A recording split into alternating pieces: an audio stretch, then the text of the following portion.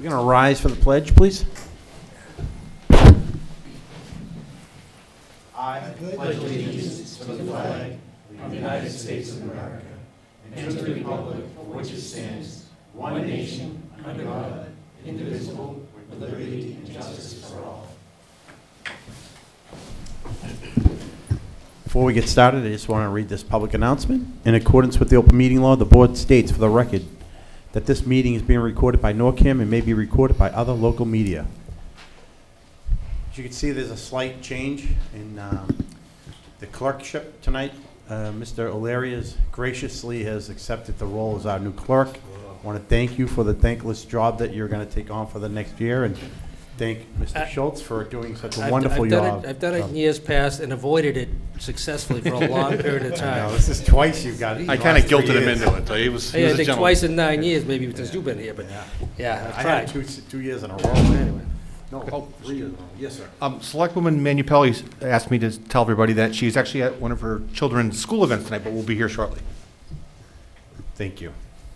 We have, we're going to start the meeting off this evening with a public hearing for RMLD Plan number 1953, which was the Haverhill, on Haverhill Street locating a pole. Yeah, Mr. Chairman, in accordance with Chapter 166, Section 22 of the Massachusetts General Law, a public hearing will be held by the Board of Selectmen at North Reading Town Hall, Room 14, 235 North Street, on Monday, May 21st, at 6:30 PM, on the petition of Reading Municipal Light Department for a new pole to be located on Haverhill Street as described in RMLD Plan 1953, dated May 8th, 2018. And a notice has been sent to uh, Reading Municipal um, Light Department and abutters. Thank you. Mr. Goldborough. Thank you, through you, Mr. Chairman. This uh, request for pole location is uh, being made by Reading Municipal Light Department. Um, However, they are responding to a request from our Department of Public Works, uh, and it's directly related to the ongoing construction of a sidewalk on the southbound side of Haverhill Street between North Street and approximately Foley Drive. Um, Anyone who's driven the area recently can see that there's uh, some very, uh, some, some uh, grading that's taken place, some tree removal that's taken place, the removal of obstacles, and there's effectively, I believe, an almost entirely clear path from one, the, the, the- north to the southern location for uh, the construction of the sidewalk with, from what I observed, one exception, which is a tree that's standing directly in the middle of the sidewalk location, um, uh, roughly halfway through the area, maybe a little bit further towards the south from halfway. Um, And that tree has a guide in it, which is holding up a pole that's on the northbound side of Haverhill Street. So we're asking for the board's consideration and and approval for the pole location, uh, the pole being uh, located, uh, I'm looking at the town engineer, behind the sidewalk, if I understand it correctly uh, which would then uh, allow the guide to be connected to the pole and to have the tree removed. Um, We're sensitive to the concern relative to a guide going across a, uh, any street, but in particular, a a very visible street here in town like Haverhill Street. And um, we- we asked Reading Light and the town engineer to look at any other options besides the guide. Uh, And unfortunately, we don't have the benefit of an additional right-of-way that's publicly owned to put in something such as a brace on the northbound side. So it would appear that the option available to us is only the guide. And I, I've said a lot, but I believe there's somebody here from Reading Municipal Light as well that can speak to it, if need be. How'd I do? Are here, would that like to be recognized? I'd ask him to go to the podium.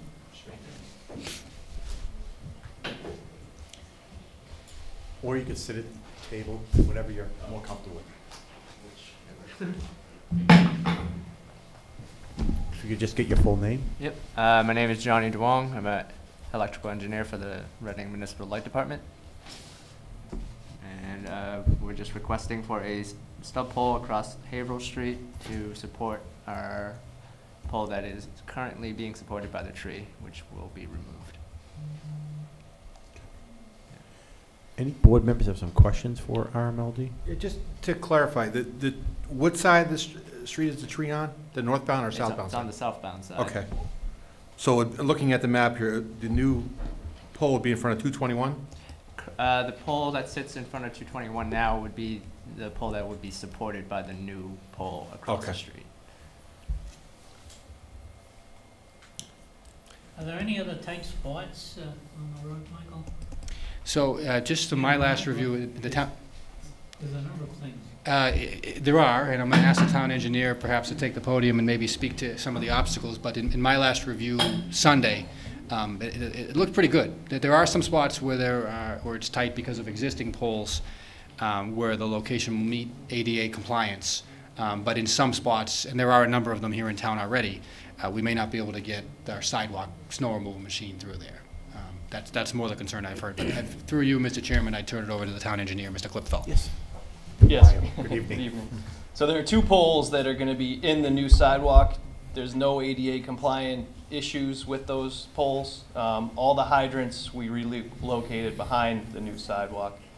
Um, so the only issue is with the sidewalk plow that we have, is just gonna have to go on the curb a little bit out towards the street to get around.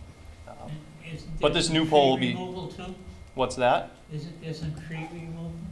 Yes, we've done all the tree removal to done, date, yeah. except for this one pole, this one tree that's supporting a pole across the street that we need to put a new pole in to support the pole across the street.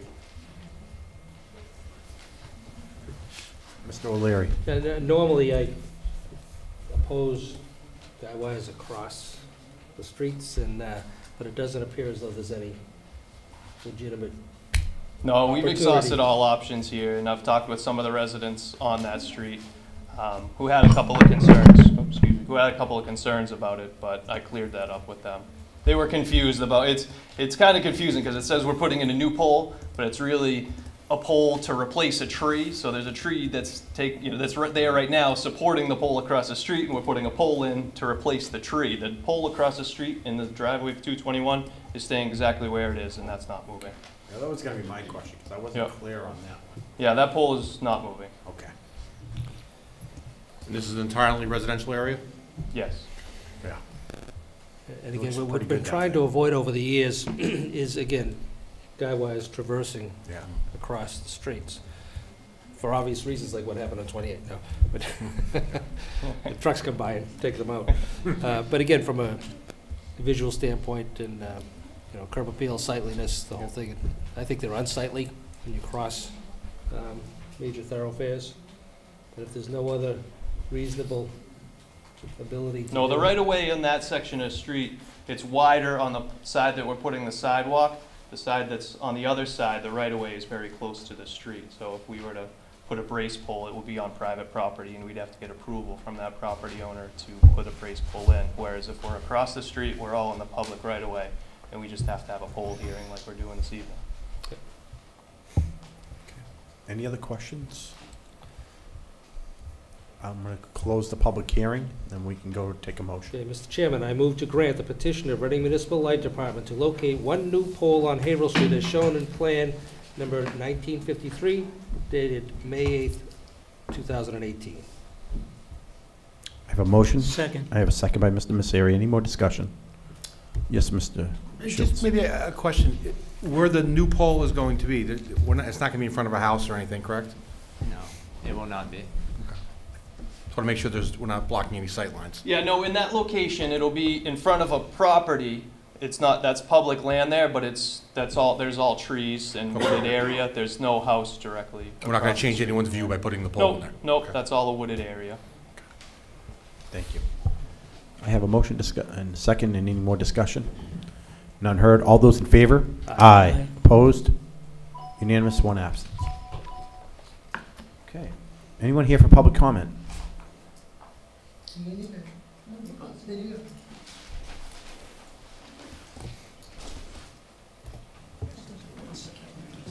Um, Jane Krieger, 22 Cherry Street. Um, Congratulations on the election, thank you for your service. Um, I'll make it quick. I, um, uh, we've been trying to get, we don't have public water. And uh, there are, I'd like to get an update on Maple Road. And um, we thought it was imminent, it's been years.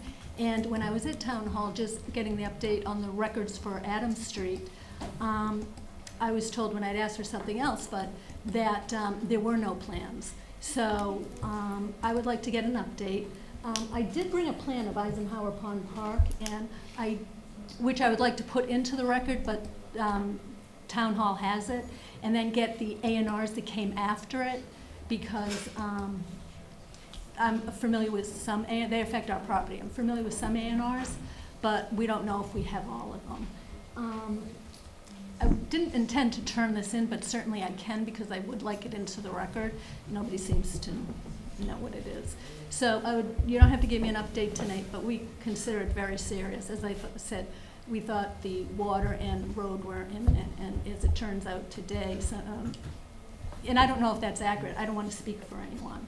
So, um, could you get back to me, or do you want me to check the plan, I'll submit it, and I'll defer it to the town. Apparently, um, I don't know who was in charge at that time, but the selectmen approved them, the A and Rs that came in this plan.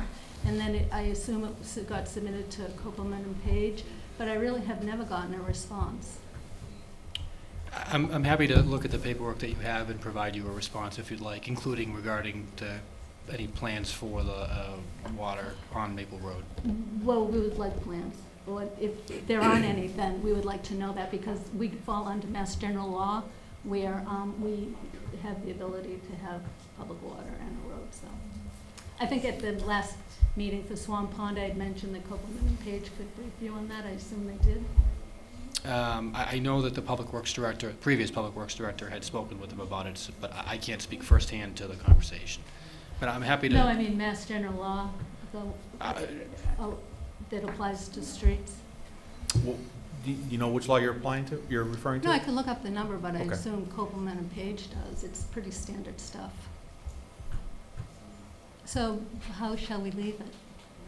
Well, why why don't we do this? Why don't you turn in what you have to the town administrator? He'll Well, I work just with- have the plan for Eisenhower That's fine. Park. And he will- he will And work we with get all the his A staff and after that? to, uh, I I can check to see if. so just make sure I understand what the issue is. So there's no public water in the area you're talking about? No, And right now you're on well water? yes. And the request is to have have the town bring town water on. down. Yes, and that's a good point. Um, They have, I don't know, in the plan for Maple Road, the um, discussed a two-inch water main and a waiver for a six-inch water main, but I don't know why anyone has um, the power to dictate us anything less than an eight-inch water main for, on a road. So that's, could you maybe address that at the public hearing tonight? How many houses would be Excuse me, affected? Mr. I'm sorry. I'm not sure, but it doesn't Roughly. matter, we're at the end. Roughly how many are we talking now, if you had to guess? How many homes? I had to guess, maybe four, Four. but we, Okay. there are lots there too. I'd also put in a request for town-owned land, and I never heard.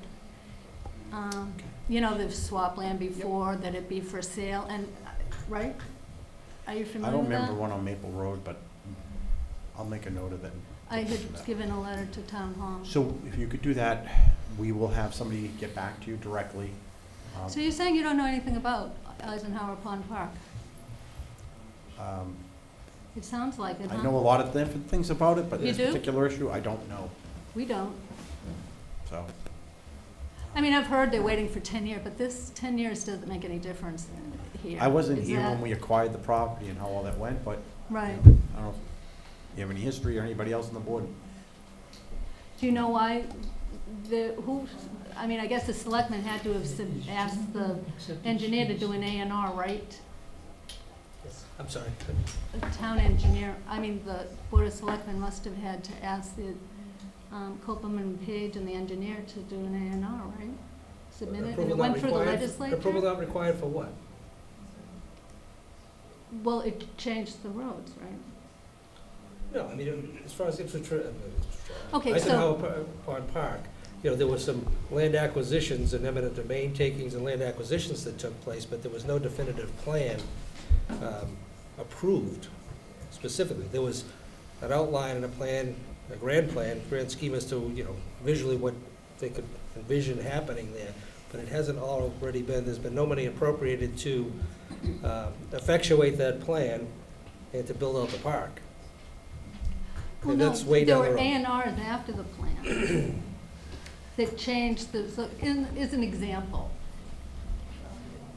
The, um, a loop for water, a, um, Well, the plan will show it, that's what I'm saying, I'm wondering Mrs. why. I I don't mean to be disrespectful. What we'll No, do is not we're at gonna all. take- We would, would love to take your paperwork, if you could turn it to the town administrator before you go to this evening, and we will take the action in the, over the next few weeks. We- We're trying to get ready for town meeting, so we'll do the best we can, but we will not leave you hanging on getting you a response, and we'll try to see if we Well, can find some okay, answers for your thank you, question. because I'm just shocked we that owe you a all these response. plans are made and, by the town, and nobody seems to know about it. You got it. Well, there's Thank been no, there's been no money requested for not appropriation to about get. money. No, no, but it is, in other words, the plan really doesn't come to fruition until Right. money is requested. Then we said, okay, now we're really Right. talking about bringing this thing to fruition. No, And I it's don't not at that think- stage yet. I don't, okay, so, could you address the A and Rs, like, what changed after this plan? Because, We, we will look into it. I Thank you. promise, Okay? bec- and it's very important, and Yeah, I- it's, I'm um, sure it is. yeah, it's been a long time. Yep. Can't promise you. Mr. I Yule, don't think anybody I'm- should I'm gonna even ask come you- here and ask for potable water. I will give you an opportunity, but how much, how much time do you need? It's a very short statement.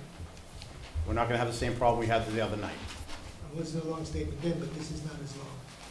That's what your concern is. I'm gonna give you a minute, Mr. Yule. Okay, I'm, I'm gonna, okay, I'm just simply gonna respond to, uh, the letter that I received, and that's that. Mr. Yule, I'm not gonna recognize you then. We're moving on.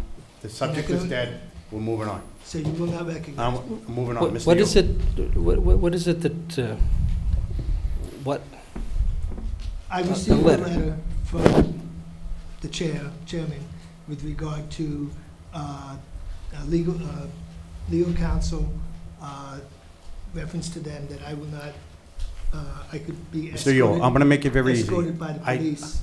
If, I uh, sent you the rules out of the guidebooks that we have, our guidelines under the bylaw, and how this works. And how the chair is responsible to recognize you, and the chair also has the control to ask you when to end, and you have to respect that. That's all I sent you. Just an excerpt right out of the bylaw, because you seem to have a different opinion of it. I am not gonna take a lot of time to go over this with you. That's all that letter says. Doesn't say anything more than that. It says that. We're moving on. police- the Mr. police Yule, will, we're uh, moving on. Uh, you will call the police if it If, disturbs. if, that's right, it- it's right in the bylaw, it says, if you, like you're doing now, you don't want to respect the chair, the request of the chair, and you're disrupting the meeting, then I have the right to call the constable or the police to have you removed, Okay. to stop Okay. disrupting these Mr. meetings. Chairman, i- i- if I might, uh, just, uh, uh, again, I- I don't want to get into any uh, pettiness. I mean, this public comment, you know, people can come in and raise, there's an opportunity to raise some issues. Again, the- the issues are not to be debated, you know, it's just raise the issues, we decide, determine at that point whether we're going to put it in for a future agenda item. So they, but members of the public, even if there may be of a different opinion than myself, still have an oppor, should have an opportunity to be heard, make this statement, you know, how we react is entirely up to us, or if we react at all. Um, But I, I don't think anybody should be necessarily shut out or shut down. I don't disagree. Okay, so, you know, to- to- But if I give an opportunity, in his case, three, over three minutes, almost come up to four minutes, and I asked him for thirty, give him thirty more seconds to wrap it up. Out of respect, he should have followed the, what I had requested. And he says he has all the time he can take, uh, that he wants, and that's not the way this works. That's. Not- What I sent him, what I sent him was out of the, our selectman guidebook and out of the bylaw, just an excerpt, exactly how this process works, so he's informed now. Now he's been made aware. We're ending this conversation, It's a little on. frustrating because you allowed someone else to speak on the same subject for seven minutes, Mr. and Yule, you only it's- we're interrupted me in moving less on. than You've three. been, you've been notified, I'm moving So on. I'm gonna Next give this thing on the copy ag- to the, selectmen's uh, report. I'm gonna give this copy to the So transcript you're gonna see, publication. you're gonna see, perfectly Okay. fine. You know, it's There's a new change inappropriate. on the agenda that we're gonna, we don't do old and new business. Hmm. like we- We're gonna add a new thing called Selectmen's Report. What You I'd have like the to do is gavel. Use this opportunity to, like to use this opportunity for Selectmen's Report, for things in town that are happening that you want folks to hear, especially early in the evening. Right. And so that's what this change is, and we'll st- always leave old and new business for That's a the good end. idea. Okay? It's a little bit of a change. So if any selectmen have a report that you wanted to make at this time. You had the gavel. You have a right to use it. I Mr. Yule, understand that. Mr. Mr. Chair, Yule, I want you I- to know we that. have moved You can- on. You can call the police if you want, and go right ahead. That, that's fine by me. Okay? I- I'm, Mr. I'm Yule, not we worried have about moved that. on. Okay? Mr. But Chair, you- I'm going to move that we suspend the meeting for a few minutes. Just keep No, moving don't do that. We're not going to let him disrupt. Well, us. we all have to, we all have to respect the gavel, including you, Mr. You- Yule. And, and you have to respect the Constitution of the United Mr. States as well. we That's have a big moved part. on. So, um, I will leave, all right? But you're out of line as far as your, your Okay, Mr. Yule, responsibilities are. thank you. And Have a good you evening. will find out We're about going to it. move on. Okay? Yeah, Thank you. we will. Okay. Does the selectmen have any reports they'd like to make? If not, we're going to move into the municipal vul- vulnerability preparedness plan and vote to adopt the plan. Mr. Chairman, through Yes. you. So in the meeting packet this evening, we had a brief summary in the meeting um, notes, uh, agenda notes, and then we have a presentation here from the Community Planning Commission and their consultant. So I'm going to, at this point, ask the town clerk to maybe do a brief introduction, and we'll go through the presentation. Um, There's a separate document in the Dropbox folder for this evening's meeting. Uh, It's lengthy, 112 pages, I believe, but that does ref- reflect the pending plan which the board is being asked to adopt this evening. And uh, there was an information session held last Thursday evening here in Town Hall. Uh, We had a few residents who attended, uh, and the consultant went through the, the plan as well, so there has been an opportunity for some public input as well. And with that, I'll turn it over to the town. Can we change the source so it can come up on the Oh. screen? I'm not sure. F5?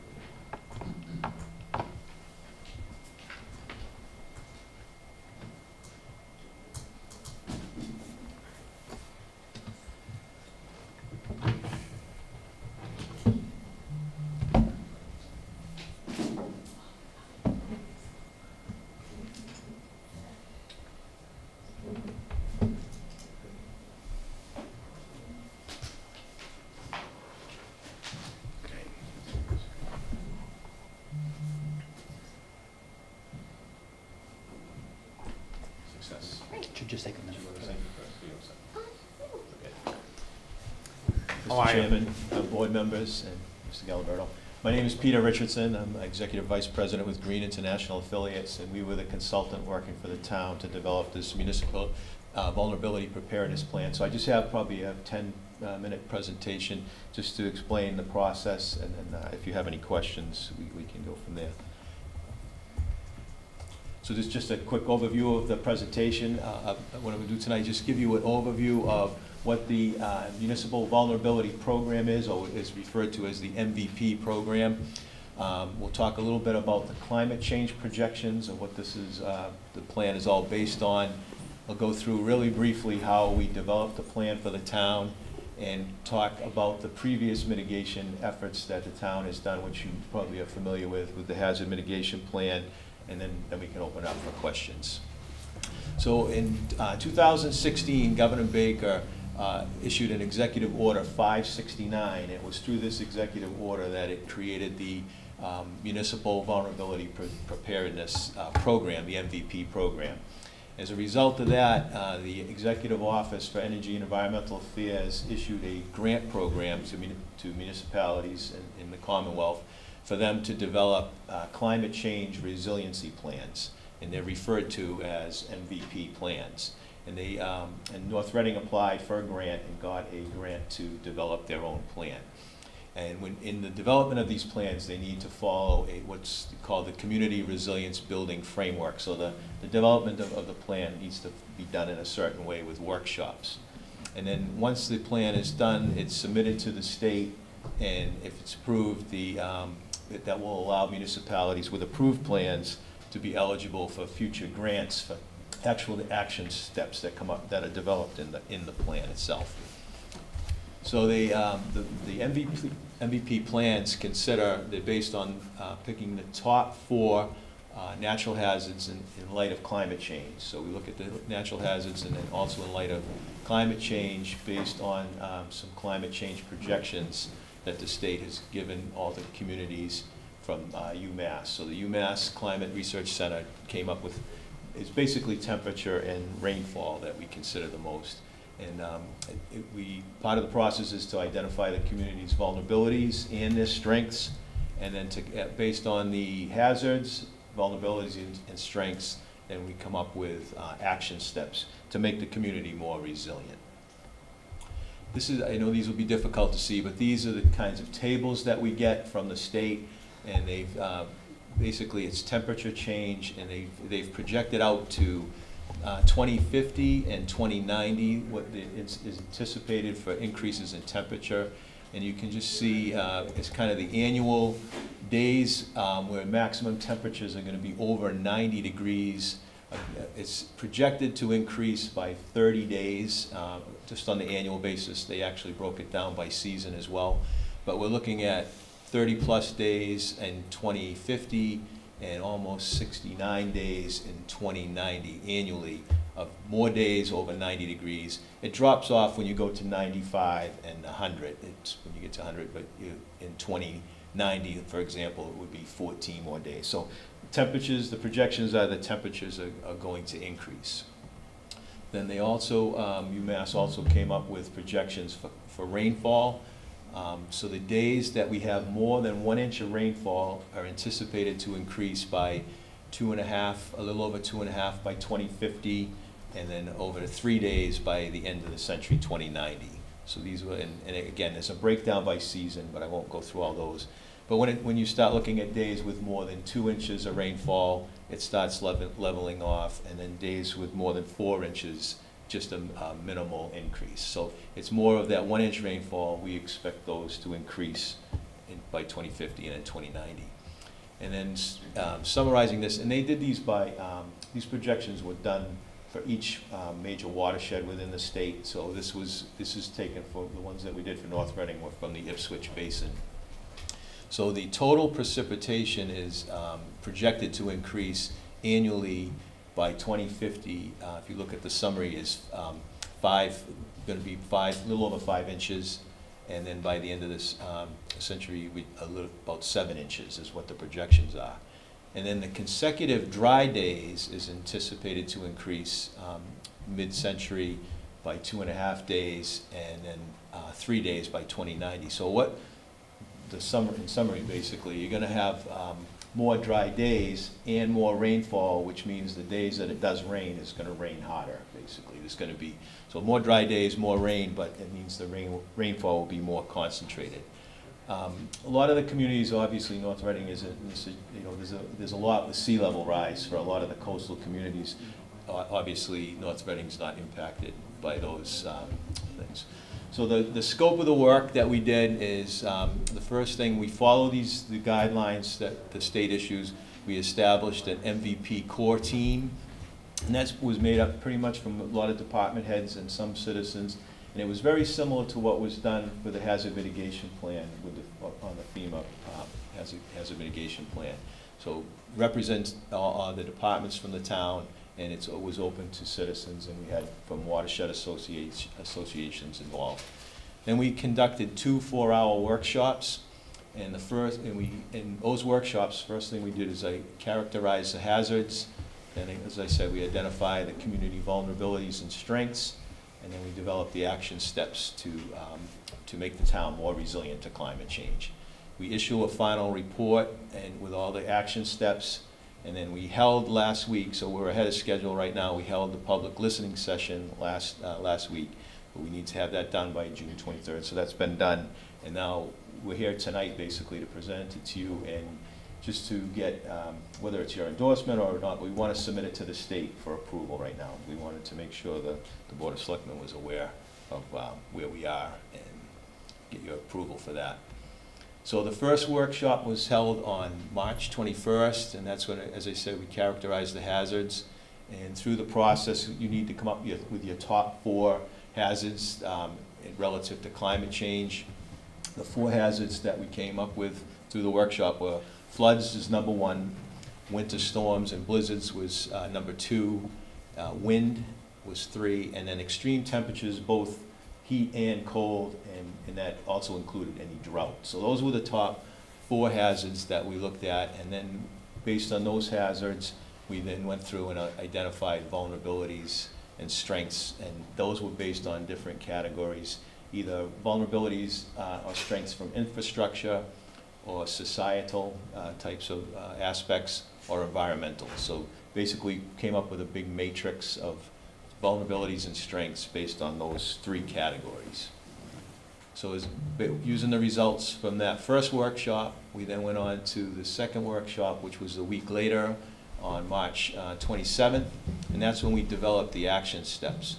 Um, North Reading was in a good position already because some of the communities are doing this right from scratch, but uh, North Reading has already done for many years, worked on uh, flood hazard, hazard mitigation plans and natural hazard mitigation plans. And we wanted to make sure that what uh, we did with the MVP plan was in, was going to coincide with the work that was already been done on the hazard mitigation plan. So we did, we developed our action steps for, uh, for the hazards on climate change, but we kept in mind what the town has already has in place for action steps through, the- through the uh, hazard mitigation plan. So as a result of that, we developed the, um, the draft, we have the draft uh, municipal vulnerability preparedness plan. So your draft MVP plan has been issued, it's been put on the website. I don't know if, if anybody's had a chance to, to look through it uh, at all. Um, We have it all done at this point, and basically the result of that is we've come up with, we went through all the action steps that were in the, in the hazard mitigation plan, and then we, we we basically prioritized those based on climate change. And we did a rating system that was either a high MVP priority, a medium MVP priority, or a low MVP priority, and they're color-coded. And then there was a, uh, one, one project or two that was already completed through the hazard mitigation plan, so that basically came out.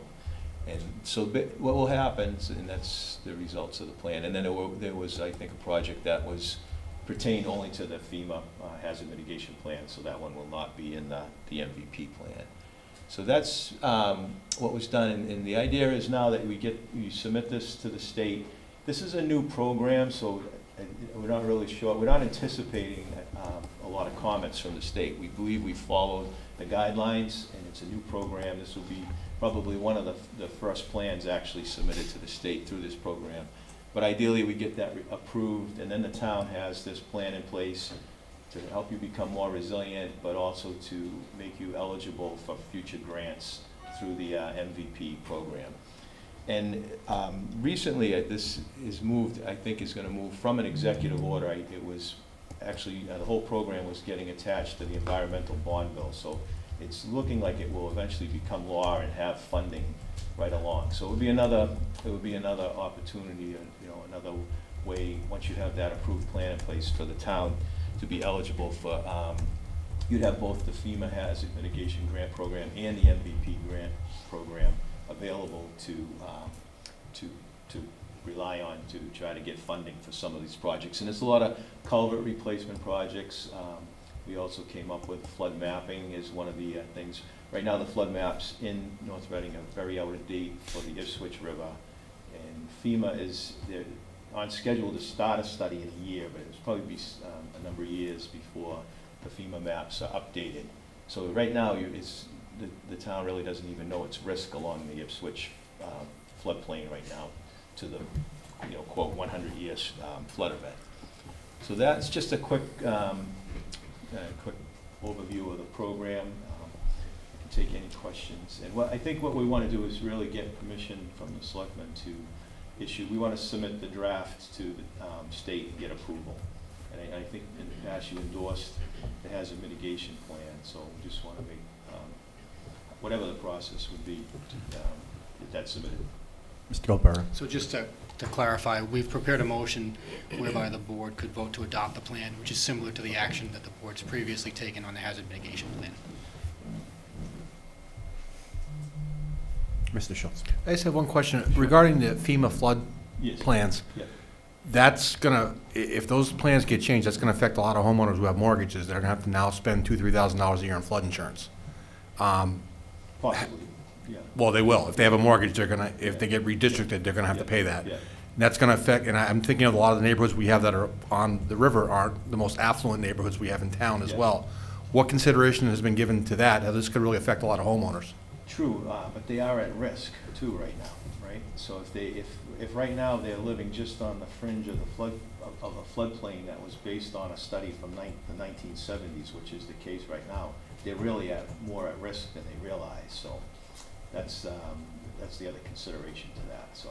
Think it could potentially, I don't know, that, that's, I think the problem is we don't really know the risk because the maps are Well, and that's my problem too, is the science is so muddled in this. I mean, I've heard climate change, I hear global warming, I don't know the difference between the two.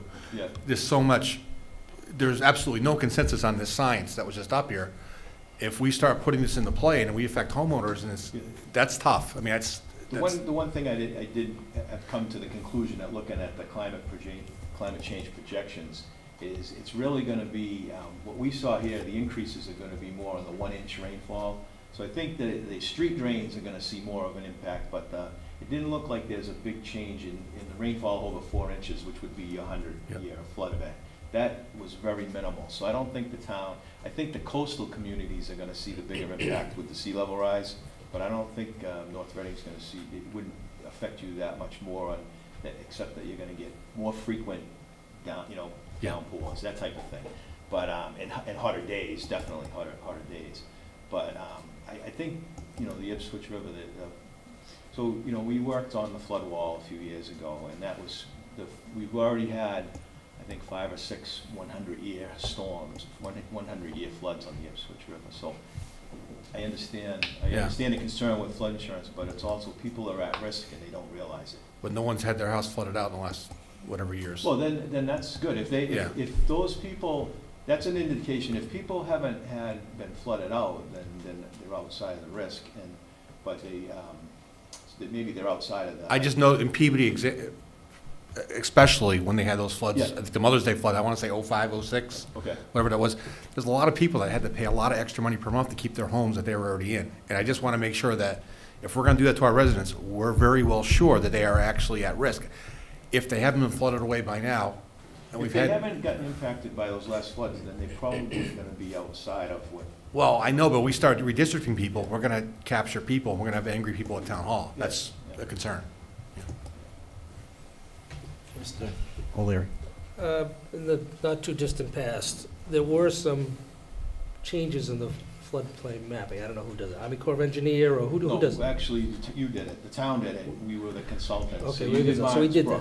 It- You it- did Martins Brook. No, not just Martins Brook, because there was uh, a section up off of um, Lindor Road, uh, where we got some call from some residents who were not in a floodplain, who were now in a floodplain. Okay. So it wasn't just Martins Brook area. Okay, Uh, And again, I don't know who redrew the maps, or there was a redrawing of the maps and a reclassification of, of a few properties in town, not just over Martins oh, all Pond right, okay, area. Um, And again, that wasn't, No, I thought it was Wright Pierce that did it. And it was at the same time, we remember we did the stormwater um, study, where we sent them out, put the scopes in the ground or whatever, you Yeah. know? and Yeah, it was Linda, Around the uh, same time. Had a history of flooding, and then there was some work that was done, and you really find the road. no, but I I remember getting call from uh, some residents Right. who just said, we've just been notified, and therefore, they're now required to have flood insurance, where they didn't, and it was, you know, several thousands of dollars Yeah. uh, additional, and they, they took exception to it because they would have to then petition to, If the Re- prob, if take a the look at it. structure is not really in the, in the flood, if it's high enough that it's no, but I- I- outside. so I guess my question is, you know, I know that there's been some changes to the Yeah. floodplain maps in town within the last decade, Yeah. let's put it that way. Um, And I don't know what initiates that or or what action, I I don't know if it was one of these catastrophic events. No, the FEMA, I mean, regularly tries to update the maps, it takes them a lot longer, and what's probably happened in that case is they've gotten better base mapping, they use the dig- ortho photos now, and they have better topography, so they probably deline- they delineated an area a little better than it was in the previous paper maps. But I don't believe they did any new analysis, and Lindor is not, um, that's a smaller watershed, right? And So that's, that one is probably just, uh, with the new, with the better contours, they, they tried to fit the new, um, flood zone in there, and that may have impacted some people, so. um, So, so I guess to Mr. Schultz's point, i- i- and again, I think it's, it's, it's important for us to, uh, to be ready and identify Right, and, and I mean, if, if, whenever FEMA updates their maps, that's gonna happen regardless of what the, you know, what I mean, you can kind of wa- stay. does try to this stay step, ahead of the- the does this process. step up the process or the pace? No, this doesn't do any, I mean, hav- having the updated FEMA maps would help the town to know, really know your risk better, right? That's, that's the thing, the, the more accurate flood maps. But this doesn't drive North Reading being done before Beverly's being done before Wilmington's being done. No, no, Uh, So, so the benefit of this is uh, some additional grant funding for, culvert replacements or any, other any, you know, one of the things we Okay. talked about with climate change would be, we, we, we're seeing more of these heavy, wet snowfalls, right? So there's a lot of um, municipal buildings that have flat roofs. So maybe we could do a structural evaluation to see the capacity of, of roofs and, okay. You know, that type of thing. So that it, there's a number of different projects. in So, there. so it doesn't So- necessarily hasten the, uh, the, the look at the community from a, a mapping standpoint. That's gonna happen in its own due course. That's gonna happen on its own, if you, if you wanted Right. to take that on as a project like you did in the past, you did it for Martins Brook because the, the flood elevations were incorrect there, and the town did it on their own through a grant, and actually speeded up the process. It's really, um, to know, to know your risk, you know, with any, um, municipal uh, critical facilities that are in the Ipswich floodplain. You know, I think, that I think the, uh, the fire, the police station, fire station has the wall to a, what's now the five hundred year flood, so it should be, uh, protected there, but you, you know, to know your real risk, I guess, is you wanna have the latest flood map. We've all lived through several hundred year storms and even if, Well, that's the point, right? which You is shouldn't really. amazing. You, you really shouldn't be, it's the one percent chance, uh, flood in a hundred, you know, one in a hundred years, you shouldn't be seeing that several times in a decade, right? So that's, that's the point. Shouldn't, they need to rename it. When people uh, have damage to their homes that we don't necessarily hear about, their basement got flooded, things like that. I, I truly appreciate, um, impact of insurance, but I think ultimately it's better for everybody to know their real, what their risk is, right? So, yeah. But if they've gone through, if they haven't seen floodwaters in some of these, they, they may be better off than, Well, they didn't have water in their basement, I'm not saying. Right. Yeah, that's normal in North Reading. And I'm in New s- England, that's what happens a lot. That, that's not part of the flood insurance program. They don't even cover Yeah. basement, ground, groundwater flooding doesn't get covered. So it's only, it has to be surface water. Is there any other questions? Mr. Chairman, I move to adopt the municipal vulnerability preparedness plan. I have a motion, do I have a second? Second? Second by Mr. Schultz, any more discussion? None heard, all those in favor? Aye. Aye. Opposed? One absent. Okay, we still have a Thank you. Thank you for Thank the you very report and the time. We still have three minutes before the hearing. Um, Is there anything quick on here that we could hit, Mr. Gilleberto? Really? Um, Probably the appointments through you, Mr. Chairman, we could at least do those. At The minutes, we may want to wait till the vice chair is here. Yeah. The the housing services agreement as well, Mr. Chairman, if you wanted to try to do that. I know the town planner is here, she could speak to it. Sure. Let's do that. Sure, thank you, Mr. Chairman. So, uh, to the town planner, we'll, we'll expedite the discussion of the housing services agreement, which uh, we have before them for approval and signature this evening. I believe you referenced some of the changes during your budget presentation. Yes, Which are now um, affecting in this so the change, um, the major, ch- there, the, our financial responsibility with this group changes a little bit year to year. Um, what changed, um, based on, our, our amount that we contribute went up a little bit, although not a lot, um, based on the number of hours we were actually using. So when we initially established this office, we did an estimate of which towns would be using the service the most. Wilmington was paying um, 40, 40 something percent when we first started, um, based on the number of units they had to be monitored. Um, North Reading was paying 18 percent, um, and the other towns were, you know, somewhere in between. As we have tracked the actual history of the consulting hours that have gone into North Reading, we find that we are actually spending about 19% of the office's budget hours rather than 18%.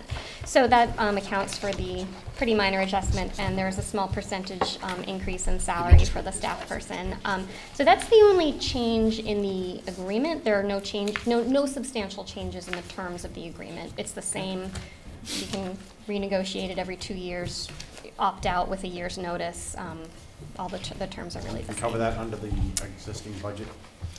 So Ms. McKnight modified her budget request for fiscal year 2019 to reflect this anticipated change, I believe. Right. Okay. Any questions from the board? And I think we have a motion, right, to, Sure, if I can find sure. Let's see, Mr. sorry, we Chairman. jumped ahead on you a little bit. Yeah, there, I Mr. move to O'Leary. sign the intermunicipal housing services agreement for the period July 1st, 2018 through June 30th, 2020. Second? I have a motion and a second. Any more discussion? None heard. All those in favor? Aye. Opposed? One absent. Thank you. Thank. Okay, it's seven fifteen. We're Just- going to open the public hearing for the streets betterment and paving on Swan Pond Road. Is there a presentation? Uh, We don't have a presentation. Okay. Uh, We did put a cop, Thank you. Turn the lights on. Do we have a, when you're ready, Mr. O'Leary, we'll take the public hearing notice.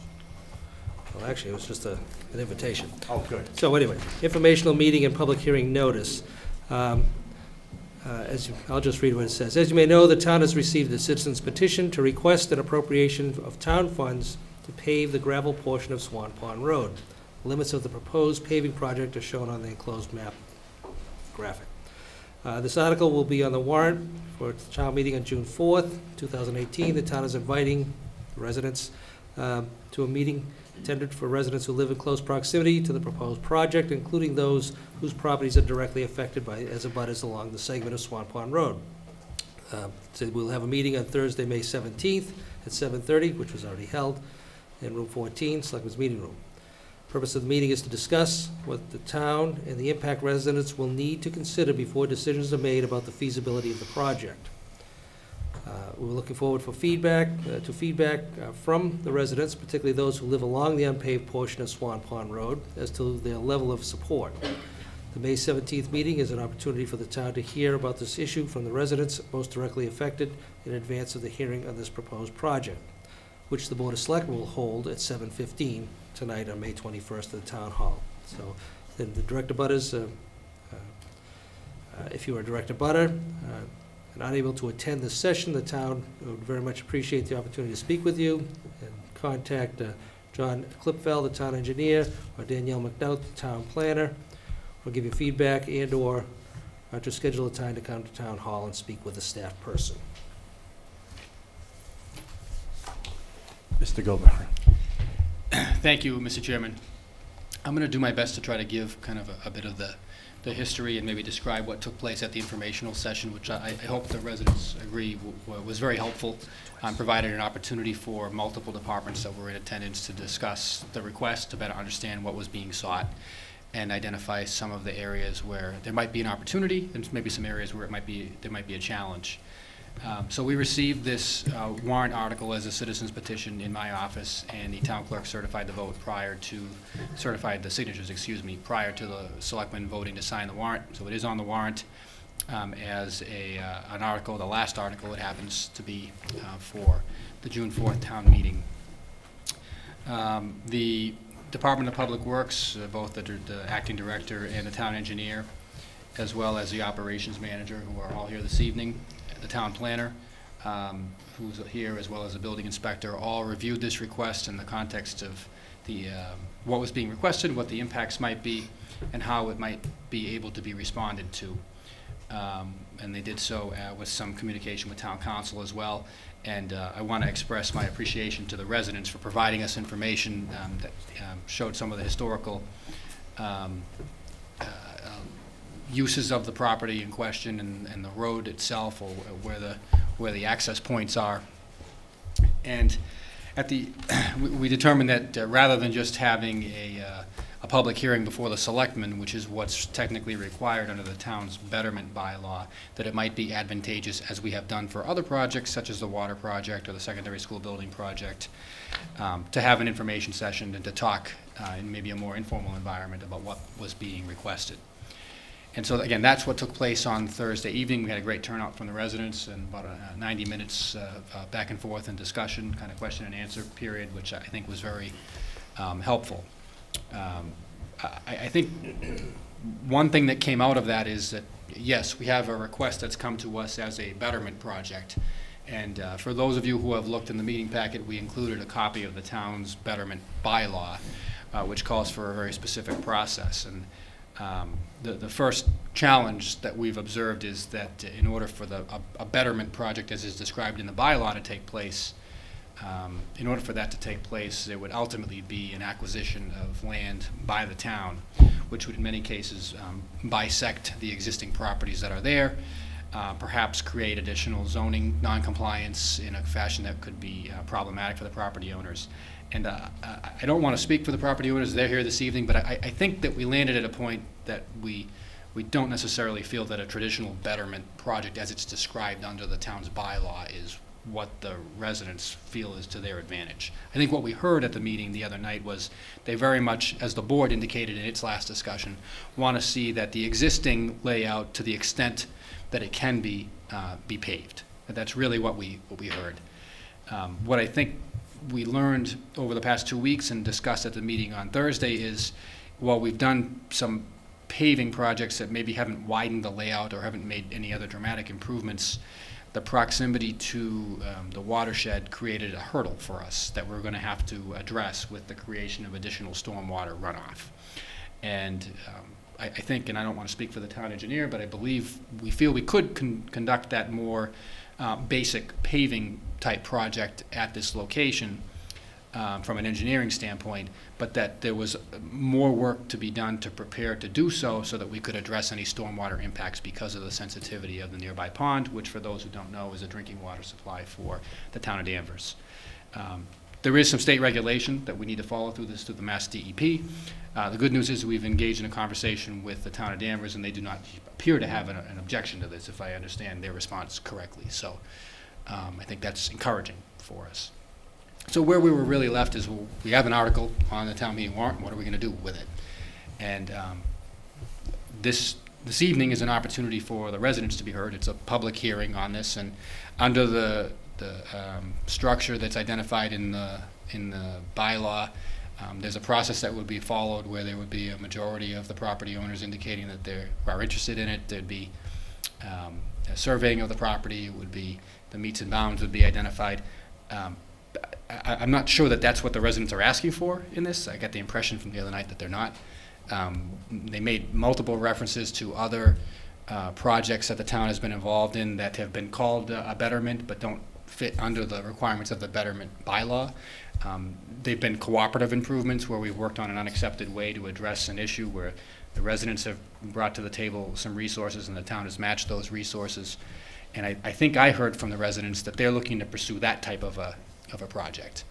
Um, The final thing that I'll add, and I'll maybe stop talking and turn it over to the residents who want to speak for this hearing, is uh, they- I think there was an impression that they, this project was being held to a different standard than some other larger um, improvement projects that we've done on unaccepted ways. And uh, we did our best to explain that that was uh, for two reasons. The first, because of the proximity to the watershed at Swan Pond, but secondly, because of the, um, the planning process that we've been following regarding road improvements on accepted ways. We have a pavement management plan that we follow, that the Capital Improvement Planning Committee has been very supportive of, where rec- we asked for town meeting to recommend funds to be matched by the state, uh, state-provided Chapter 90 funds, and those funds, for the most part, are uh, identified in a pavement management plan for work to be done there.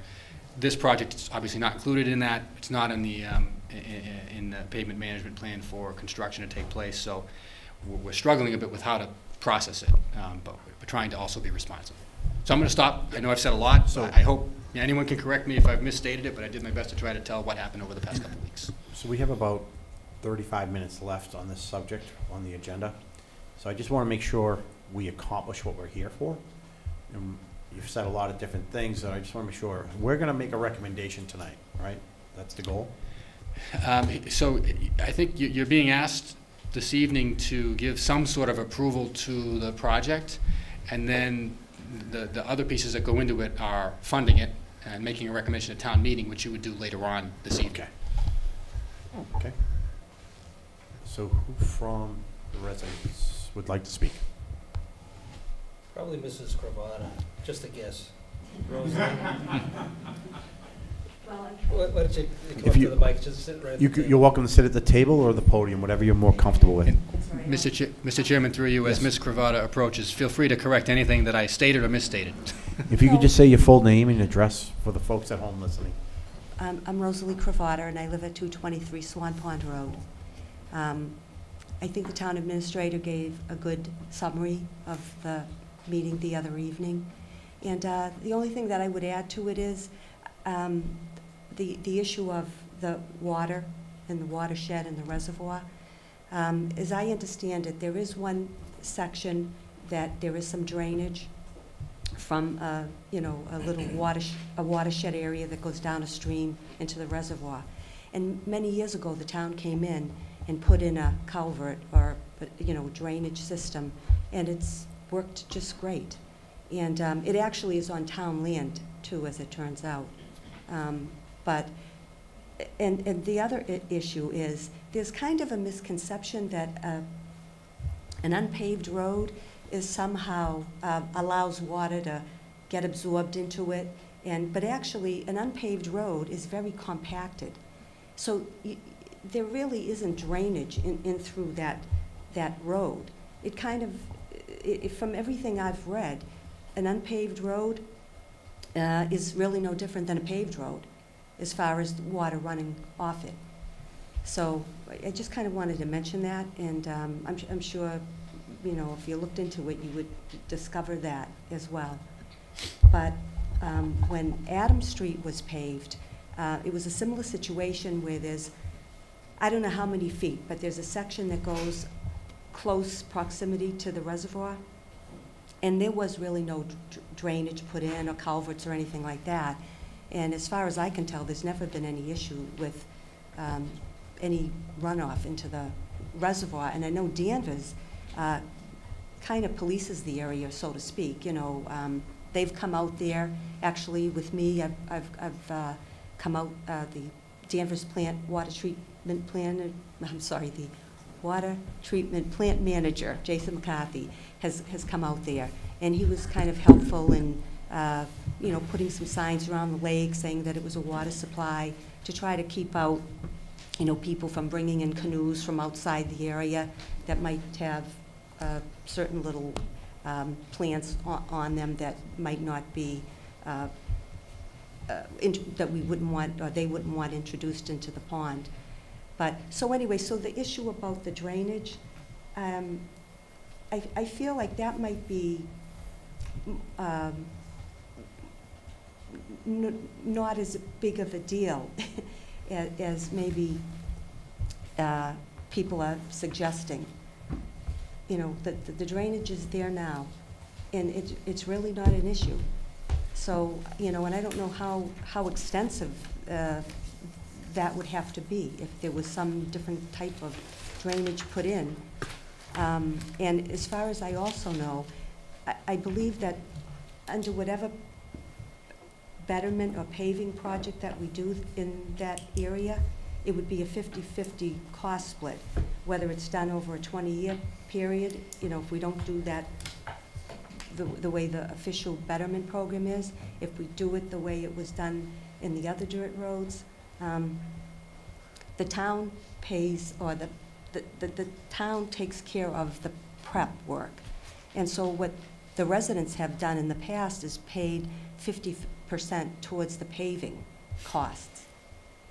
And I know the previous town engineer had done all of that estimating. He had been out there, he did the measurement, uh, you know, he, he provided some numbers to us of what that cost estimate was. And um, so, you know, I feel like a lot of that work has already been done. Uh, So the only real issue, it sounds like, you know, that came out of the meeting the other night was this issue with some drainage in one section where there already is a a culvert. So I mean, that's all I would add to your summary.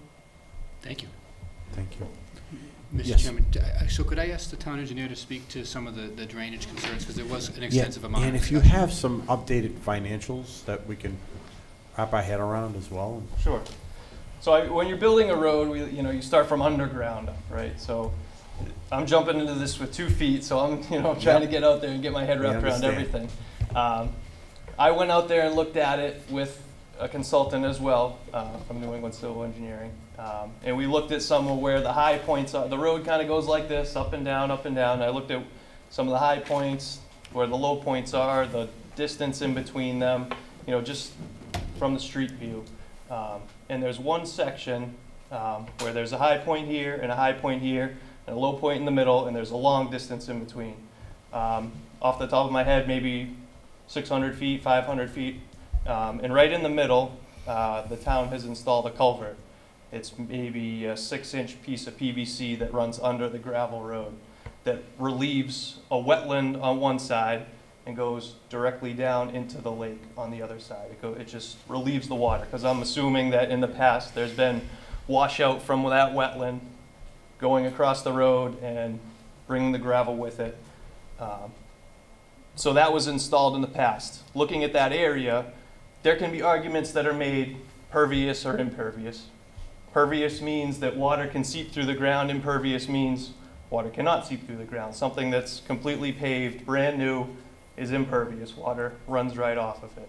Gravel will allow some water to seep into it.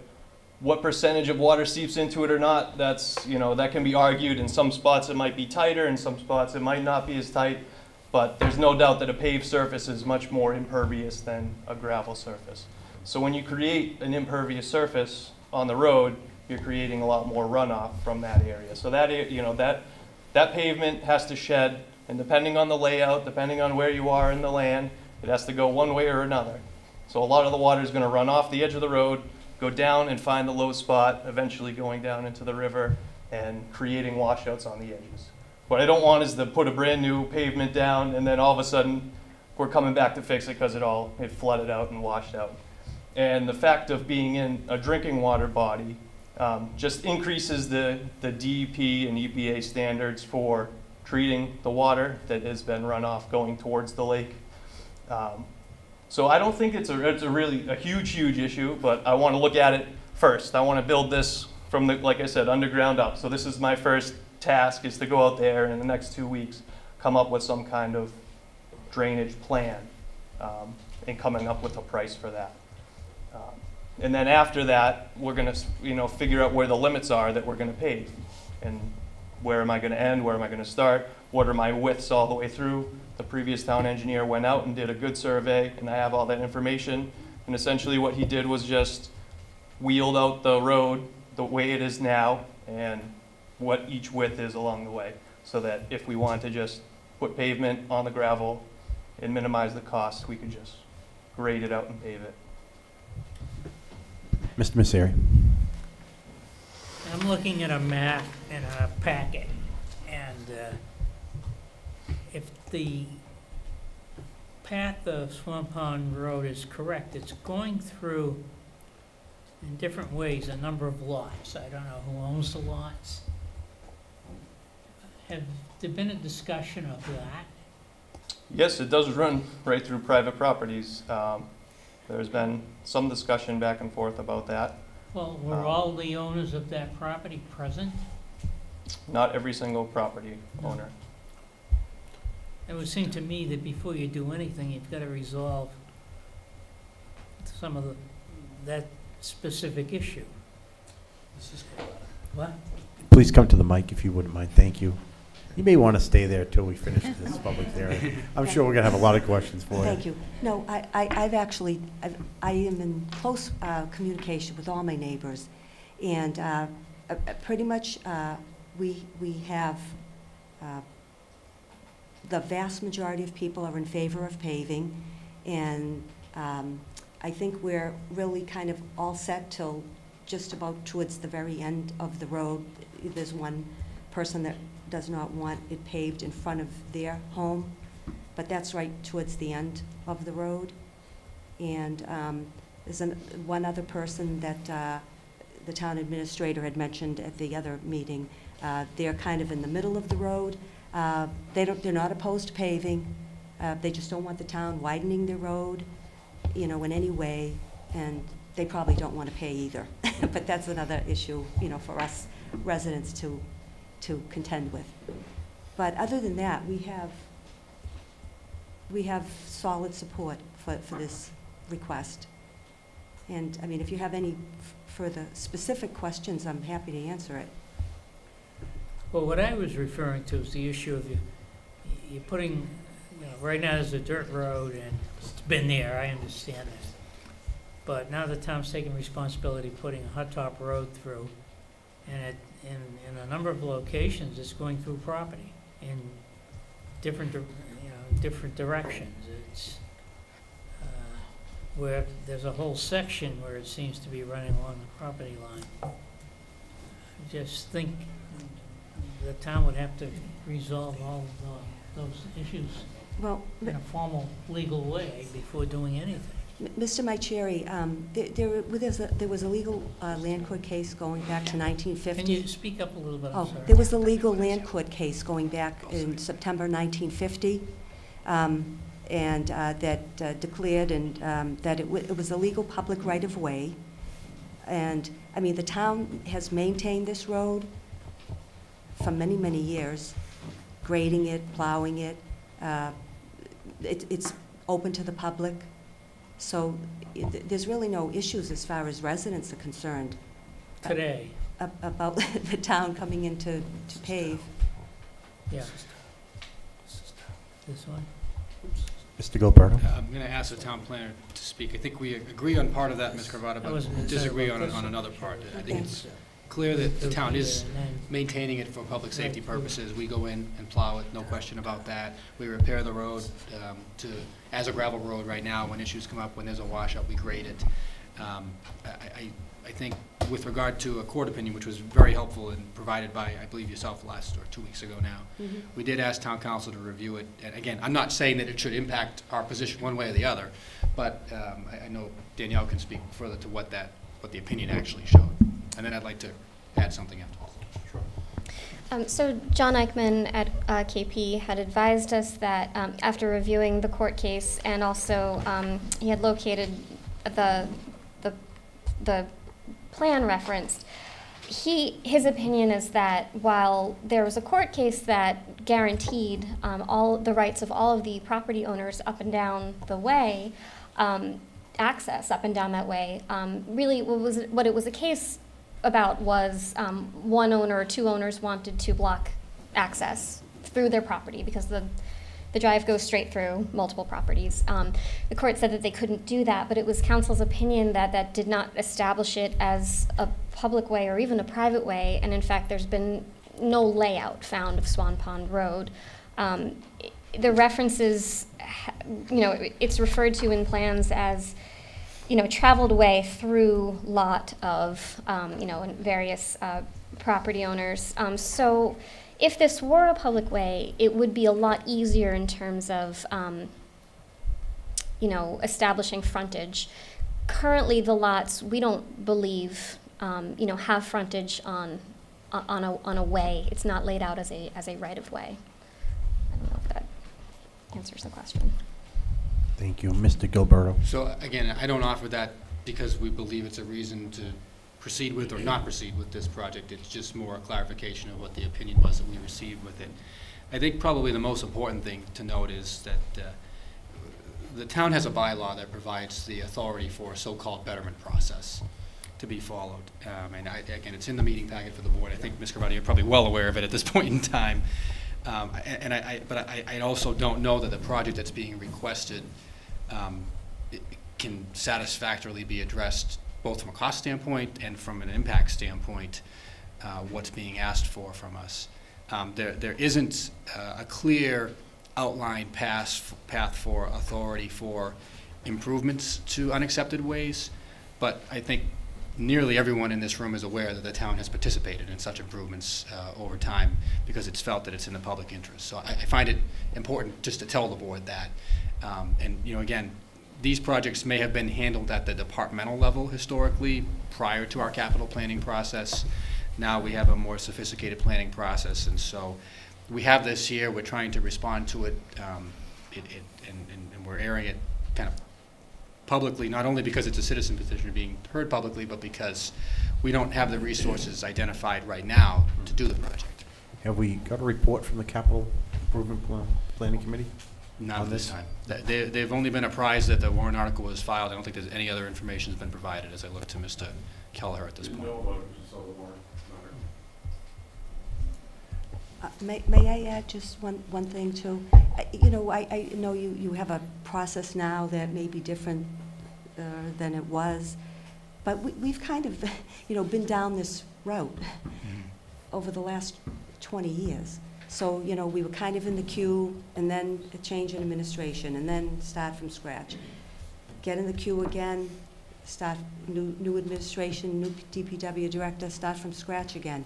I mean, it just seems to me that, uh, I guess what I'm asking, uh, we're asking is, you know, if the town could somehow see its way to honoring a request that's kind of been in existence for quite a while at, th- at this point in time. Um, You know, if, i- i- you know, it seems to me that there should be some way to, to, to work around that. Mr. Schultz? Just Sorry. a quick question. I'm I'm looking at the, the map, and uh, 211, 215, and 217. Um, Are there houses on those lots, you know? Uh-huh, yes. Because I don't see where the, the current road even abuts those properties. It looks like you have to cross over what I'm guessing is town land to get to your property. Are there easements i- on these lots to cross the town land? Because the road doesn't touch these properties according to this map. Yeah. Um, Does uh, anybody want to speak to that? If it's here, I mean. I'm sorry, I'm sorry, sir, I, I apologize. If Okay. you could help, Two eleven, two eleven, there's a triangle section into the road. you- do you mind coming to the podium? Oh, Two Sir. Unfortunately, the folks listening at home can't hear you. oh, You could use the You can podium. go right to the it's podium if you'd like, sir. so, so two eleven. Two eleven goes fifty percent into the road, and let's say two fifteen, maybe twenty-five percent into that road. Because looking at the map, I'm looking at, it, it's, it's not even It- close. It- Yeah, I mean, the map But could be it's, uh, off. you know, according to the markers that are there. I, I think what's interesting, Mr. Chairman, is that there has been a substantial amount of, um, let's say, improvements made to the dwellings out in that area over the last 25 years. Uh, Significant improvements, um, whereby brand-new homes have been built, you know, so, you know, while there may be an issue in relation to, you know, adequate frontage, or, you know, permits have been issued, new structures have been built, there are some beautiful homes out there, um, regardless of what's laid out, you know, so as far as, uh, impacting, you know, the, uh, the rightful ability to develop out there, to me, that's already been determined. I mean, most of these lots have already been built on. Yeah. Um, I think what it comes down to is, Mrs. Cravata's point, you know, th- they've been a very patient group of people, and she, she's being very modest when she says only 20 years. Uh, It's been more than 20 years, it's been 25-plus years, uh, where these people have been uh, petitioning and working with the town, through the town, through the town departments, uh, to effectuate some sort of uh, improvements out here, including, I mean, the the graveling uh, and the road maintenance that we've done has significantly improved from what it used to be uh, just a few years back. Uh, We have seen significant improvements partially up Swan Pond Road, all the way up to Adams, um, where the town has undertaken this and taken it on itself. Um, So there's just this one stretch of road now, a- and there's, there's there's no doubt that it's um, a little fuzzy as far as where the lines are, but there's no doubt that the town has been maintaining this um, for a number of years and has done some improvements just recently, as far as some widening and some turnarounds. Um, I would like to see the board, for, you know, address this particular situation, um, first and foremost, but I'd also like to, and I think we touched upon it in the last meeting or two, um, we need to address other areas of town that are in a similar situation, uh, whereby people pay, you know, a significant amount of real estate taxes and uh, contribute like everybody else, and we're, we're throwing some good money after bad here in relation to the maintenance and upkeep uh, annually. Uh, My guess is the return on investment, if we do some paving out here, uh, would be substantial. It wouldn't take long to pay back whatever we have to invest to put it down here. And again, I'd I'd have to, you know, rely on the town engineer and Department of Public Works to, to assist us with uh, some justification of numbers. But he said, just- we put a lot of material down there, manpower, uh, to go out there and maintain this on a, on a regular basis, an annual basis. And if we were to put some sort of payment down, you know, I recognize that uh, the planning commission has a job to do uh, in normal set of circumstances where it's allowable and where it can be addressed. But these other areas shouldn't continue to be neglected. And I think we need to, uh, uh, as a matter of policy and practice and allowing the capital improvement committee um, to be somewhat directed to direct some resources to these unimproved streets or ways in the community to save everybody some money and uh, improve the, improve the conditions. So um, I'll look for some guidance from the administration as to what should be suggested as to how can we move this project forward. You know, given the timelines in relation to, I know that they want to do some sort of engineering, and maybe that's the first step for the June town meeting, with an eye towards October of an appropriation to get something done. And at the same time, maybe address some other areas in town too. So, um, while it's a citizen's petition, I think the, the proper approach would probably be for the board to take some positive action in addressing how we want to Right. address the issue. Uh, So first and foremost, I think we need to send a message to the administration that we do want to address the issue. Uh, We want to, uh, you know, do it sooner rather than later. And uh, we want a a comprehensive plan as to how we can attack uh, other areas in the community too that have similar situations. So, you know, I appreciate the residents getting together, putting a citizen petitions forward. The issues are a little more complicated than maybe we anticipated, but to me, there's got to be a way around it. You know, where uh, standards can be relaxed in order to improve a situation, but not necessarily brought up to a, a minimum code level in relation to, you know, subdivision planning and all the rest. Mr. Gilleberto. I think some, some great questions came up at the last meeting. Um, They came up at the informational meeting on Thursday night, and uh, I got an email this morning uh, with them as well. Um, I would like to ask either the DPW director or the town engineer just to speak to the maintenance costs to the best that we can. And I know Mr. Mauceri asked for, you know, what- what's the extent of the unaccepted roads here in town? We just can at least answer that question for, for the board. So Mark, if you want to speak to it. Yeah, so we have, we have a couple different lists of unaccepted roads. Um, The best numbers we can put forth are, there are about five miles of these unaccepted roads, uh, gravel roads in the town of North Reading. Uh, The Swan Pond Road being about a little, almost six tenths of a mile is by far the largest of, uh, of those gravel roads. I think Maple Road is about half the length of that and uh, is uh, the second longest. Um, So there, right now, there are if we look at the list, there's somewhere around 45 actual streets on that list. Most of them are very short little sections of roadway, but uh, we have about five miles of those uh, gravel-type roads in town that we're maintaining currently. Mr. Chairman, through you. Just the maintenance costs as well. I know you guys did some calculations. So, yes, so the maintenance costs, um, based on the estimates, we are expending somewhere in the neighborhood of about, uh, this town-wide, about $45,000 a year in maintenance on the gravel roads. Factor into that, we're also, um, and that's for grading and putting material down and, you know, basically bringing those roads back up to a passable standard uh, on a number of times each year. We're also expending part of our snow and ice budget, obviously, to, uh, to maintain and open up those roads. Mrs. Manupelli. I'm, I'm, I'm sure for this, there are a number of factors, but I think our engineer was mentioning pervious versus impervious, and you're mentioning these gravel roads. Is there a reason why they're left as gravel roads? Is that because of the water or drainage or something like that? Uh, I would say there are a number of different reasons they're gravel. Number one, they are gravel to start with. We're, we're maintaining them as the condition they are. Um, They haven't been paved by the town. Now, a number of improvements have been made over years to different, different sections of road to bring them from that gravel status up to a paved status. Would Um, that be for these types of roads that are unaccepted? We've done, there have been betterment projects done on unaccepted roads in town, yes. So, If I could, maybe just try to, for the sake of progress, I, I think clearly the the residents in this area have waited long enough, and I think we should take action tonight to at least put the first step in place, like Mr. O'Leary had suggested, and at least go to town meeting and try to get the engineering approved and allow us to go down that road, and then give us the opportunity to get to October town meeting, to come up with so, sort of a plan on how we do this for all types of roads like this, for the five-plus miles of roads that we have remaining in town. Because we owe it to these residents. They live in these homes. We've, listen, we've made it like jello, okay? We did it.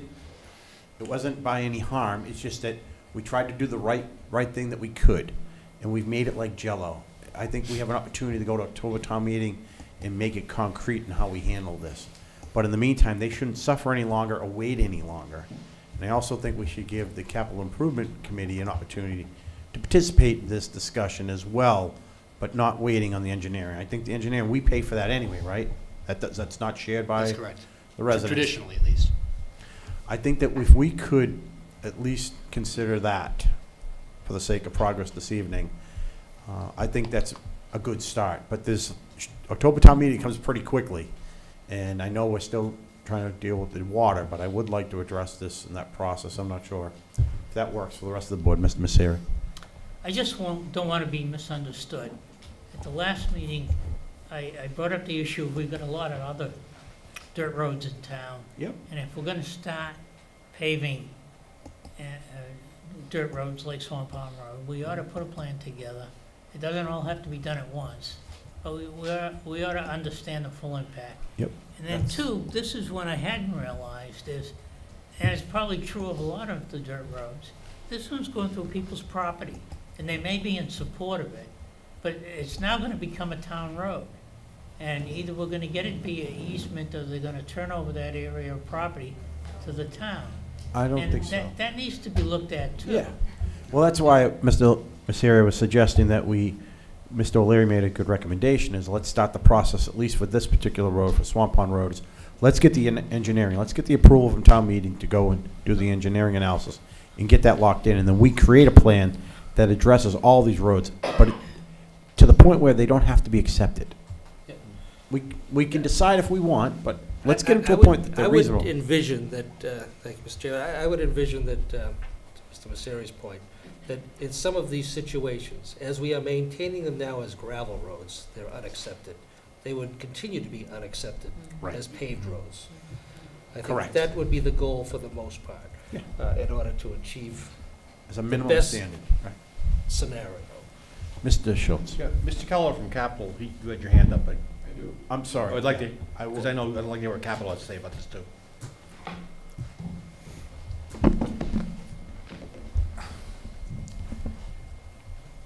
I understand the, the residents in that area and their needs, and everybody would like to have paved roads. I think we need to put this in context of our, our highway plan, our road plan. There are currently about 80 roads, according to the beta study that was done and issued in January, that are either in the reconstruction or uh, reclamation stage, which is the lowest stage in their review, representing about 22 miles of road. Okay?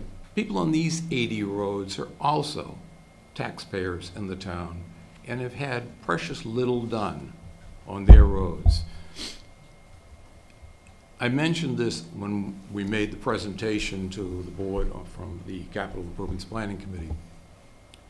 Five years ago, when Beta did its first study, I believe it was its first study, and did this for DPW, didn't do it for, for, for the Capital Planning Committee, there were 11 miles of roadway that fell into that category. We've gone backwards. We now have 22 miles in that category. Those roads need to be taken care of as well. And they're accepted roads. Um, People built, contractors built the, the, whatever the development was, whenever it was built, put a road in, and it was accepted by the town. Um, People build houses where there aren't accepted roads. I think they're in a little different category. And as I said, I am absolutely sympathetic with having a good road. I think everyone in town ought to have a good road. But we need to take care of the things that we own, and we're not doing that. Our road program has gone backwards in five years, significantly backwards. And I think that to take any money out of that program, and I don't know whether, that- where whatever this is going to cost is going to come out of that program, just sets it back even further. So we need to take everything into context. There are accepted roads that are in dire need of work, and there are unaccepted roads that are in need of work as well. Mr. Bellavance. You can just, yeah, thank you. Bill Belvin, uh, 323 Haverhill Street. I was just actually pretty similar. Um, these are private ways. It's similar to my, my driveway needs to get paved. I mean, it's a private private road. It's a private way. Um, we do have roads in town that are, are pretty beat up and that need that needed some attention. So I just look at it as it is a private property. It's all private property. The town does have some sections of that private property, but uh, ultimately we're going through everybody's private property. So that's all I wanted to say. Nobody, you, I just want to answer to the concept that we're thinking about. And that's why I'd ask that at least allow the opportunity for the engineering to get done so we can really have a better understanding on this stretch. And uh, continue to have a conversation with CIPC. Because our concept is, you know, the roads that you're talking about, those twenty-two roads, are accepted roads. roads. I'm sorry, eighty roads our accepted roads. miles. Those are all accepted roads, Yes, right? they are. And there's a lot more work and effort that has to go in to continue to qualify as an accepted road. What we're looking for is a, a plan that allows us to address these roads that are unaccepted, where it makes sense to put down, maybe it's just some binder coat that's very inexpensive, that even our own DPW could go out there and lay down, just f- for keeping the roads safe, smooth, for getting our apparatus into these areas safely, and get our vehicles in there to do snow removal safely. That's all we're looking for. We're not looking to take these roads into the quality and level of those other 80 roads. That's all we're looking for. What's that? I said I hope not. Well, that's, that's all we're trying to They do. They don't have the quality, they're not of the quality. We know.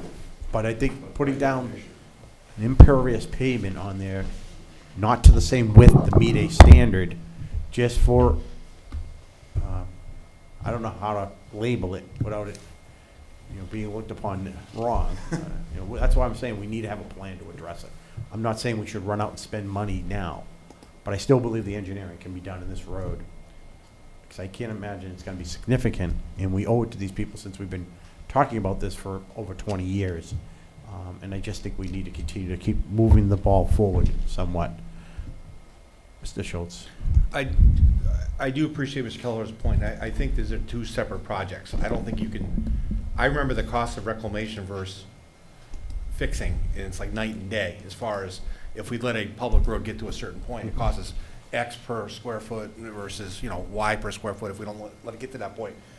I am sympathetic as well to the Swan Pond residents, but I think that's apples and this is oranges. We have to like deal with them as two separate projects. I am not in favor of taking money out of the public roads, but I am in favor of trying to find uh, some kind of funding mechanism for Swan Pond. But I don't think it should be at the expense of the public roads. I think that's very important. Please come to the mic, for- or the mic, um, podium, sir. Thank you. Um, I'm, my name is Phil Bravada. I'm a resident of 223 Swan Pond Road. Uh, I think Mr. Schultz uh, hit the right term where it's apples and oranges. These roads may be in repair, but at least they have tire on them. Um, I'd like to just say that people have said, we've stated that we believe it's a public right-of-way. Uh, But we hear people say, no, it's a private right-of-way. But nobody has ever been stopped since the land court decision of 1950 from passing back and forth over that. So I believe it is a, a public right-of-way, and I don't see how anyone can say it's a private right-of-way, unless we were saying you can't come in, only owners only.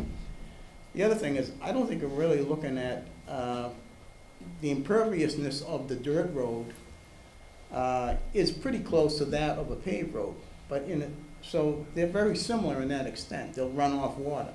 The difference with the dirt road is that it erodes So as it erodes, it takes the silt off the top of the dirt road, and now that goes into the water, into the, the uh, reservoir. And that's worse, actually, than the runoff from a paved road. Uh, The other thing is the health hazard to the folks out there because of the dust that's constantly in the air. Um, So that's, that's what we're trying to do away with. I, I believe that that dirt road does a lot more nasty things to the environment than a paved road would. So, uh, and I, and I guess I just have a question, Mr. Prisco. Why couldn't we deal with this at the June meeting? You said we deal with it at the October meeting. I don't, I don't understand the mechanism. I'd mechanism. like to try to break it up into two parts, and let's go to October, the June town meeting and get the approval for funding to do the engineering, so we know exactly what we can do on that road. And then we are trying to come up with a concept that we could use not only for your road, but for all the other five miles of roads that are unaccepted roads that are dirt and gravel, very similar to yours. Because today, we don't have a process on how to address them. We've addressed some a different way than others, and we've made it like jello. And what I'm trying to say is, we're trying to come up with a concrete plan, so we don't have this confusion anymore, where you have people coming in and saying, well, you did one thing over in Hancock Road, but you're doing another thing over in Swan Pond, or on Maple Road. We're gonna now address Maple Road differently than we're gonna handle Swan Pond. That's all I'm trying to say, is to let, allow us another opportunity to come up with a solution that will have a permanent solution, maybe not meet the full standards of an accepted road. Right now, we don't have a process to do that. To meet an accepted road, to make your road an accepted road, it would be, I don't think we could do it. I'm just being one hundred percent honest. We could not meet the standard. We'd have to take people's properties, right? Mr. Bellavance, am I saying anything wrong? You stop me, because I don't want to be misquoted here. So, I know you're not. And that's what Mr. O'Leary and myself are trying to come up with an idea of how we, between now and October, to come up with a plan on how we address it without have to meeting that standard. If you could come to the microphone, please. Ms. Kruger. Thank you. Um, I would like to put into the record, or ask if it may be put into the record, the opinion from town counsel that um, the CPC has gotten, and the plans right now, in the past year or whatever, of Maple Road, the unaccepted portion of Maple Road, to put into the record, and that will show you clearly the difference. Um, And I think they would tell you that they haven't helped us at all. It, it's not even a funding issue. It's the town has stopped us every, at every step, wouldn't you say? And if you look at Adams Street, I spoke with Mike Sargent, my neighbor came running over, said, the town is paving Swan Pond. And I looked at, I got the notes from, I didn't know there was a file, I got the, I'll make it quick. But anyway, I ran, I went up to Swan Pond, the town was paving the road, unaccepted. I went and development, the CPC, I believe, and again, that's why I had asked for Maple Road and that you look at the plans. They approved a development past an unaccepted road. So the town actually did all the road to, for de- two new houses and a development. And what, the town engineer, so I said, okay. I went from Swan Pond Road and I went right down to Town Hall. Mike Sargent was there. He said, and you'll notice in the notes on that um, file, by the way, the CPC has been very helpful. Um, When I went in today to get the file for this hearing, um, when I checked the time tonight, um, Ms. Saverzy had already um, emailed the file to me. And um, it's just a matter of treating people differently and neglecting some. And it's an easy solution. I, I'm shocked that with five miles, it all hasn't been done. Because if you look at the engineering, the time and the attorneys that they've put into Swan Pond even now, like as an example, engineering plans, do them for, the, for everybody. How can you go, when you, when you um, voted to not um, run a water main, I think, on Summit Road a couple years ago because you didn't want to open the door. So, um, because it was thirty-three thousand dollars, how can you not go back and say, well, we're gonna do it here, but not there? So that's my point.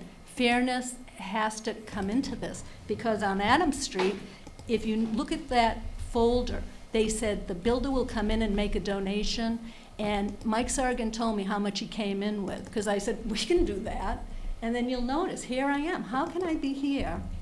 I'm 64. My mother wanted it, and it's because the only reason Oakdale and Maple, that portion was not unaccepted is because it's all wetlands. It is an aquifer, so there are only a few houses, but that's changed. We So understand. that's my point. I don't want to Yep. take the time. But Thank please you. put Maple Road into the record. The CPC has the complete file. And I had asked um, Mr. Clark um, that, I don't know where the record is for the um, water.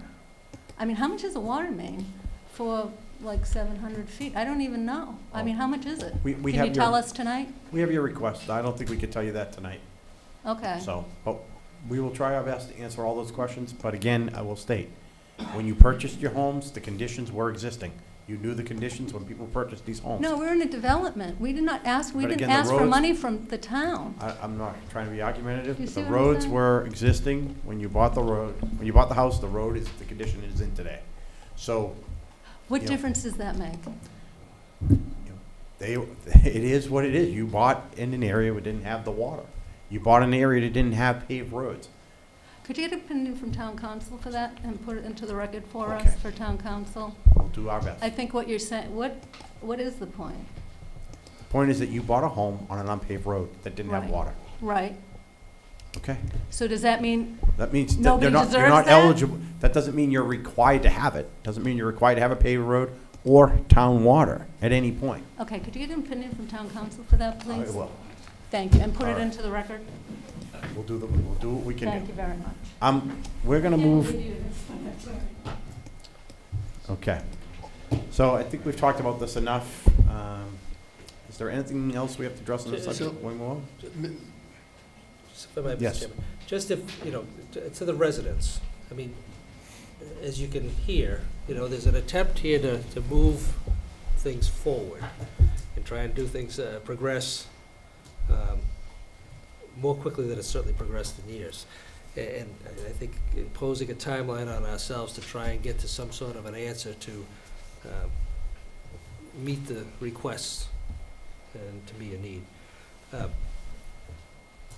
what is it that you would support? I mean, this is your article, you know, but to me, at this point, if the board is going to take some sort of positive action in relation to the article that's here, we're talking Maple Street, we're talking Swan Pond, um, what would you find acceptable, short of an appropriation to hot top the road? Because I don't think you're going to necessarily get the majority support right now for what's presented. But would you find it to be acceptable for the town to have the board make a motion under this article to get the engineering done and lay it out, uh, lay it out as best we can? And again, and I- we have to be very careful as to what we're doing here. Um, Would you find that acceptable or not? Or do you just want to come to town meeting and roll the dice, you know? Mr. Gilleberto. dovetailing with that, and again, I, I- I recognize that we're we're clearly not within the confines of the street acceptance bylaw that we Mhm. have for betterment. Um, But if we were, which we tried to use it as a model from a process, uh, this would be the point in the evening where we would say, your not to exceed cost is X, Y, or Z. Right. And I think the most important thing that we can state right now is, we don't know what that number is because of the required drainage work. Right. So from a procedural step point, our recommendation is, let's try to identify that number so that everybody, Right. both the, the town meeting member, the town meeting participant, and the resident knows exactly what they're getting into. And our opportunity, we believe, to do that would be at the June town meeting.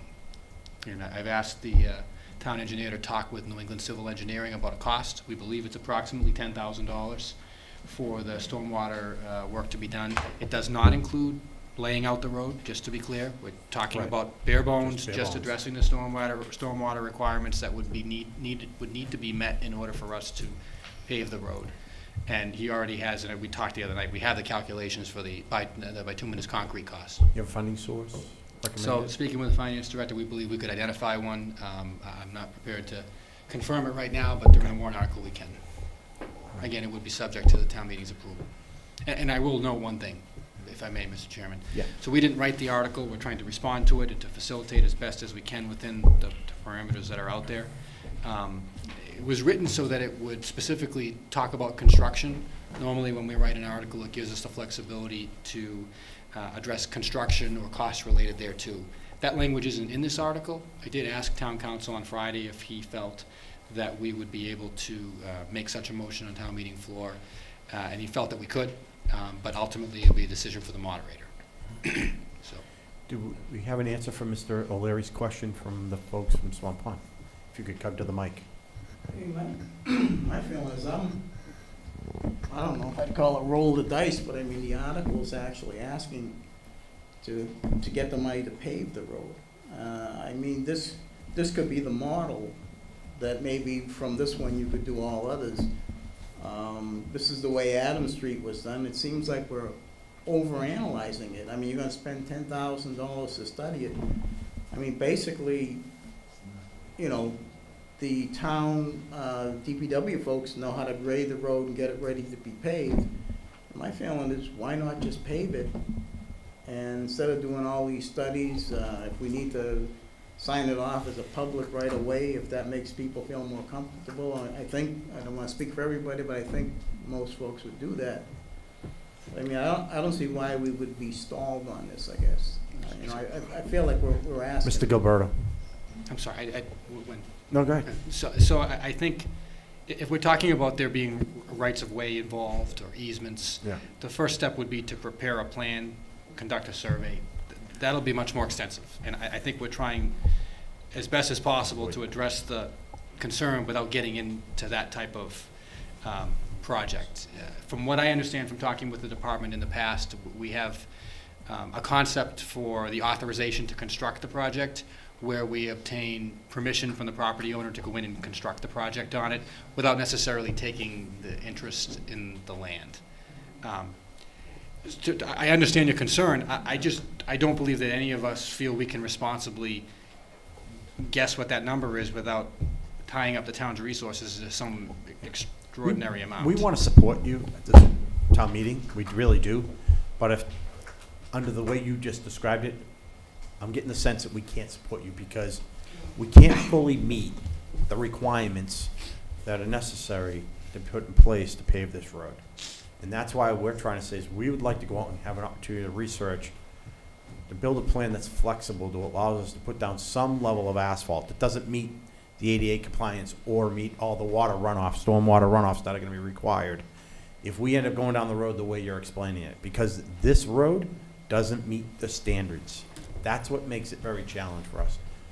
Mr. Schultz. And I, I want to support your endeavors here, um, but I can't support something I don't know the cost of. I, we need a study first. I can't, in good conscience, vote for something without knowing what I'm getting into. And that's why, we're not trying to delay you, but we have to do our due diligence as a board. I just, you know, I don't know what we're getting into. It's, it's, we're not looking to make this a public road either. Um, we're looking to keep it the way it Right. is. But I just, we, I gotta know more about the cost before I can say yes. I wanna support you, but I can't just But I mean, blindly. The, the engineering has been done as far as the measurement of the road, the width, the length, so the square footage I know is known. So it's basically, what does it cost for the top, to put the top? So Well, I, I respectfully, I think it's more than that, but, Yeah. yeah. Mr. We're gonna let the DPW director. Yeah. Swan Pond Road is in the Zone A of Danvers drinking water supply. We can maintain it the way we are, but if we're gonna change it and we're gonna put down pavement, that's considered construction, and it triggers another level of review. We do, and the state is aware, uh, Mass DEP has had questions asked of them about this. We have to meet the stormwater standards for a Zone One drinking water supply. There's a culvert running from a wetland that's discharging into a drinking water supply. You can't construct that today. That's not the proper method to do it. I'm not, we're not saying it's the end of the world, but we as the town have a responsibility to put in drainage that meets the Safe Drinking Water Act in Danvers Public Water Supply. We can't just come in and, and- and I know people are saying this, come in and just put tar on where the road is. We can't, as the town, do that. We have to, we have to meet the state standards. We can't hold out to developers that they have to meet standards that we're not willing to meet. And if you go and talk to Mr. Rowe, and if Mr. Rowe was here, Mr. Rowe had a fairly thick drainage study that he had to do for Dogwood Lane that went in. And there are some significant structures over there on the side of Dogwood Lane because some of that construction was in a zone one. The town has to meet the same standard. Dogwood Lane used to be Adams Street, and that was done the way we're proposing to do this. I mean, I I realize you, you kind of made up your mind, but I'm just saying that, I'm not saying don't put in the proper drainage, that's, to me, that's part of the preparation of the road. But- But do you know how much it would cost to lay that tar down right now?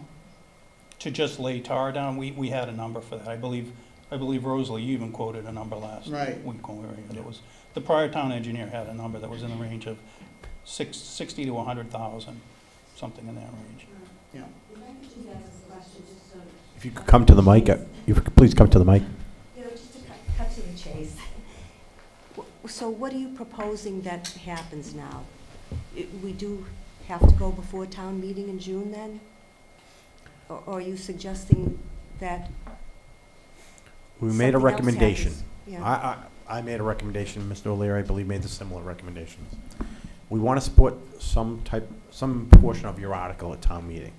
And our request is to make it about the engineering. Let's ask the voters that are attending town meeting to give us the money for ten thousand dollars to do our engineering analysis and study and get that completed. Mhm. In between then and October, we will work on a plan and how we address not only your road, but all similar roads that like, that go with this. In, with the sensitivity of the eighty other roads that we have in town that are accepted roads that are requiring work immediately. Mhm. So that's what we're asking to do. But if you want to go with the full-blown article as it- you have had it structured, it doesn't sound like to me you got the full support of the board. okay. And, but again, you may get the support of town meeting, but I'm not sure we have a real number that we could give you at town meeting. So are you suggesting that some amendment is, is put in, or that, It, it doesn't have to be an amendment. Whatever the main mo, uh, there can be one motion made, if there, if a consensus can be reached right now. Just one main motion, instead of your motion reflecting what's in the article and then amending it. All right. That further confuses things. Just one motion to be made under the, uh, under the article, uh, to appropriate money for engineering. And again, I'm not gonna sit here and spend ten thousand dollars on engineering and not have it come to fruition. Right. You know, my Me either. goal is to spend that money wisely and Mhm. come to a yes as to how can we go about doing this at Swan Pond, but also in other areas of town too. But again, again, to help establish a model Mhm. for how we're gonna address the rest of the community, the other five miles of road, or four and a half. Mrs. Manupelli? I just have a question for you, Mark, or, or maybe could, because I don't have all the history that everyone in this room has, but we're, basically, from my understanding, we haven't done anything because it's not an accepted public way. This is owned by the residents as their own private way, or they bought it like that, so they, they're responsible for maintaining it. But now, we can't act because of drainage issues. What would stop the residents themselves from paving it if it's a private way that they're maintaining? Do they need to get those permits just to pave their private way? I'm not understanding all the roadblocks here. If they were looking to pave, if they were looking to pave a driveway on their own property, uh, the level of permitting required would likely be less. They're asking the town to come in and change from a gravel road to a paved road in a drinking water supply. That triggers a, a- an environmental review, Because the town's doing it and not them privately? be- because the town's doing it. So if they did it privately on their own, they wouldn't, it wouldn't trigger any If they did it- drinking if water they- permitting? if they were to look to do it privately on their own, again, there, it's a hopscotch kind of system of town property, private property, town, the road zigzags back and forth across private and public that, property, yeah. so. How much of the you- frontage is town owned? Uh, about a third. Yeah. Of the 2,700 Well, so feet, more a than thousand? More of than it- More that. than a third of it is town. Yeah.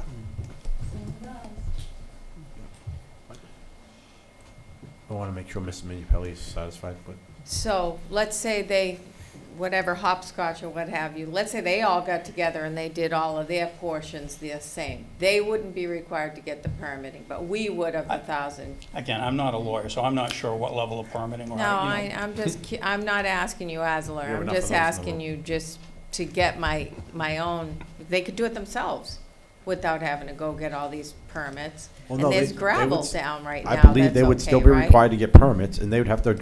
There are people who have entire, paved driveways in their, in their, you know, within the length of that. And, but they didn't This, need, this is a very hard to define what this road is. Um, Is it a road? Is it a way? Is it a, a path? Uh, Mr. you know, Schultz, the- I'll- The I'll width get to you. varies I just wanna significantly give- from eighteen feet down to about nine and a half feet. Um, Mr. Gilleberto. Go ahead, please. You want to answer? No, no. You don't, uh, Mr. Schultz? Yeah, just I to- want to try to bring this to a close. Yeah, and to the residents, I wouldn't be asking to appropriate ten thousand dollars if I wasn't serious about this. So I don't want you guys to think that me or, and Selectman O'Leary makes a great point. We're looking at trying to get this to fruition. Um, we're not looking to just do a study to pacify people. We don't waste ten thousand dollars for that purpose. We're serious about this, but we, now, we have to know what we're getting into before we sign off on it, that's all. I'm- Okay, that's encouraging to hear, because back in 2010, I think under D- Director Carnavale's administration, they did do a- an engineering study out there, but it was a wider ranged engineering study having to do with fire safety and all kinds of things. And what came out of that was they did do some widening and, and put in a, you know, a emergency truck turnaround kind of a place, but. I um, remember that. So what, what do you expect then of me or us at the town meeting? I, I, I'd kind of like to reverse it. Okay. You know, what are you expecting from us, hearing what we, the concerns we have, the issues we need to address as a community rather than as individuals? Mhm. Um, You know, what is it, what is your expectation of us today, you know? And, you know, if, if we were to make a motion under this and relieve you of that responsibility, Mhm. you know, to provide funding for engineering, to take a look at it, would you be in favor of that? I mean, I would, I would say yes, You know, but. but that's coming up far short from what you're looking for. But knowing, as I- I- most of us have said, we're not looking to spend this money unwisely. But, but it sounds like the alternative, there is no alternative. No, no, the alternative is you go to town meeting floor and you, you state your case and you, and again, you convince Oh. one more than the, you know, to create a majority, to appropriate some funds from a certain source, and I think it'll be incumbent upon the administration to identify whatever the source is, but we don't even know, I don't know that you know, we don't know how much to ask for, Mhm. you know, and, uh, again, I've heard numbers, of, you know, three hundred some odd thousand dollars, which are staggering in relation to what it used to be Mhm. a few years ago. So, you know, so you have to be prepared to come to town meeting with a number Mhm. and a source of the funding. Again, it would be incumbent upon the administration to identify a source of the funding so the town meeting could take some positive action if they so chose. So, Uh, But Maybe- that's, maybe I believe that's before- incumbent upon us. I'm going to give, if I could just give the town administrator a quick So, record. uh, uh, record- go. just the town engineer grabbed me, and I I think he has a response to Ms. Manupelli's question about the permitting requirements. Yeah, so if you disturb more than 2,500 square feet and make it impervious, that's when it triggers the standard for stormwater. So if they were just doing little pieces on their property, it wouldn't trigger that higher standard, that paving the whole road from bottom to top triggers. so this is 2,700, right, with one resident not wanting his portion That's 2,700 linear feet. This is 2,500 square feet? Okay, all right. So is this $10,000, would that be to, to figure out the drainage portion of that? Correct, that would just be, you know, to go out and figure out what we need to satisfy those standards. To be able to pave on top of it, essentially. And is it what- also there's going all to tell kinds us of what different- kind of paving can be put there? No, I think the intention is to have an impervious surface, not to do any of that, you know, pervious paving. The intention is to be able to put an impervious, regular, just asphalt paving, three inches, two and a half binder, I mean, one and a half binder, one and a half top. Um, and what we would need to do to satisfy the stormwater requirements to be able to do that. Ten thousand dollars just gives us the design of that drainage system ultimately. Which we could. Which could be, better then it's very varying. It could be just a swale on the edge of the road. It could, you know, that drainage system could be not very much and very minimal. You know, it could just be a drainage swale with large stones that, you know, treats the water as it runs down one side of the road, or it could be something as great as having a leach, you know, some type of leach field under the paving. It all depends on the situation, and the, there's wetlands on one side and the, the drinking water supply on the other, and there's not much room over there to do a lot, so that's why you need to kind of really look at it up close. Okay. All right, so, um, So- Mr. O'Leary. No, you got Mr. Cravata. Just have one question, so if we do it this way, I went and, uh, ten thousand dollars is achieved, when would you think the road would be paved? Well, We'd have to go to October town meeting with a plan, and we'll have a, The the same full year. estimates and understanding of what, what the financials are. Probably a year. Yeah, probably be a year in June town meeting. We're talking about next summer? Mr. Gilleberto, maybe two years. So, Mr. Chairman, through you, so the, the first hurdle will obviously putting the construction funding in place, which the earliest we would be able to do that would be October. The earliest construction could occur would be next construction season. But I need to remind folks that we have a capital plan three years in advance, already laid out, that the gentleman in the back of the room is charged with overseeing, along with the gentleman in the front of the room, that will take a bunch of their time. So it- it- I, I, to sit here and commit to a timeline, in any scenario, e- even if the funding were appropriated June fourth of two thousand eighteen, Right. the capacity is not necessarily there to immediately oversee Thank oversee you for clarifying that. So would we be the, the first ones in the queue? I, I- I think to you, Mr. Chairman, you, you have a, if we, if we're gonna get this project funded, I think you, you have a commitment from the leadership of the town to uh, make it a priority, but I, I- I'm just wary of setting expectations against a, a three-year plan that we've uh, uh, invested over a hundred thousand dollars in developing. Yeah, and we have to take into account what you heard from the uh, capital planning committee. You know, we have to, all that has to be addressed, because again, plans have been in place, and what we're somewhat doing is circumventing that a little bit. We're interjecting this particular project in the middle of that, and we have to weigh it all at the same time. But again, there's still a desire, a full support desire to address Swan Pond Road. Uh, we gotta start, we think your safest bet is to go to town meeting, at least allow us to get the money, and do the engineering so we can figure it out. And do we, do we speak to town meeting that You would have, evening? We would hope that you would stand up and support the motion that is made, if Right. you're gonna allow us to do that. You have first dibs at this. This is your article. Yeah, no, So I you have understand. first shot, you have sure, first Well- shot at the microphone. I, I, I want to help you help us.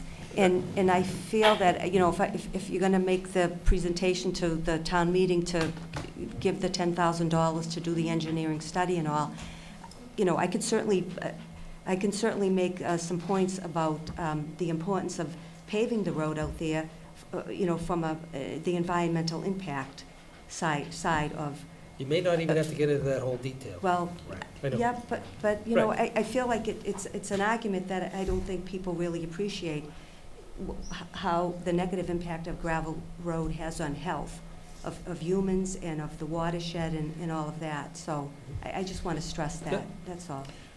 thank you. Okay, we're gonna move, I'm gonna close the, um, public portion of this, and we're gonna move on to the next agenda item. Thank you. So, What's that? uh, just to to the town administrator, Mr. Chairman. uh, Do you want some further direction from us, or do you have enough? My understanding from the conversation this evening is that we're to work with the finance director to identify a funding source for the engineering work that was discussed for stormwater to be brought to town meeting, and to prepare a motion for the board to so request that funding at town meeting. Okay, then I guess you don't need any more from us. Do You don't need a motion. No, sir. I'll gladly accept one. I, I, I don't, I don't, Mr. Chairman, I don't think there's a need for a motion. I think the administrator clearly articulated Great. the wishes of the board, and Okay, informational hearing, June fourth, two thousand eighteen town meeting, discuss the warrant articles and recommendations. Uh, Mr. Chairman, Board of Selectmen, uh, North Reading Board of Selectmen does hereby notify the residents of the town of North Reading that hearings will be held on the following articles contained in the June 4th, 2018 annual town meeting warrant uh, will be held Monday, May 21st at 8 PM or thereabouts. Uh, Room 14, Town Hall. And it lists all of the um, town meeting warrant articles. Uh, These hearings are held pursuant to Sections 18 through 25, Chapter 30A of the Massachusetts General Laws, which is the open meeting law. Any interested citizen is welcome to attend and participate in these hearings. So as, uh, thank you, Mr. O'Leary. So as we go through these, Mr. Mauceri, Last, uh, at our last meeting, uh, we submitted what articles we wanted to cover. I was just going to say Would you that as we go make a through note of them, that? I will let you know which ones I made a recommendation to who to speak to. And the way I have it laid out, um, I tried to minimize the up and downs, and I made sure everyone got the equal amount. So in this case, everybody's going to get eight uh, articles. So I will let you know my recommendation. If you don't want to do that article, just let me know, and we'll, we'll reassign it to someone else. Mr. Gilleberto. Mr. Chairman, through you, so I did have an opportunity to uh, update the presentation to reflect your uh, new assignments as of this afternoon. Recommended. Uh, I think you caught me when I was going It's a through. it recommended earlier. assignment i- i- until you, uh, you know, so don't feel like you see your name up there. If you don't want to do it, just say so, we'll, we'll reassign it.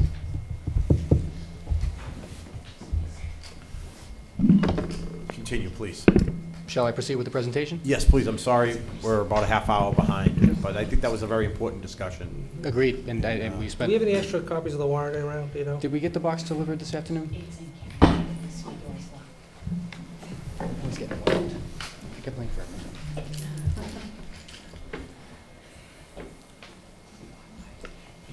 So, uh, Mr. Chairman, just for those who may be new to town or watching at home or here in the room this evening, the purpose of the uh, warrant article informational hearing is really to provide the public as a whole the ability to um, learn about the warrant. There are 40 articles that should have arrived in uh, residential um, mailboxes on Saturday or today.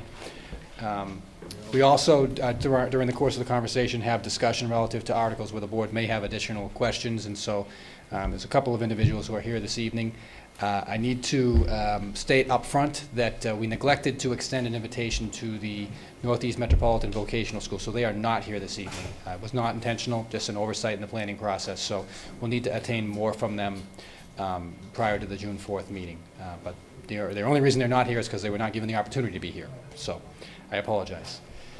Uh, With that, um, as we start every town meeting, this is a copy of the, uh, a listing of the balance of available funding um, going into town meeting. The only thing that's not identified on there as a funding source right now is uh, raise and appropriate, which is basically the funding that's raised by taxation, um, all of which has been accounted for in the financial plan for um, the uh, upcoming fiscal year.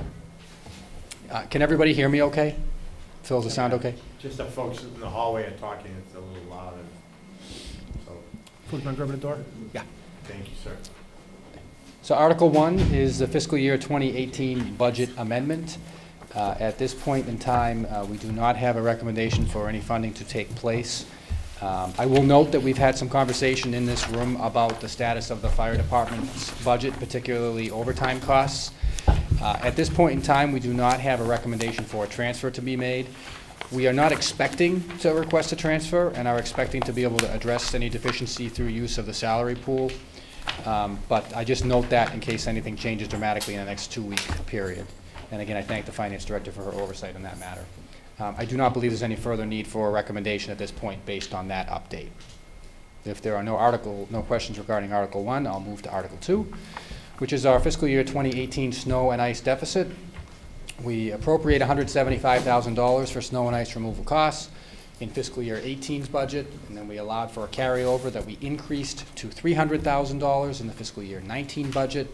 As of right now, we've expended $516,714, and we're carrying an assumption in the financial plan that we'll need about $50,000 in free cash to address uh, tho- that overage. Again, that's largely driven by um, storms in in uh, March. Mr. Mauceri. You were gonna identify who was doing. Oh, it's right on the slide, It's a- Mr. Mauceri. If Oh, you- I'm sorry, Mrs. I'm Ma- looking Mrs. at, Mrs. the- Manu I'm looking at the warrant. Mrs. Manupelli, one and two, so far. Mrs. Manupelli's going to have uh, Articles 1 through 7. There's no questions, I'll move to Article 3. Any Article questions on Article 3, board members? No? Good. Article 3, transfer of funds into the Oh, Capital sorry. Improvement Stabilization Fund uh, from fiscal year 2018.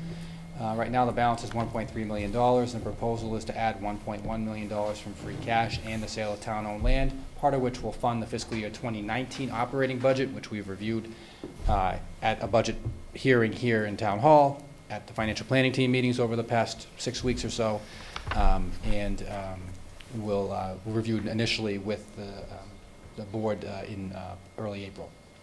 Uh, So this affects that transaction. The fiscal year 2019 budget, uh, operating budget relies on this transaction, uh, and the board has already recommended. No- If there are no questions on Article 3, Article 4 is a transfer of funds to the Water Stabilization uh, Fund. Um, It's a transfer in that we make from water retained earnings. It's uh, dictated uh, by the performance of the water system. It's also got a- a bit of a pressure point in the ongoing planning effort for the MWRA or Andover alternatives, which uh, may inform this. So at this point, we don't have any further action to recommend this evening.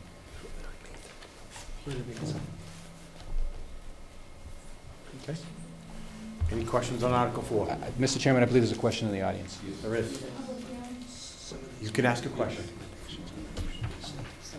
Please, yes. I'm okay. This is a public hearing, yes.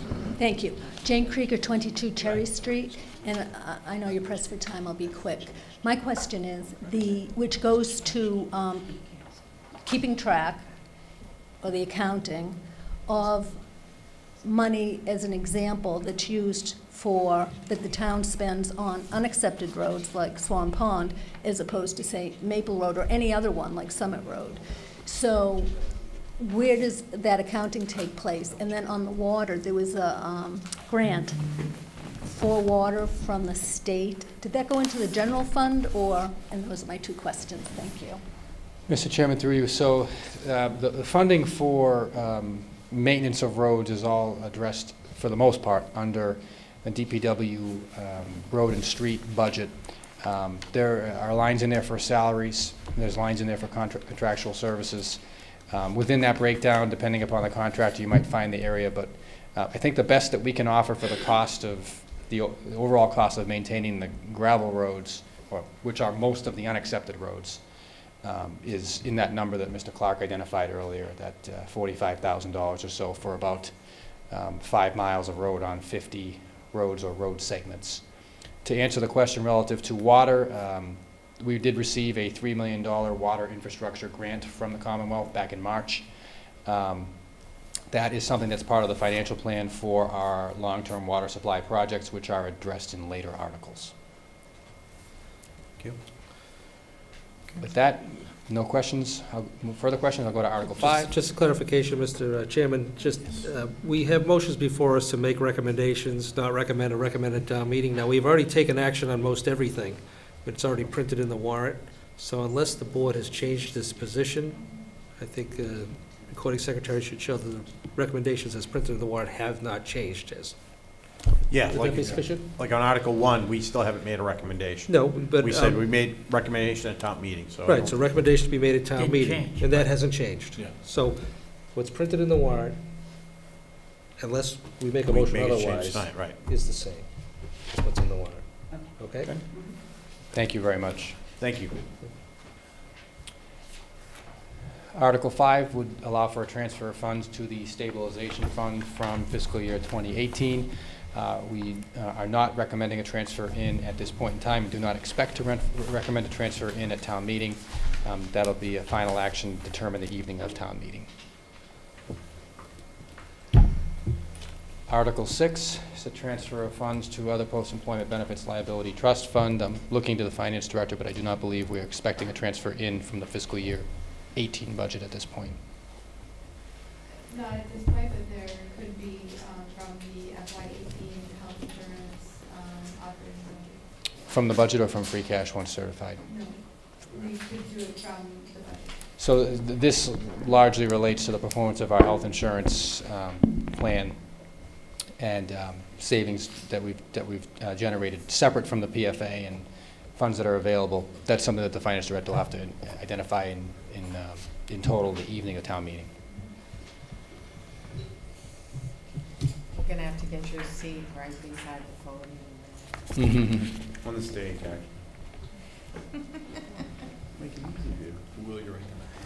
Okay, Article seven? Article 7 is a transfer of funds uh, to the Solid Waste Stabilization Funds. Any funds that we project to remain in the fiscal year 18 solid waste budget would be transferred at this point in time. That's a calculation that's generally done by the DPW director in conjunction with the finance director, and we generally do it um, the week before town meeting, so we're approaching that time. Um, And uh, it's a bit of an art in trying to determine how much money we'll need to pay the bills for the rest of the year with the contractor, and still making a transfer. There's no questions, I'll go to Article 8. It's routine for the selection of town officers that are, um, that are not otherwise uh, prescribed in process, allowing the selectmen to, uh, to choose the officers. So, Mr. Schultz, I, I put you in, I believe, from eight to fourteen, I believe, or- all right? But we'll, we'll go through it, you'll see it, I just wanna make you aware. So much for filling the form in advance. Please continue. Thank you. Article 9, to hear and act on reports of um, officers and committees. Uh, We've been trying to maintain a running list of who may be reporting in. Uh, We are expecting a report from the Secondary School Building Committee. We've had some discussion about the- the fashion in which we may hear from some of the participants in the Community Impact Team. Uh, We expect a report from the Recycling Committee, I know Mr. McGrath is here this evening. Um, And then, uh, we- as I think it's no secret, we've had quite a bit of turnover in Town Hall in the past 12 months, so we hope to be able to introduce some of the new employees as well. There's no questions. Article 10 is routine to authorize the Public Works Director to accept easements. Um, They generally relate to uh, drainage or other uh, purposes, but they, uh, they can include other public works uh, purposes. Um, The board's already recommended, and um, aren't any questions, I'll move to the next item. Article 11 authorizes the treasurer to enter into compensating balance agreements. This would allow the treasurer to uh, enter into agreements with the bank, uh, essentially to provide payment to the bank um, from uh, a portion of the interest earnings, and what that does is uh, creates a situation where we don't need to make a direct appropriated payment to the bank. And again, it's a routine. If There's no question, I'll move to Article 12. Authorizing Chapter 90 construction, these funds are not appropriated by town meeting, uh, but they are required to be uh, authorized for expenditure. And so this would uh, give us that authorization in the amount of $514,688 as projected to be received by the state. As I mentioned earlier, that's matched with a capital improvement that appears a little bit later on in the amount of $300,000 for a total investment of just over $800,000 in our roads. There's no question, I'll move to Article 13. Prior year bills. Bills totaling $8,773 to date have been identified. I believe the finance director has a funding plan that would call for fiscal year 18 budgets to appropriate funds. These require a fourth-fifths vote at a annual town meeting. And I'd ask, Yeah, I think that's supposed to be Mr. Schultz. I got Do you expect, you anticipate anything else between now and the, thank you, Mr. Chairman, I missed that one. Yes, Ms. Rourke. I just, um, it was approximately eight thousand, um, seven hundred and seventy-three dollars, but the, a number now is actually nine thousand and three dollars. Um, and the prior year bills consist of some, um, prior year medical bills, um, and, uh, meal tickets. So the funding sources would be the, uh, DPW snow and ice budget, the D- DPW water budget, and then the employee benefits budget for the, the medical bills, which are for public safety. Nine thousand three dollars? Yes. Thank you. Hopefully, that's all that I am aware of Yeah. as of right now. Um, But that, that is the figure, and it would be from the FY eighteen operating budget. Mr. Mauceri? Did you say that uh, you were not doing that one? Oh, Mr. Schultz is doing this one. Okay, so that's uh, a typo. so, uh, Mr. Chairman, at this point, do you, um, we feel comfortable in uh, making a recommendation to recommend as opposed to waiting for recommendation at town, town meeting? I mean, even if it I, changes. I'm comfortable with it as long as the finance director feels pretty confident that she may not get Mr. another. Chairman, I move to recommend Article 13, prior year bills. Second. I got a motion by Mr. O'Leary, second by Mrs. Manupelli. Any discussion? None heard. All those in favor? Aye. Opposed? Unanimous. Article 14 is the fiscal year 2019 operating budget. It's voted as two motions uh, from available funds and uh, the funding for debt service. We have a separate presentation that will be prepared to review the evening of town meeting. We just made that presentation at the last meeting, so I'm not going to run through it again here. But uh, probably the most important point is that we, through the financial planning process, have um, recommended to the board, we've ultimately recommended to the town meeting, a balanced budget for fiscal year 2019. We thank the Finance Committee for their support as well. Mrs. Manupelli. Uh, Mr. Mauceri.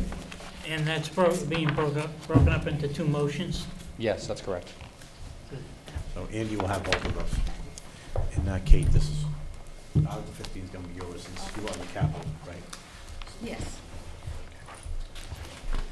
Article 15 is the fiscal year 2019 town capital budget. Um, So recommended to us by the capital planning committee with two exceptions, which they'll be considering at an upcoming meeting. The first is for water main rehabilitation and replacement in the amount of $300,000, and I'm looking to the Public Works Director, that's for Mount Vernon Street, is that correct? What do I? So this is a a capital project that's actually timed to be in advance of the paving of the street, which is in the capital plan a few years out. Um, The second project is for our annual water distribution system upgrades. Um, Due to an oversight when we were going through the process, we segregated out the water projects that were related to the MWRA or Andover course of action. These two were also pulled out, but they, that decision does not impact one way or the other whether or not we do these. So we've asked the C- Capital Improvement Planning Committee to review them at their next meeting. Excuse me. Um, There's no question. I'll move to rescinding the authorizations to borrow. Uh, I look to the finance director. Uh, I'm not sure that we have any specific rescissions identified right now. Um, The, the working thought is that depending upon the course of action that we are following for the long-term water supply project, there may be previous authorizations that we may opt to rescind. Uh, But um, until we finalize the course of action, it- it'll be difficult for us to project one way or the other. Thus, the recommendation to be made at town meeting, we don't recommend any change in that approach right now. Okay. Article 17 would reappropriate previously approved funding for water distribution and supply infrastructure. Uh, It's a conditional article. If we were to uh, elect, uh, if we were to sign an agreement with the town of Andover for a 99-year term for potable water, this would be a vehicle to allow for the reappropriation of funding previously approved for construction of an MWRA interconnection uh, to construction of a uh, interconnection with the town of Andover. Again, until we make that final determination, obviously, we won't know which of these, there are three of them that we'll be, we will be using. The third is appropriating funds for water distribution, supply, and infrastructure. So this would be new funding. In the case of the MWRA project, it could be additional funding for construction. In the case of Andover, it could be a standalone appropriation for the Andover alternative that we've discussed. Again, I do not recommend a change in the board's recommendation, given the, uh, where things stand this evening. So Mr. O'Leary has 17 and 18. Mr. Chairman, through you, Article 19 would fund retirement obligations, It's $180,000 from raise and appropriate. It's part of our financial plan for fiscal year 2019. It's intended to address, uh, to address costs for both town and school department employees who may be retiring in fiscal year 2019. I have Mr. Mauceri with Article 19 and 20. Article 20 would be the transfer of funding for the other post-employment benefit liability trust fund. This would be uh, consistent with our ongoing plan, uh, uh, which funds an identified amount for new hire employees, the amount being $300,000. It's built into our financial plan from raise and appropriate, and um, it uh, would bring our balance to just over $1.2 million once approved, and the board's already recommended this article. Article 21 would fund an assessment field review. Um, I know we discussed this when we were going through the articles for recommendations the evening of the 7th. I am going to ask the finance director just to give a brief description if she could. Through you, Mr. Chairman. Please. Article twenty-one is to fund, um, a property uh, field assessment, um, and this is required because we are converting to a new uh, appraisal software. We currently use the state CAMA system. The state has done away, or is doing away at the end of this fiscal year with state CAMA. So we are, you know, going through the process of a conversion, and this is one of the requirements um, of that uh, soft appraisal system software conversion. And um, we just have to go through all of the properties in town and make sure that they have all been converted properly um, and that their values are accurate. This is not a reval by any means, it's just to make sure that we've captured every property. Mr. O'Leary, I believe, has 20 and 22. Article 22 would be the appropriation of funding for special counsel legal expenses. As was discussed at the last meeting, this would propose to appropriate $75,000 from overlay reserve for continued legal action regarding the secondary school building project. Um, And the board has already recommended. um, Subsequent to the last board meeting, the finance committee meeting met, and they have also voted to recommend this article. And there's a couple of slides that describe the, the history to the extent that we can, given its pending litigation. Article 23 would modify the senior tax work-off program rebate program. The existing program calls for up to $500 in rebate for up to 94 hours volunteered. We did a survey of nearby communities and have recommended uh, an increase for uh, up to $750 for an even 100 hours volunteered. The selectmen have recommended, and the finance committee has also recommended. Mr. Mauceri has Articles 23, 24, 25, and 26. Article 24 would establish a fund for our participating funding agreement.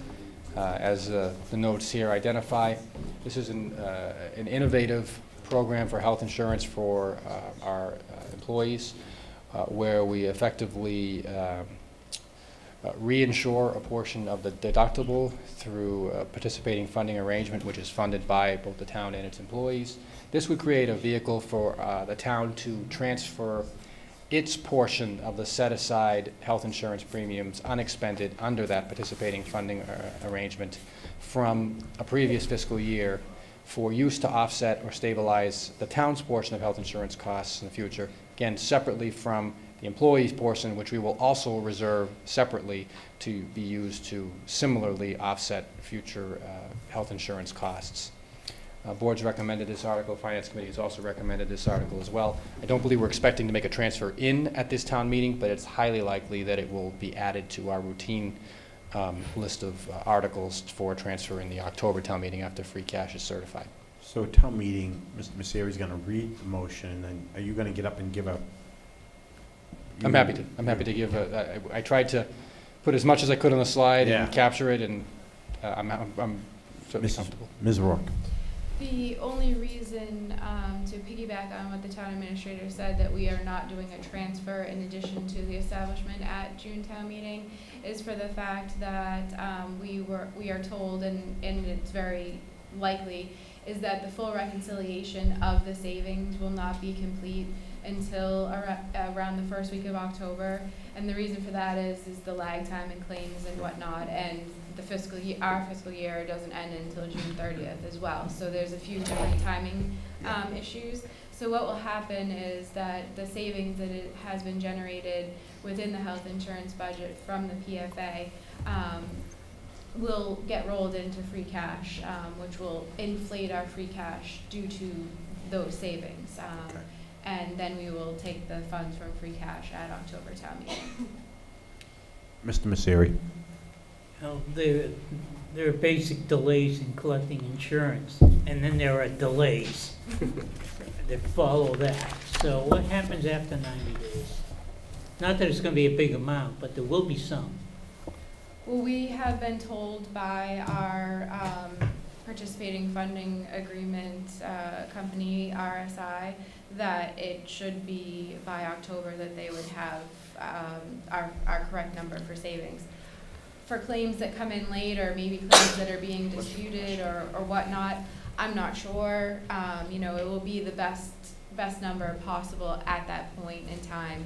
If they come up with additional savings, um, you know, then we Or can. costs. Or costs. I- I- We'd have to check with RSI on, on that, of what, what exactly happens. It's a good question, thank you. Well, I, I brought it up because maybe before we get to town meeting. Yes, I, I You might will, wanna modify the, I will have the HR director reach out to RSI and we will have it, an answer. Thank you. Thank Good- Good question, thank you, Mr. Mauceri. Please continue. Article 25 would amend uh, the Code of North Reading uh, to establish a revolving fund for the regulatory inspections at the development at the former J.T. Berry property, specifically 102 to 104 Lowell Road, 104 Lowell Road being under construction right now. We'd establish a separate fund into which permit fees would be deposited, um, and the funds would then be used to pay for the inspectional costs uh, for code enforcement and the fire department during inspection. The annual cap would be $450,000. We believe that's a conservative estimate that we will fall underneath, and uh, the board has already recommended this article. Mr. Mauceri? the, the question I had was, uh, I understood how this was covered, but what if public safety costs us more? That just comes out of their operating budget? So a couple of things. Uh, First, that is a possibility, yes, but I I think the more likely scenario might be that w- we don't, I I don't think we foresee a scenario where the permit fees would not cover those costs based on what we've been told. We may need to adjust the maximum at a future town meeting if we're seeing the Right. trend is, is further along. We have an opp- opportunity in October to do that. We also have an opportunity in June of 2019 to do that if we needed to. So it, it- it could be something that evolves, but we tried to come up with a cost estimate that is conservative um, to reflect both departments.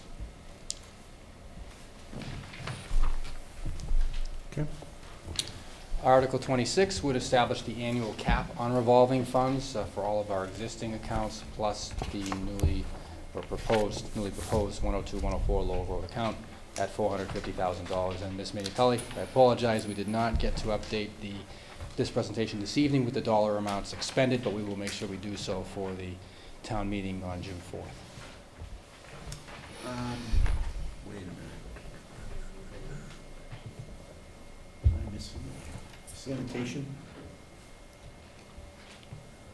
No. How are we gonna handle sanitation going for next? So for the sanitation right now, we have a solid waste stabilization fund. Um, I'll turn to the finance director. We do have an opportunity, and we- I think we would like to create it as an enterprise. It was not the intention to do so in the fiscal year 2019 budget process, but for the successor contract, where we expect there'll be a number of changes, I, I think that the thought is that our opportunity to create the enterprise could be as soon as the October town meeting for an effective date of July 1st, 2019, but certainly would be no later than the June 2019 Do town we meeting. wanna at least create a revolving account until then? Do you see a need? I'll ask the finance director to speak to that. I, I wouldn't suggest creating a revolving fund for, uh, the sanitation budget going forward. Some, there, as we see here, you know, there are limitations on earnings and expending. Um, and with it being such a large, uh, budget, I'm not sure that a revolving fund is sufficient.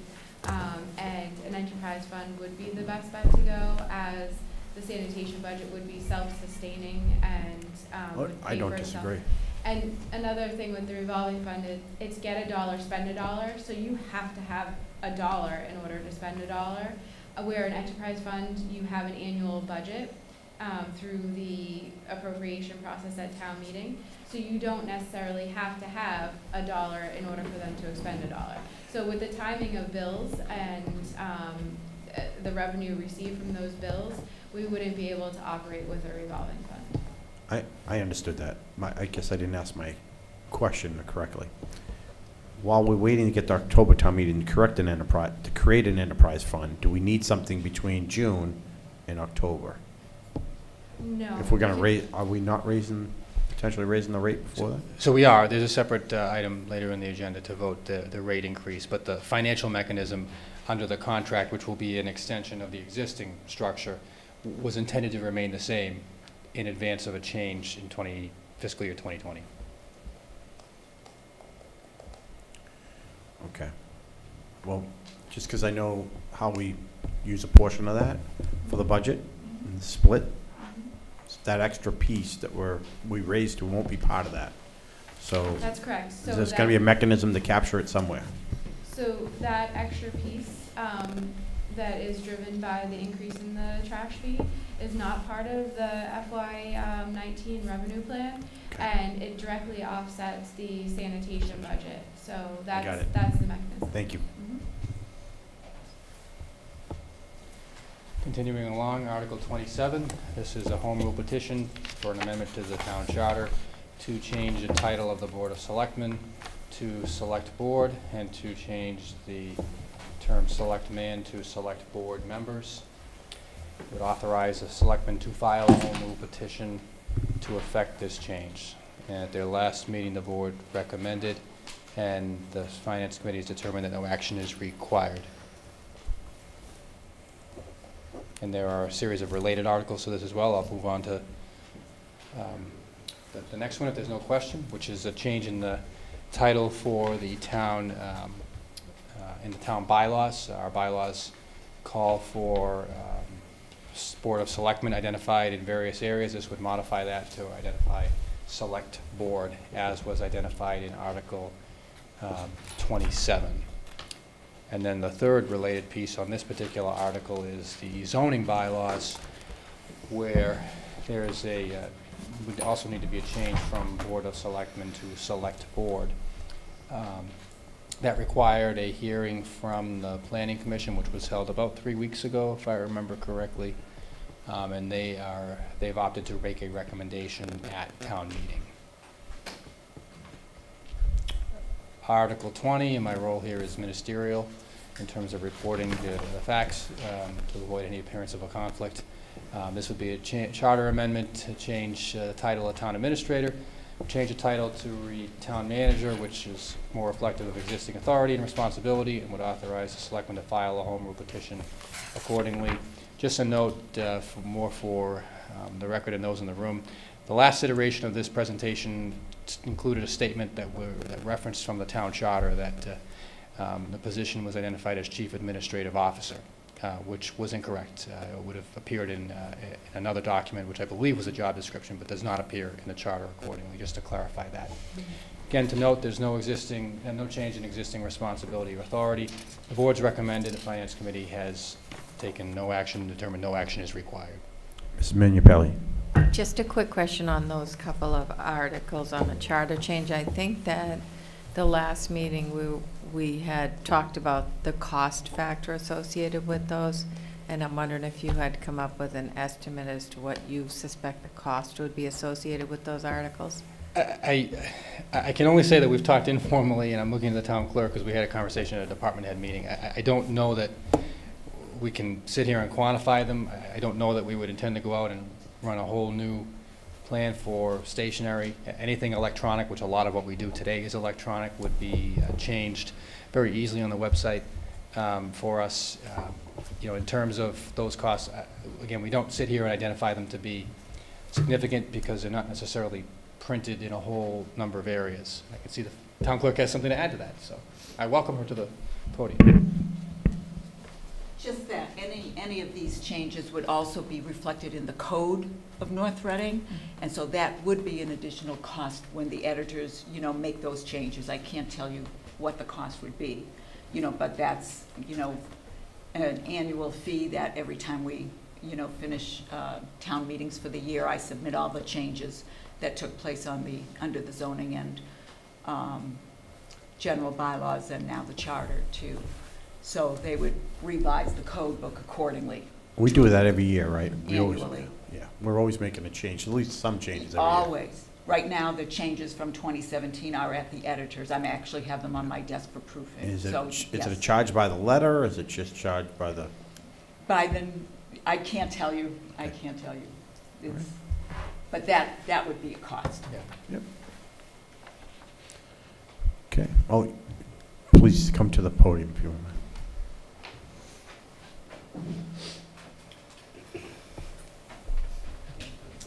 Dan Mills, 5 Green Meadow Drive. I say this a little facetiously, but um, is anyone going to have take issue with the town administrator becoming the town manager.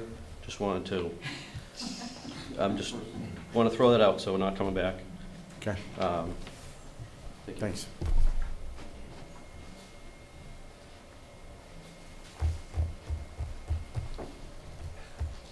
Similarly, for the first three articles, this uh, second article that would change the title uh, Town Administrator to Town Manager in the town's general bylaws. Uh, The difference between these, this one and the change for the Board of Selectmen title is that the title of Town Administrator does not appear in the zoning bylaws, so, so no zoning bylaw hearing was required. Again, Board has recommended, Finance Committee has determined that no action is required. Article 32 addresses town meeting dates. Um, Existing town charter language requires that June and October annual town meetings be held on the first Monday of the respective month, not in conflict with a religious holiday. The article would change the town charter to allow June and October town meetings, both annual meetings, to be held on any day of the month not in conflict with a religious holiday, and would authorize the selectmen to file a home rule petition to effect this change. Um, This is something that I believe we talked about when we set the calendar for town meeting for 2018 back in January.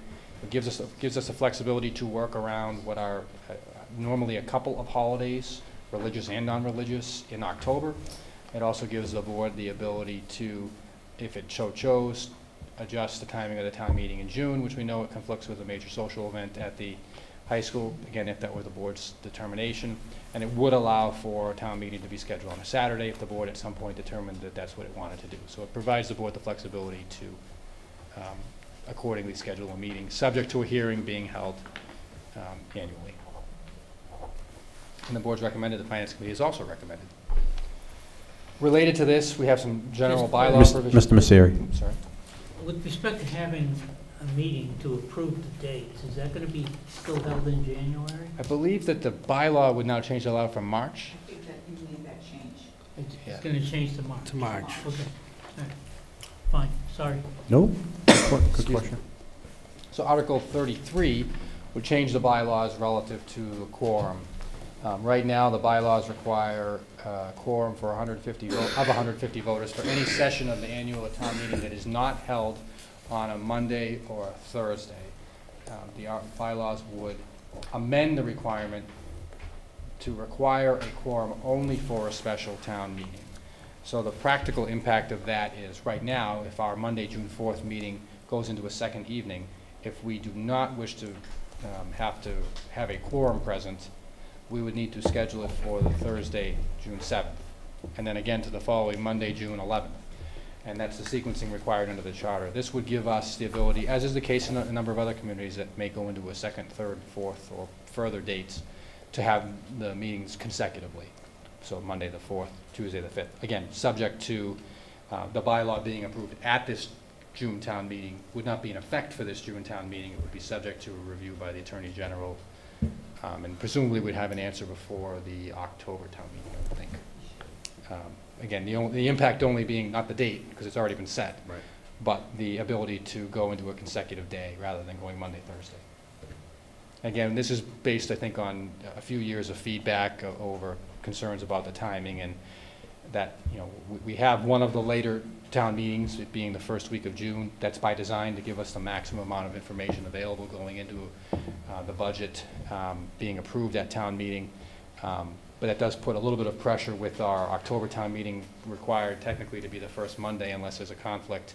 This gives us, again, some of that flexibility. And I I think in the years where we've had that, albeit required, um, delay, uh, it's given us a little bit more planning time going into the October town meeting, so hopefully we'll all benefit from that. This isn't related to Article 30. It's- We're not doing this just because of Article 32, right?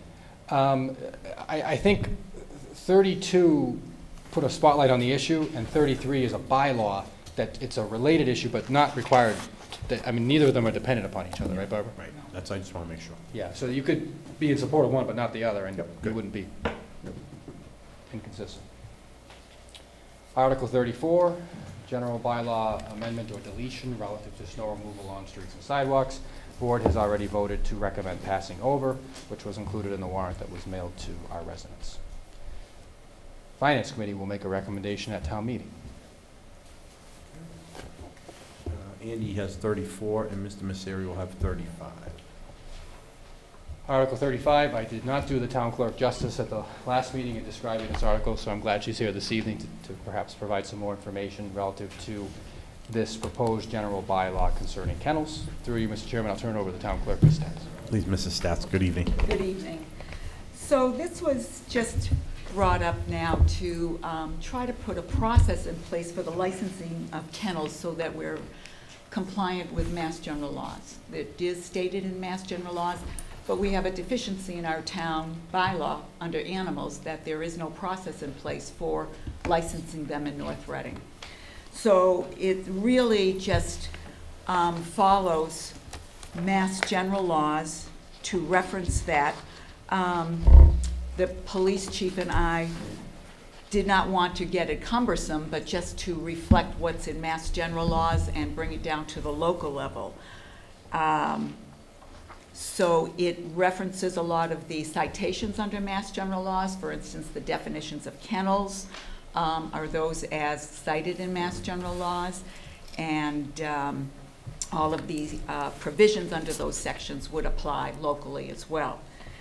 It um, would restrict the types of kennels to those specified under our zoning bylaws. So it's not going to give any more uh, licenses or kennel licenses than what our zoning bylaws already restrict it to.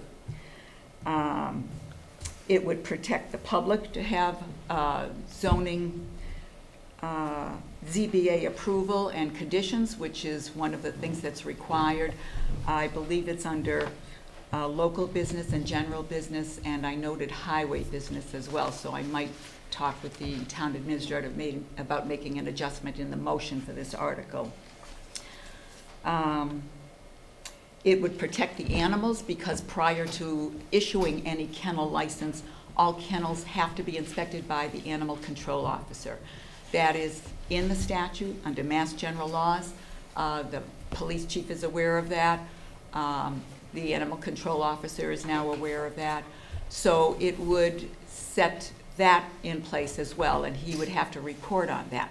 No kennel licenses could be issued from our office until there was a satisfactory report from the ACO on the kennel. Does fire, Um, does the fire department have to have a, an input into that at all? I'm not aware of that. I'm, I'm- it's not mentioned in Mass General laws. It's strictly the uh, animal control officer. Okay, thank you. And um, through the zoning board of appeals, any kennels approved would have a stipulation on the number of kennels for each facility. And that would be through them, and then through the ACO, he would be inspecting the premises for those. Um, It would also establish a process for um, enforcement, so that it would be through the non-criminal disposition bylaw, and if need be, suspension, if there were any infractions um, from the inspections of the kennels themselves, or failure to comply with obtaining a kennel license. And that would be through the police chief or his designee, um, who has authority under all of the bylaws to enforce, and our zoning enforcement officer for any infractions under the ZBA process. And this would just be um, an annual registration for each kennel. Um, The fees would be uh, set through our office as we do the dog licensing. They would be reasonable. We've surveyed similar towns and, or neighbor, some of the neighboring towns.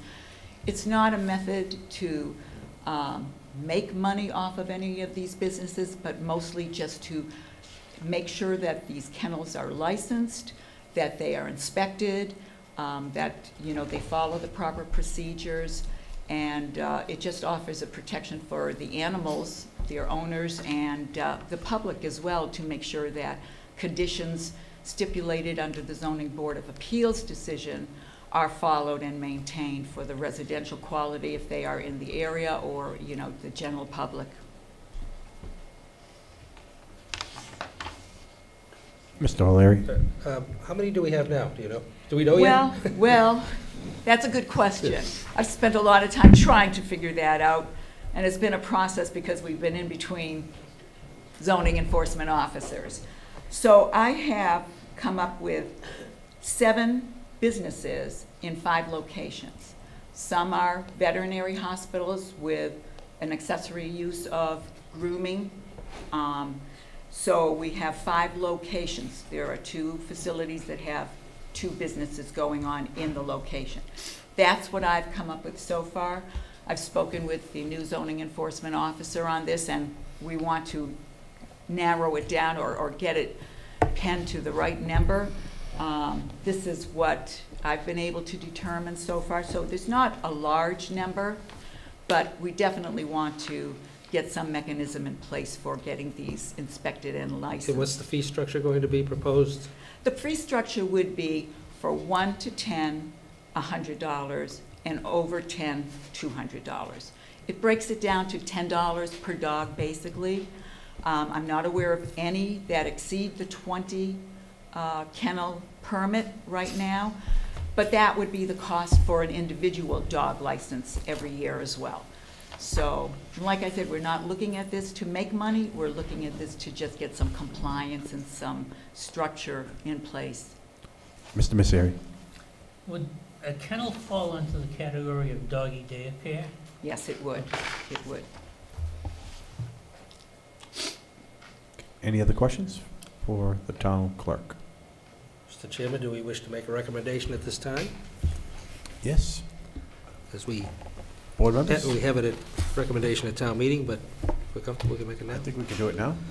All right, Mr. Chairman, uh, I move to recommend Article 35, amend uh, Code General Bylaws kennels.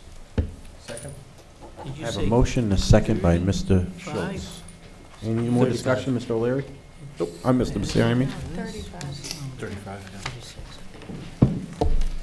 Thank you, Coach. Yeah, no, I have a motion and a second. Any more discussion? None heard. All those in favor? Aye. Opposed? Unanimous. Thirty-seven? Or, no, six, sorry, thirty-six. Article 36 concerns the application of bond premium. I'm going to ask the finance director if she could give us a brief explanation relative to this article. Article thirty-six is, um, being required by our financial advisor as well as bond counsel. It, um, has to do with, uh, the state and the municipal, uh, modernization bill that was passed last year, which this, we've, we've done something similar, um, when we had the high school, middle school project, is we take the bond premium and we apply it to the project so that we are borrowing less and we're, you know, um, allowed to spend the bond premium that we achieve and earn on a borrowing towards the, the project cost. And this applies to any prior authorizations to borrow that have been made at previous town meetings, but we have not borrowed for yet. So it's for all past authorizations to borrow. Going forward in the future, uh, for instance, for Article fifteen, where we're asking for authorization to borrow for certain capital items, it's going to be written into the motion, um, as part of the motion, that any bond premium would be used to, uh, reduce the, the borrowing, uh, dollar amount. But this is for all past authorizations to borrow that we have not borrowed for. So anything that we've already borrowed for that had an authorization to borrow, the bond premium was handled, um, the old way, if it was a small amount, which every borrowing, um, earns some bond premium. So we don't need to worry about uh, those items, but we just need to worry about the ones that have been authorized and not yet uh, borrowed for. So we we have we have a few um, items that are authorized and not yet borrowed for. So it allows us to apply the bond premium and borrow uh, a less dollar amount. You already recommended this article, I believe, right? Yeah. Okay. Thank you. Thirty-seven? Article 37, again, as I s- I indicated at the outset. I my think, uh, apologies. Mr. O'Leary, you take us to the finish line. Oh, really? Okay. My apologies to the board, but again, uh, just to, uh, failure to notify, we do not have representatives here from Northeast Metro Voc. Uh, I do know that we've had some car- some correspondence with the superintendent director, and uh, finance director can correct me if I'm wrong, but this would be uh, authorization for them to create a stabilization fund, which would be on their books and not on ours. They've told us that the contributions to this fund would be through the normal assessment process, which is done um, by virtue of uh, appropriation at town meeting annually for each of the member communities in a town and for the cities through city council, obviously. Um, And uh, with that, uh, we'll ask if there could be recommenda- an individual in attendance at our pre-meeting on the evening of the 4th, if the board so chooses to hear more about this. But again, my apologies for just for failure to notify them on our part. I'm sure they would have been here. Mr. Mauceri. Does- Does this take a vote of all the participating towns? That's my before it's understanding. effective? That's my is a understanding, yes. I think it is. unia- Is it, has to be unanimous, or? Uh, I'd have to look back at the establishing agreement and enabling legislation. I don't know whether it needs to be unanimous. I suspect that it probably does, because a lot of times that's what's required for this type of a school district, but I don't know that for certain.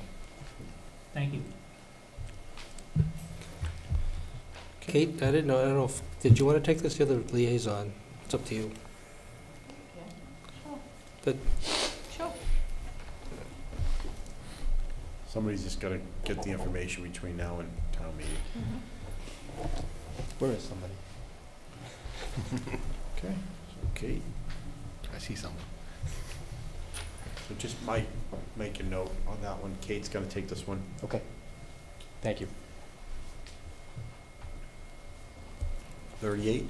Article 38 would be uh, authorizing the Hillview Commission to enter into an agreement for a golf course manager in excess of three years.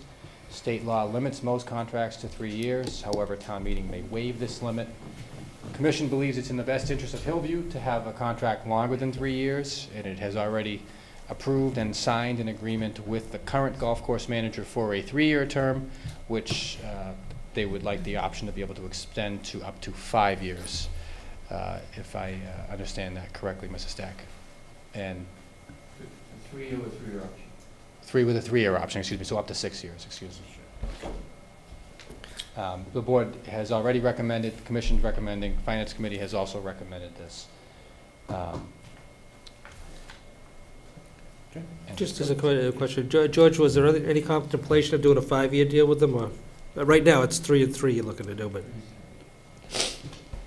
but this would, the adoption of this would not preclude in the future a recommendation of five, right? Is there, is there a cap on this, Mike, you know, as far as, uh,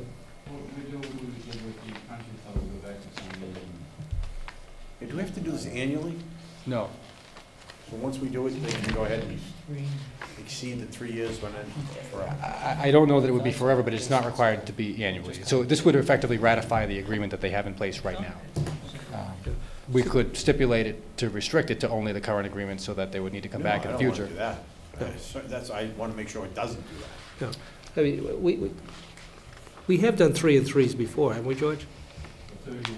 Yeah, I know, the thirty-one, yeah, that's what I was gonna say, that's what Bob and I were just saying, is that what we've been doing? Uh, Right. And they've all been approved by town counsel, so we don't.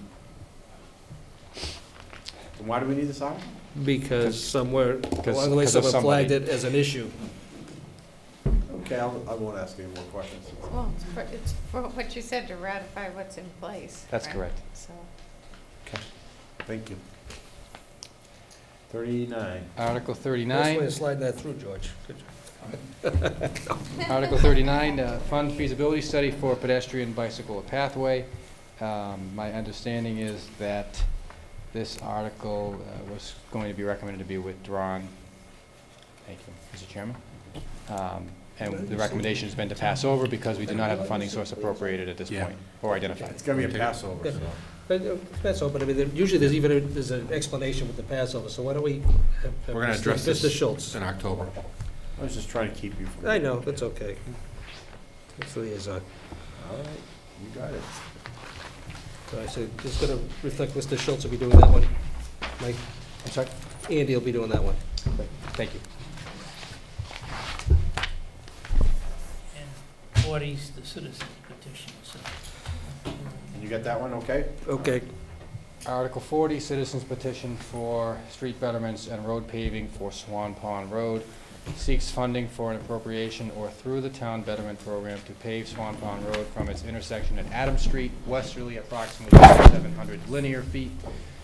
Um, We had a hearing earlier this evening, obviously. We have a course of action that we'll be pursuing to recommend the appropriation of $10,000 for stormwater engineering services under this article with the uh, hope and expectation of generating a cost estimate for stormwater construction, which would be matched with what our current cost estimate is for the asphalt being laid in place to give us a total project budget for presentation at a future town meeting in October, as I understand it. Uh, And the board may wish to hear um, more on the evening of the, of the town meeting, but I I don't expect there to be much more in place. It- We have a cost estimate, it is ten thousand dollars. It does not include survey, just to be clear. It only includes managing the stormwater. Um, And we'd enter, we'd enter into an agreement with New England Civil Engineering, most likely, to do that work after town meeting. Okay. Does the board wish to recommend at this time?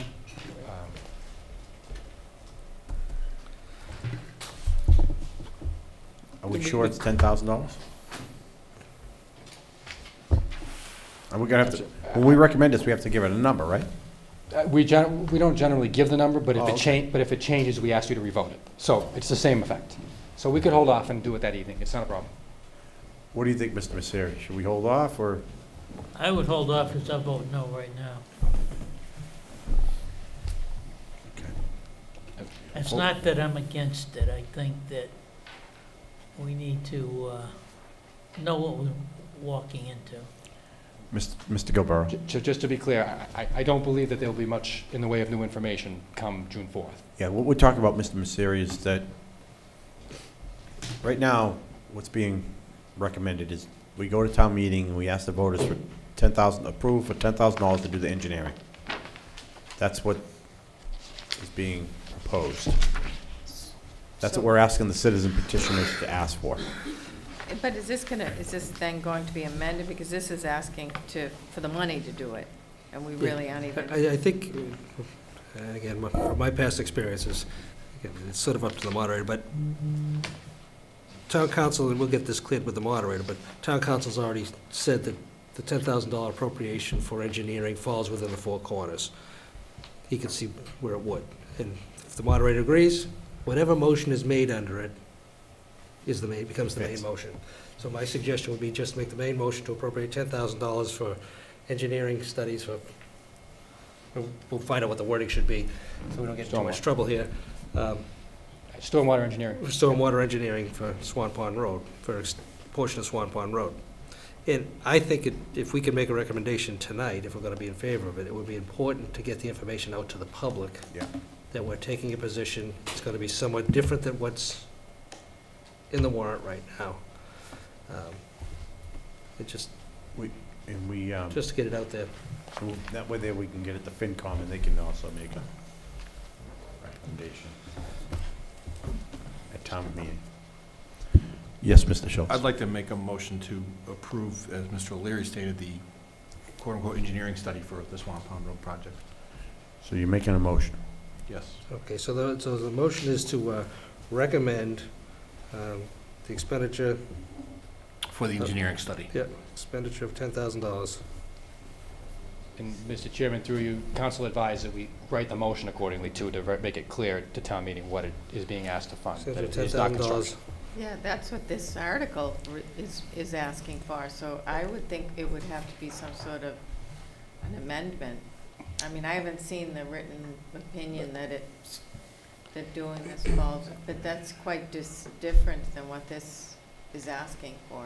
I, I I had that concern, that's why I asked the question. Uh, His response was that a good argument could be made to appropriate it for the en- engineering purposes that we've described here. Could it be challenged? It Certainly could. How would the moderator rule? I- I, I don't know. Again, the disadvantage we have is we didn't write the article. We're responding to what was written. And i- in good faith, we can't say right now what the construction cost estimate would be without the study. We just can't responsibly do it. Or- Or even s- state a funding source at this point, we don't know. So what would we be doing by motion amending the article as a board? So a- again, in the initial discussion, and we send all motions to town counsel uh, this week and next prior to the town meeting. But right now, the discussion with town counsel has been that we would vote to appropriate what I expect will be free cash in the amount of ten thousand dollars for purposes of stormwater engineering um, evaluation. And that's what the motion was made by Mr. Schultz. Right? I don't think we had a second yet, though. Yeah, second. Second by Mr. O'Leary. Any more discussion? I do have a quick question on Yes. And we're doing this on the basis of this citizens petition. It's not, not something we as a board could have just done already. We have to go to town meeting to do this funding of a study like this? So It Sounds like they've funded another study before. Did they do that through town meeting? I, I don't, on Swan Pond Road, I don't know what study they're, they're referring to, so, and that came up at the informational meeting, but I don't think anyone immediately could identify what study. There was an, I, I think an in-house study that was done very kind of crudely, similar to the surveying that the town engineer did, measuring the length and just identifying. There was the an issue stations. associated with the apparatus turnaround, and I think they had to do a study to, for safety, to get the right. I'm, I'm not sure that they even did a study when they constructed I don't think that. it was a study either. I think studied the wrong terminology, but I, So to to answer the question on the funding source, I think the biggest thing that has changed is these projects were handled purely at the departmental level for years. Within the Department of Public Works, some of them might come forward and have an appropriation at town meeting, but often they would come out of that so-called um, bucket of funding known as town road funding. Now, what's changed in the past six or seven years is that town road funding, when combined with our Chapter 90 funding, is directly tied to an, an investment in accepted roads, so that every dollar, nearly every dollar, gets obligated into a paving Mhm. improvement plan. So that funding source that's there, um, and that there might have been more flexibility for over the years, it, it's not there now, Right. because we're focused on the Right. accepted roads. Right.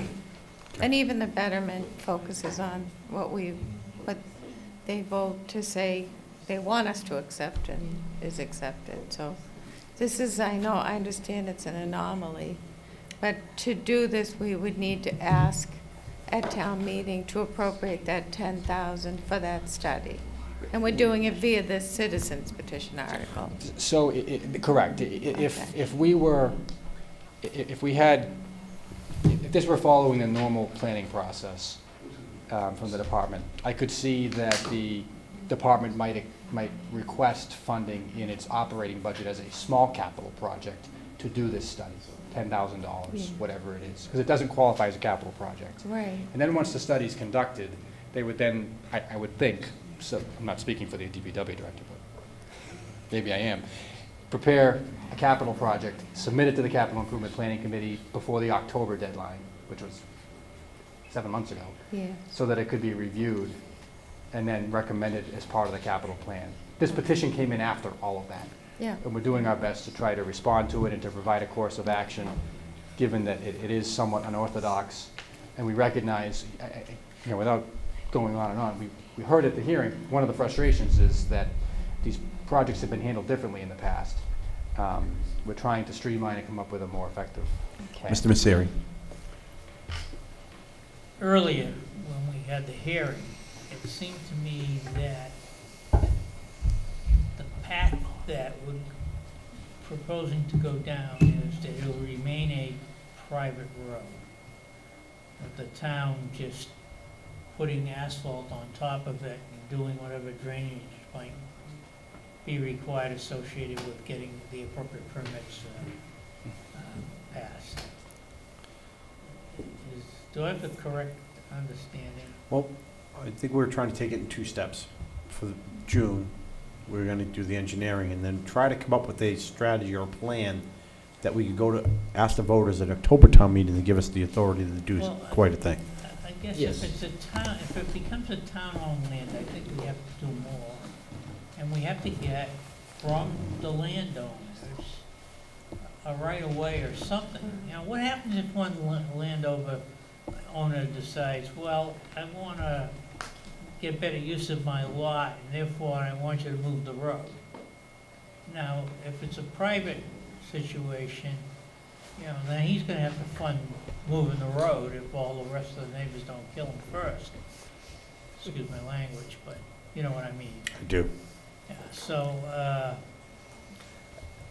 I I question whether ten thousand is enough, and it really depends on the path that we're on. Mr. Gilleberto. I, I, I don't want to speak for the town planner, but I, I think we have grave concerns with accepting the road. More because of the consequence for the private property owners down there and us furthering a zoning noncompliance. And the term that came up in our conversation with town counsel was unlawful noncompliance. So that was enough for us to say, okay, uh, the town accepting the road may not be in anyone's interest. Um, And so I, I think we, where we ended up in the conversation was, could we improve the road? Um, Could we address the drainage so that we could improve the road? And in doing so, as I mentioned in the earlier hearing, we would expect authorization from each property owner to enter their property to improve the road by virtue of paving and stormwater, but not necessarily ending with an easement.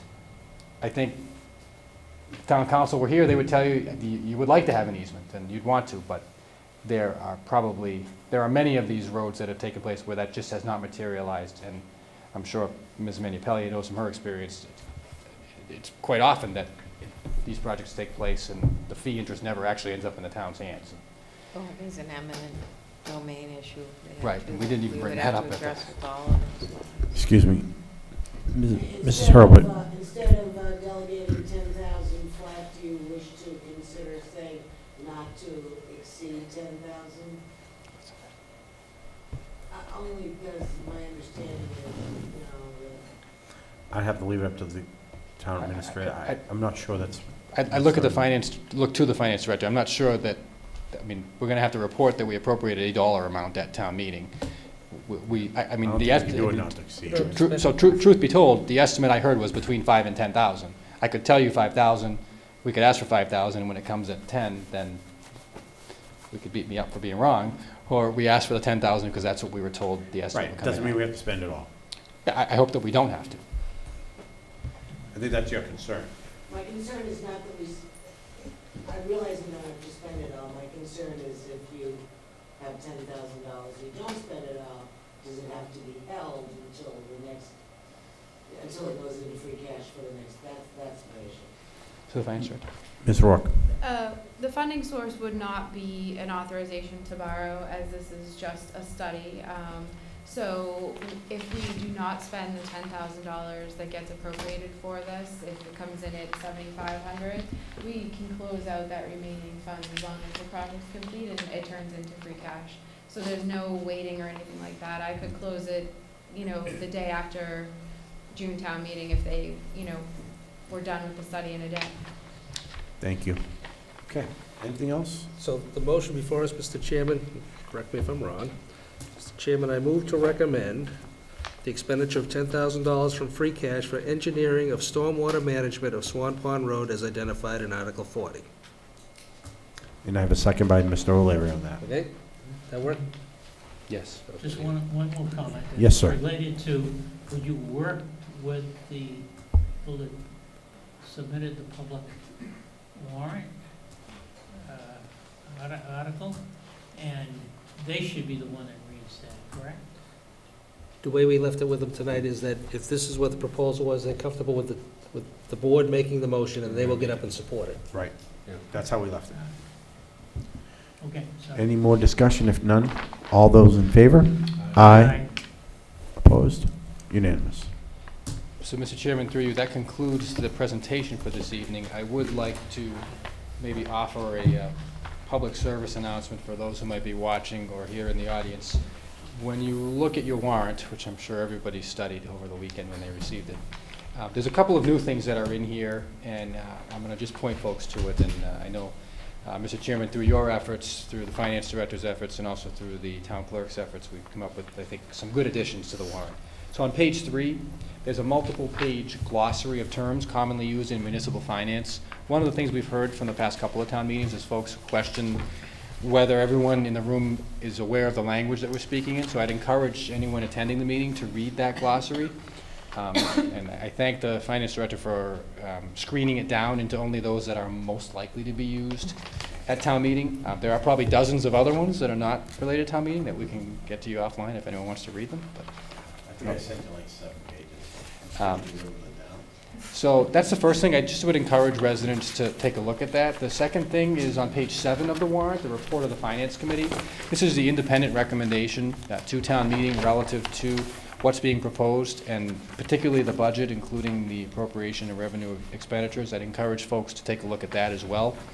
And then finally, on page 11, I thank uh, you, Mr. Chairman, and the town clerk as well for her efforts to uh, identify a series of motions that we customarily use in our town meeting. Again, it's intended to provide those who might be uh, attending the meeting and wondering what's being asked at town meeting.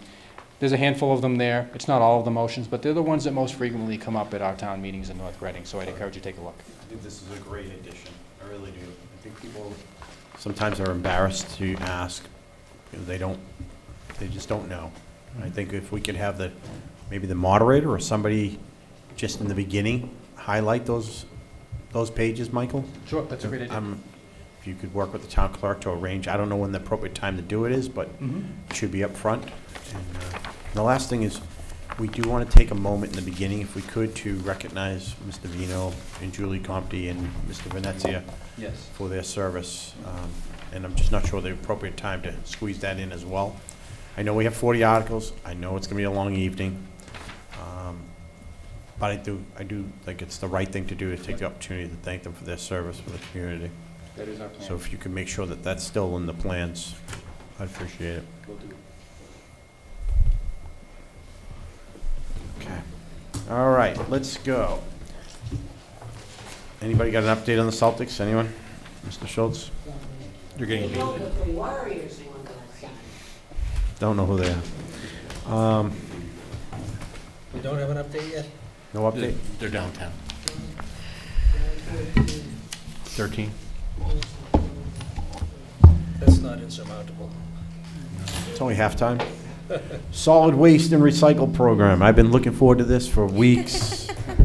Let's get it on.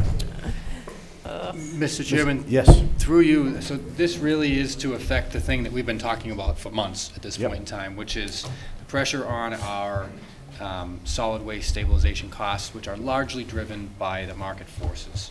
Um, Going through the process, we reviewed this on a couple of occasions, provided an opportunity for the public to join in on the conversation. Um, We recognize that uh, no increase in any fee for service is desirable, but this is intended to keep the uh, revenue generation close to the cost, because it's going to escalate significantly on July 1st of 2018 under the new contract that we'll have with JRM for one year. And we expect it will likely to increase in years beyond that as well. So unfortunately, this may not be the last time in the upcoming years that we're asking for such an increase. Mr. McGrath and Mr. Clark, if I could ask a favor, could you join us over here at this table so you could use the mic so the folks at home could hear you? And are we making a presentation? Uh, No, we didn't have a presentation. We provided the same report that was provided at previous meetings, and we had a I'm motion. turn the lights up. Oh, thank you, Mr. Chairman. Okay. Thank you. I'm going to turn the, over to the town. Oh, So really, we, uh, we we have a recommendation for um, action to take place this evening, and it- it's born on the funding plan for fiscal year 2019's budget. And just to re- reiterate what that plan called for, um, we we're looking at a couple of different things. First, using general fund dollars to try to balance off that budget to address that increase. Secondly, potentially using stabilization fund dollars to balance out that increase. And thirdly, looking at an increase in the rate. The ultimate um, recommendation that was made, which I believe was um, certainly, that I believe was acceptable to the board by virtue of the budget being approved, was to um, set aside and leave set aside the so-called balance in the stabilization fund for future years, but to increase the rate now for effective July 1st, 2019, um, to address the, um, the increase in cost. And we were able to find some funding within the source, within the course of the fiscal year 2019 budget process to also help make that up. So the motion calls for the solid waste and recycling fee to increase from $226 annually to $272 annually effective July 1st, 2018. And through you, Mr. Chairman, I'll ask Mr. Clark or Mr. McGrath if there's anything they wish to add. Uh, I guess, I mean, if people are watching at home, what the question is, why are we going up like this? Why is the rate so steeply increasing? And as we have discussed on a couple of different occasions, it basically is driven strictly by the recycling market. The, uh, the rate for collecting trash and the rate for disposing of trash, solid waste, is not going up significantly. But the recycling market, which actually used to generate some money to help keep down the cost of recycling, has basically dissolved. Um, There's some issues, as we discussed last time, with uh, the amount of contamination uh, that China's willing to take, so a lot of the recycling that we're trying to dispose of, or used to be able to dispose of in the Chinese market has fallen apart. And uh, it basically is now costing the the haulers to get rid of the recycling significant amount of money. And as I think we discussed last time, some of them are actually uh, on the, on the verge of bankruptcy just by virtue of the long-term contracts they signed into. We just happen to be hitting this at the last year of our multi-year agreement with JRM, our current hauler.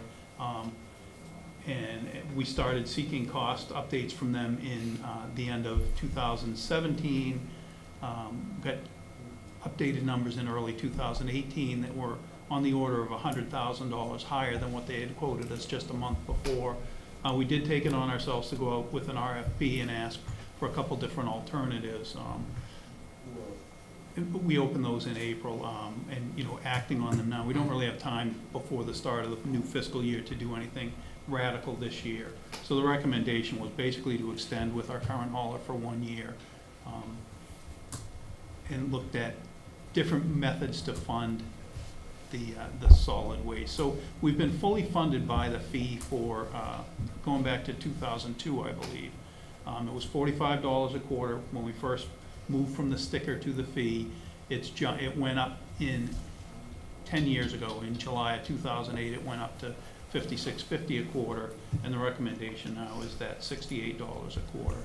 That with the $75,000 in uh, outside funding will fund this year's solid waste budget. Mr. McGrath.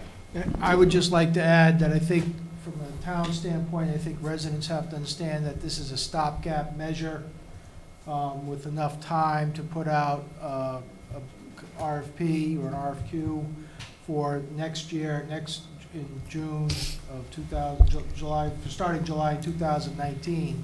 We just gotta, we gotta get through this next year. And um, as I, I'll reiterate what I told the board previous meetings, in Bedford, they were getting positive monies in September, and it went from positive to twenty-five dollars a ton cost in October, and we're at forty-five dollars a ton, and that's capped by our contract. And I was told by the hauler that they would, that contract would not be signed by them this time around, if that was coming up due. So, um, and what I'm hearing is a lot of towns are paying you know, double that amount of money. And so it's, that's causing JRM to be stricter in what they're gonna take off this, from the curb. But I think right now, it's gonna require a lot of work to educate, re-educate people of what's going on, and town employees, because the town's facilities and, you know, the Hillview, they all generate trash and recycling, You've gotta do it right. And that's gonna help control our costs. You know, making sure the, the money makers in the, in the stream right now are cardboard and aluminum cans. We want to make sure those materials wind up in the recycling stream to help offset the negative from glass, the three through seven plastics. You know, it's, that's why it's important to really go out and do the, do the education and, and get people to, you know, basically recycle right. So. Mr. Mauceri. Two items. One is that uh, I think we need maybe, uh, first of all, more clarity on what people can put in. And then there's the issue of, you know, the paper and the plastics and glass all getting mixed in the same bin. And maybe we ought to think about creating a separation of paper and the rest of the materials. And second, I happened to be out uh, this weekend out in Seattle, and I got in a discussion with my son over trash, believe it or not. And they have the same problem, so it's, it's a national problem, Yeah. not, uh, not this area. And I know you weren't implying that. No, not at all. But the coast, the coaster, from what I've heard, the paper, like mixed paper from New England, goes up into Canada and is made into tissues, paper towels, household paper products. Um, The cardboard, there's a market, the aluminum is, you know, that's the big moneymaker. When you put that, in I provided the board a, uh, the formula, an example of how the formula is calculated.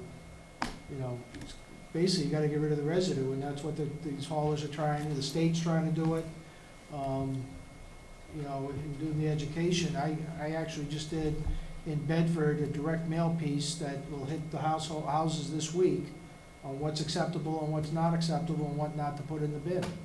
So, that's, it's, I really feel it's gotta be pinpointed education, not just write a, you know, write an article, one article in the newspaper and post something on your website and saying, I've done my job, because that's not. So, gonna do it. so for tonight, we need to approve a fee, right? Can you take another vote tonight, or are we all set? There's a vote to increase the fee. That's Mr. it. Chairman, I move, reluctantly, I move to increase the solid waste recycling fee from $226 annually to $272 annually, effective July 1st, 2018. Second. I have a motion, a second by Mr. Mauceri. Any more discussion? I will say this, we do need to work on some workshops. We need to get the RFP drafted. I know that we talked about strategies for the future, will most likely be an automatic will be the future. Does that seem like it's in the cards? Uh, Automatic pickup, the, uh, Uh, for trash. Yep. I would say, yeah, do automatic for trash, and I would say for recycling, you give them a bin, you don't know what's in the bottom of that bin. You know, I- the, the towns that have gone single stream recycling with the automated, they're ruining the day they did that. And- So we need a big education, and we'll approve this tonight, but I think we have a lot of work to do. And unfortunately, it falls on you guys, but we do appreciate the effort. Yes, Are we able to put a, um, a, uh, a little cardboard slip in the next bill that says, because that way everybody would get it when they get their trash bill? We've done that in the past, the recycling committee has done that in the past, where we piggybacked on the direct mailing, um, inserts in the bills, so. I have some. It it just get recycled. Yeah, That's right. So if there's no other discussions, all those in favor? Aye. Aye. Opposed? Unanimous. Thank you. Okay, update on the MWRA Andover Water and wastewater update. You're running wrong on this one. You're running, huh? Happy birthday. Oh. Happy birthday. Been happy, been great celebrating it with you. I know, I know. Living the dream. Yeah, tell- Thank you, Ed. Thanks, Have a Ed. good night, everybody.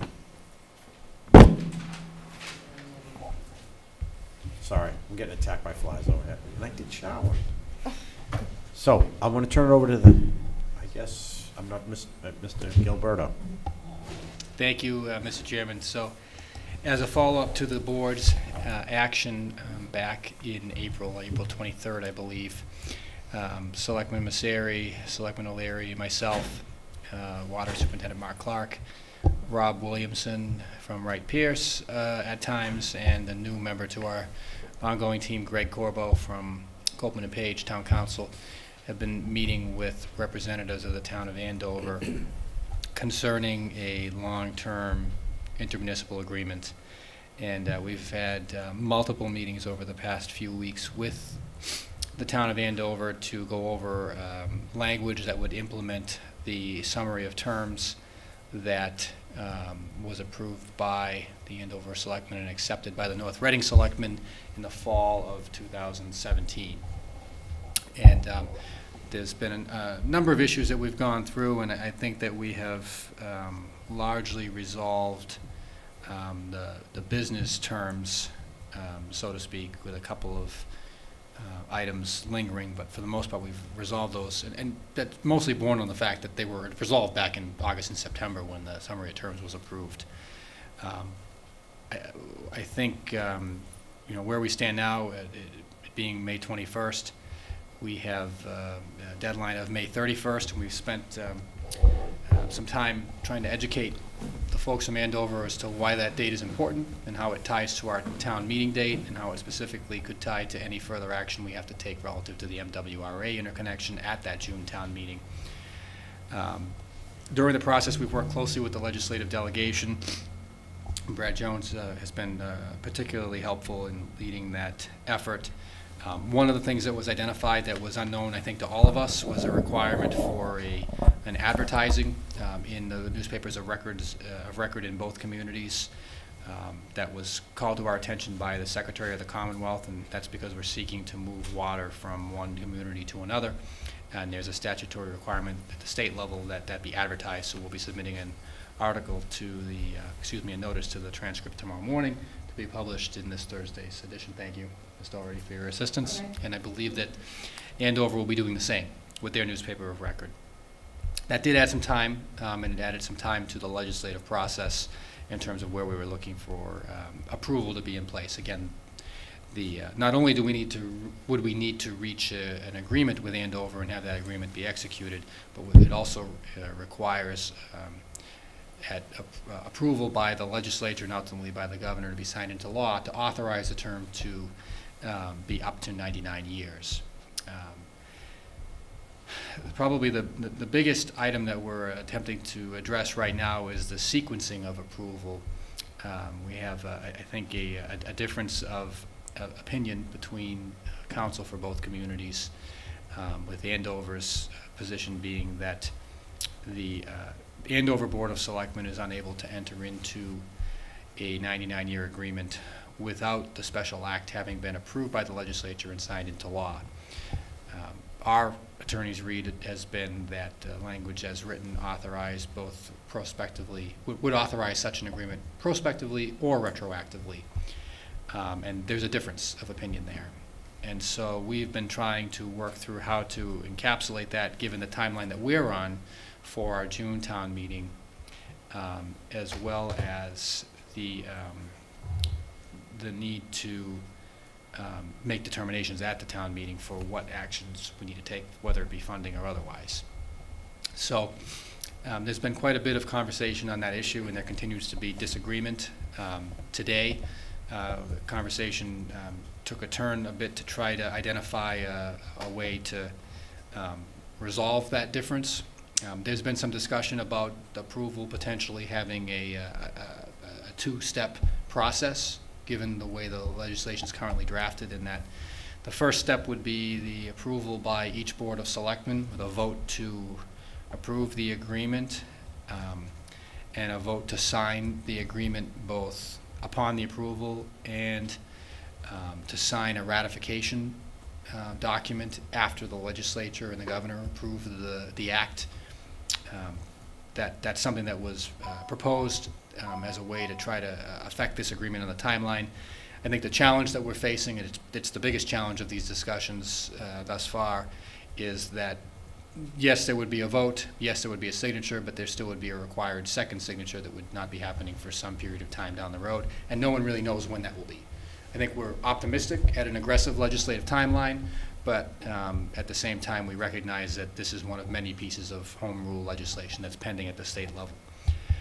So the challenge has been how do we, how do we operate within these restrictions? And um, we've had some discussion about creating an incentive or a penalty for um, one or both parties to have, to sign, or or penalty in the case of not signing that second time. Um, And that's, I think, really where things stand. We had some conversation on Friday with the town counsel and the town manager. Had some conversation this morning um, with, uh, briefly with the subcommittee, and then some back and forth through counsel and the assistant manager. And we are scheduled to, we've been invited to continue the discussion on Wednesday evening, this Wednesday evening at 6 o'clock. And I'm going to ask the water superintendent if there's anything I've missed, and then Mr. O'Leary or Ms. Area, if there's anything you wish to add. No, I This think you coming summed it up pretty good. This coming Wednesday at six, Yes. that's a problem for me. And I could have probably changed it around, I'll, I'll see what I can do. Okay. I was unaware of it because I was away on Friday's meeting and I missed this morning's meeting. So, Mr. Clark. Uh, I don't really have anything to add to that. I think the town administrator's captured the, kind of the status of the negotiations at this point. It's, uh, reached kind of a level of frustration, I think, on both sides, but more so on our side, that, uh, we expected this to be done at this point, and, uh, Yeah. we're not there. We have June town meeting in a few days, so. uh,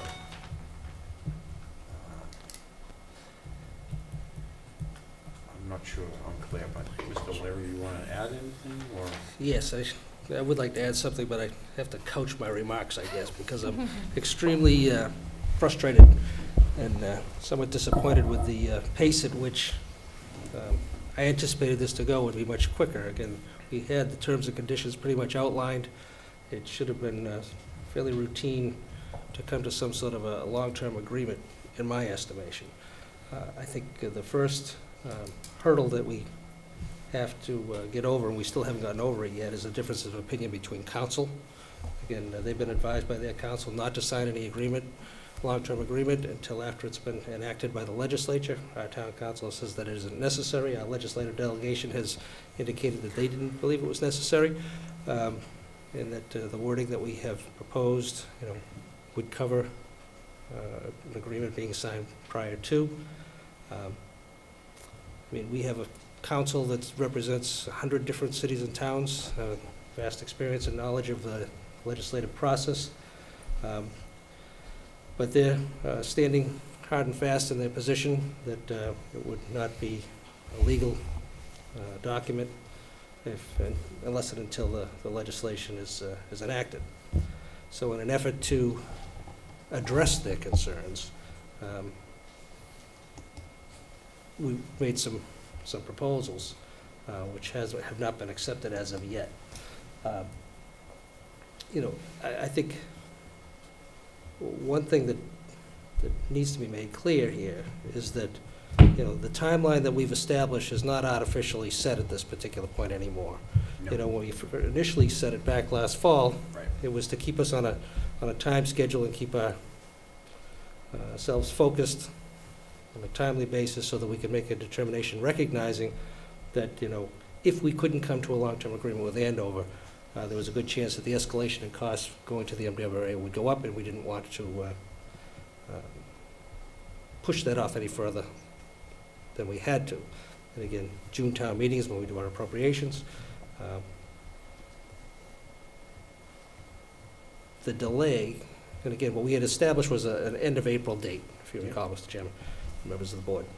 Uh, And that was plenty of time for us to have our consultants go in, take a look, look at the feasibility of uh, their system and their proposal, and see if it could be done, and allow us to come to some sort of terms and conditions by the end of April, so we would know which direction to go in. We allowed them an additional month um, to go get some additional action at their town meeting, and uh, that delayed things a bit. Again, we proposed this stuff and uh, had our, our town meeting last October, proved everything we needed to do to move forward. We asked them to do the same. So we're up against this deadline now. I think they feel as though they're being pushed too quickly into making a decision and thinking that uh, uh, it's an artificial deadline that we just established because we want a a refund under the terms and conditions that we agreed to last fall. Uh, That's the furthest thing from the truth. The fact is, we should have had an agreement before now. Uh, If not for their uh, unwillingness to schedule a special town meeting back in November and December when they first were Committed to. committed to doing it, and then in the end of January, when they're unable to basically bring it to fruition and bring it to closure, you know, we have lost six months of the legislative term to get this stuff done. Again, when we set our goal at the end of April, we anticipated that we would have the legislation filed, long-term agreement signed, and ready to go, or we were moving to the MWRA. Uh, So now here we sit, you know, where they were, they were able to get it through their town meeting after the first week of April, you know, well after, when we did it back in October. And, you know, if not for us moving them to the table again, we'd still be sitting here treading water. So it's very frustrating. Um, You know, on a high note, I believe we have the terms and conditions pretty much nailed down. And it just comes to now, um, whether or not, how we're gonna get this thing implemented. And uh, I'm sorry that we don't have a proposal to share with you yet, a complete, a completed proposal. This should have been done weeks ago. Um, So it just comes down to, you know, do we, as a board, want to accept their rational, the- their explanation, their, their attorney's explanation that it can't be uh, signed and ratified until after the legislation goes, or are we gonna go with our counsel? You know, Once again, our counsel is uh, well-established, represents 100, you know, 100 different communities, um, and I think is offering us good advice. They're not buying into it. So what happens is it puts us in a position where what they're proposing is they'll sign an agreement in one night, sign an agreement and vote. The agreement, and then a second vote to have a a ministerial signature signing after the legislation goes into effect. But that timeline, you know, could, it is going to be weeks. Going to be weeks. Yeah. My biggest concern is in the time period, and again, they still have a, a commitment to keep to their, their voters, so between now and, and next Thursday, if they're going to comply with our May thirty-first deadline, they have to have a public hearing. Go over the terms and conditions of the agreement, have a public hearing, get the input, and then they'll vote. It doesn't leave them an awful lot of time, and my concern is based upon the experience with the public hearings that they had previously, you know, before the town meeting, is that more issues arose and new suggested language and terms and conditions were um, thrust upon us as a result of their public hearings. You know, they have made a strong statement that they're committed to signing this agreement, and there appears to be unanimity.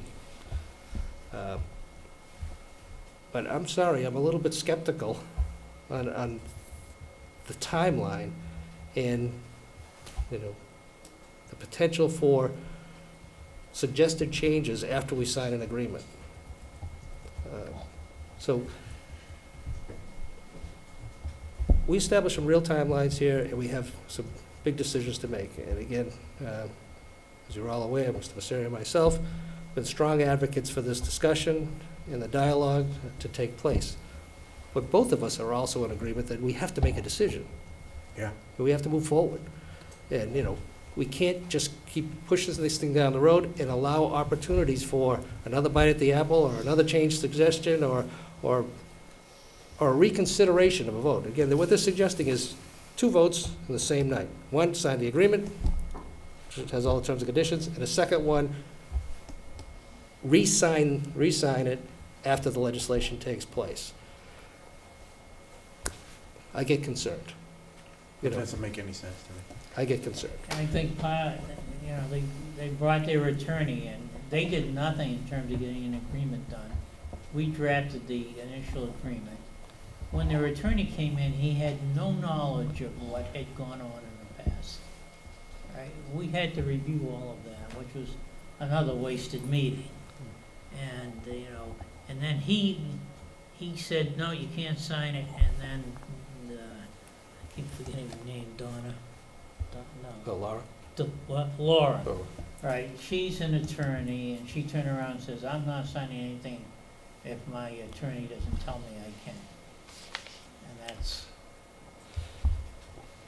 where it is. So- I- I- Personally, I, I think we should just get them in the room and say, look, this is ridiculous, and, uh, let, let's get this thing signed and, uh, move on.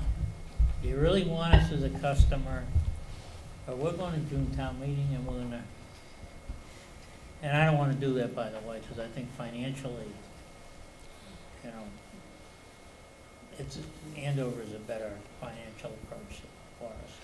But, you know, how But the- much, the, the other. How far do you want to go? The other, the other important thing to, to recognize here is that part of the frustration level uh, on our part is on two different occasions now, they've left the meeting. Um, I don't get it. I mean, we were sitting there today and caucusing in different rooms and expecting them to come back in, and they left. Didn't let us know.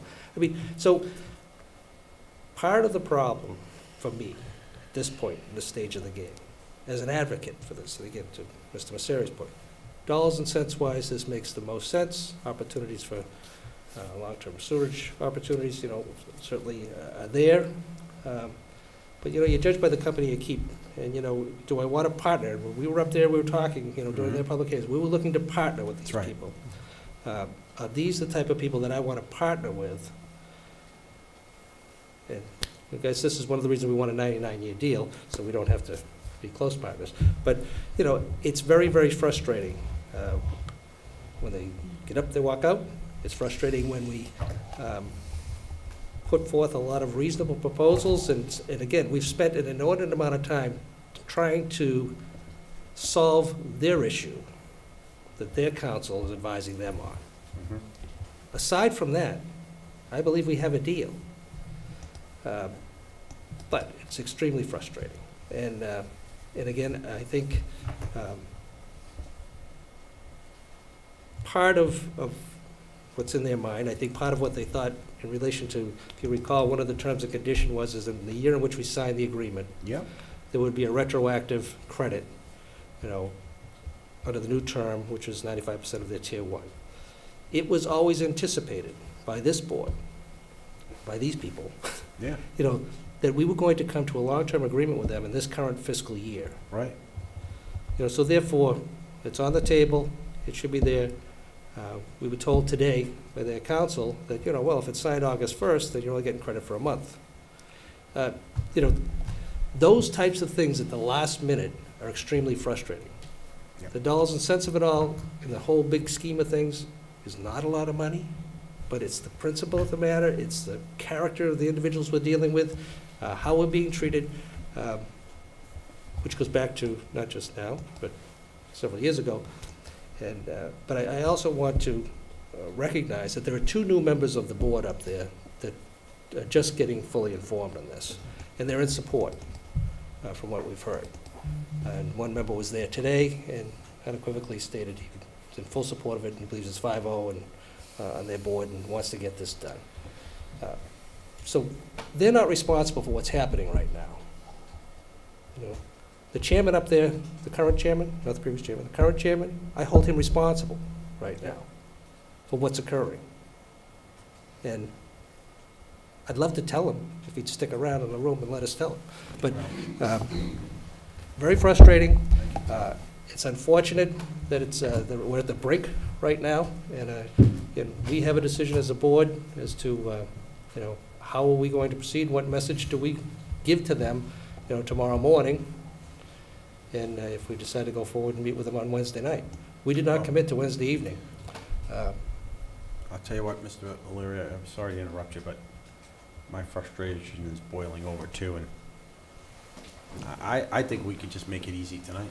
I, I do. I, I, I have heard enough. I know I've been through enough. You know, I keep hearing you say that the deal, the deal is financially far superior. There is no deal. It's, it's, like I said earlier, though, I used the term jello. This is a jello deal, because they keep on moving it around. They don't want to lock it in. We've been talking about this timeline for a long time. And there's something not right. Now, I've been in business for many years, and when you don't have two parties that can, can agree on this, after we've talked about this, and public hearing after public hearing, we've had them here in this room, we've explained this timeline to them. We've, out of generosity on our end, extended this timeline to our own peril here, where it could cost us even more money, knowing that we thought we were coming to terms. This is a no-brainer.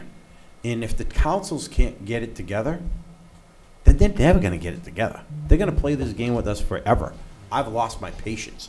I'm at a point, too, where I'm embarrassed, because we wrote up a MassWorks grant with a timeline that we have now come up against. And we're gonna have some explaining to do. You know, all the way to the governor, and they came here, and they knew this, and we've explained this to them. They've put us in a very, very uncomfortable position with our residents, with our staff, and now with the state. So, I'm not waiting any longer. Mr. Schultz.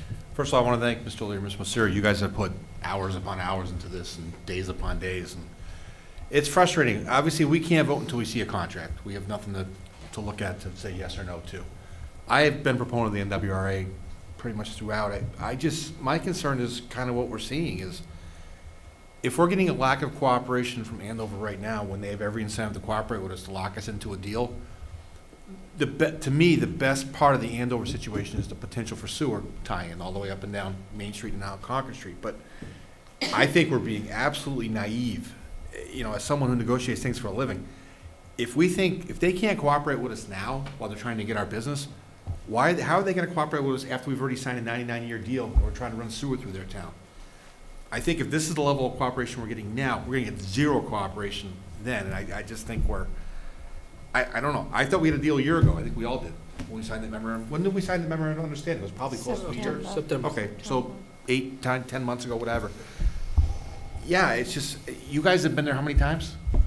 I mean, it's, you must wanna bang your head against the In the wall. hours. Yeah. Not only the ti- number of days, the number of hours. I just, Right, uh, I- you know, the Yeah. fact, like everybody else, some of the reasons why a couple people left at different times, I'm not trying to defend them. They had business to deal with, they work like we do. The fact that they want to meet on Wednesday night, they don't have an excuse anymore about Okay. leaving the meeting. So what, can I make a proposal? I, I would, well, can I finish? No, Michael, please. first? I thought you were done. I I would apologize. say that there ought to be an agreement to get all of the right people on, on the Wednesday meeting, and we ought to get it done. And if that means leaving the damn attorneys out, leave them out. Because I don't particularly like their attorney. He's got this, it's gonna be my way or no way. Oh, I'd like to make it easy for you then. What? I'd like to make it easy for you then. My Yeah. suggestion would be, we don't have time for more meetings, but we should meet Thursday night. And we should let them know, we will schedule, I think we have time to schedule a meeting for Thursday night if everyone's available. And we should come in this room and make a decision Thursday night. That's okay. I have the problem of Wednesday night, and I see what I can do about it. I think that's it. I, I, I- we have to draw a line in the sand. But I don't think we can go to June town meeting without looking at our voters in the eye and tell them that we have a deal signed. We can't even meet Thursday until we see a contract. We need to see a, an actual contract. Well, you certainly can send us what you've sent to them, so we can at least We'll- take a look We'll at forward it. you everything we have, all right, Michael, just, uh, Yeah. You know, We Just have a- put we it in the have a current- Dropbox and, but I have a hard stop at seven. I, I actually won't be here Thursday. I Okay. can't, I have a scheduling conflict on Thursday. I'm sorry. Yeah, no, that's, I'm I know not- this is last I minute. apologize, but we've met a lot of our, ourselves on this. What about in the morning on Thursday? Extra things for Andover, so. What I about mo- might- morning on Thursdays? No, nothing Thursday. Sorry. No, okay. Well, then we're gonna have to do it Monday m- before town meeting. We'll have to meet early. Yeah, we need time before that to actually review the final proposal. That's the- And thank you guys for everything you do. well, again, I, I don't know what everybody's schedule is, I know it's Memorial Day weekend, but after the weekend, I don't know if the next Thursday or Friday, I mean, the thirty-first is what, Thursday? You know, thirty-first is Thursday, and that's the deadline that we established to have a signed deal. Um, You know, they're meeting tonight, uh, they were going to lay out, I think, uh, some sort of a timeline, uh, I guess, report to their board as to where they were at, where they think they're at, and um, I believe they were going to talk about scheduling a public hearing on the agreement. So I would assume it'll probably be next Wednesday night. uh, The agreement that we don't have. The agreement that we haven't come to agreement on. A- Again, most of the terms and conditions we've agreed upon, but you haven't seen them yet. You know, uh, and, and some of them are a little bit contrary to where we thought we were going to end up, but we can give an explanation as to why. And uh, I think we can rationally explain and, and hopefully uh, gain the support. Um, But that's yet to be determined. Uh, But if we can't get this thing effectuated, it doesn't mean anything. Right. Well, I think, So it come- to me, it comes down to this one issue, you know? oh, And now Based we're on- scrambling to schedule these extra meetings because they've left you the middle of the dance floor. They can't come to, to yes here with something that we thought we came to yes to last September. So I'm not sure why we should be scrambling to now make all these extra meetings. If we don't have it, we don't have it. That should inform our vote. right. It's So as we have to simple vote. as that. But we, So we should vote before June town meeting. we don't have it now. Vote that night. Well, Well, we we have articles in the warrant to reallocate funds from the MWRA. We have an article in the warrant to appropriate more funds for the MWRA for going that route. Right. And we inform them of this, so, you know, this is not an artificial deadline, this is what's driving the bus here. Mm-hmm. And, you know, what's happening now, you know, two things. One is, you know, end of the legislative year, and their inability to address the situation on a timely basis, you know, six months ago with their town meeting. So, it's unfortunate. But again, you know, we have to make a determination. Are we going to be making a decision to go MWRA?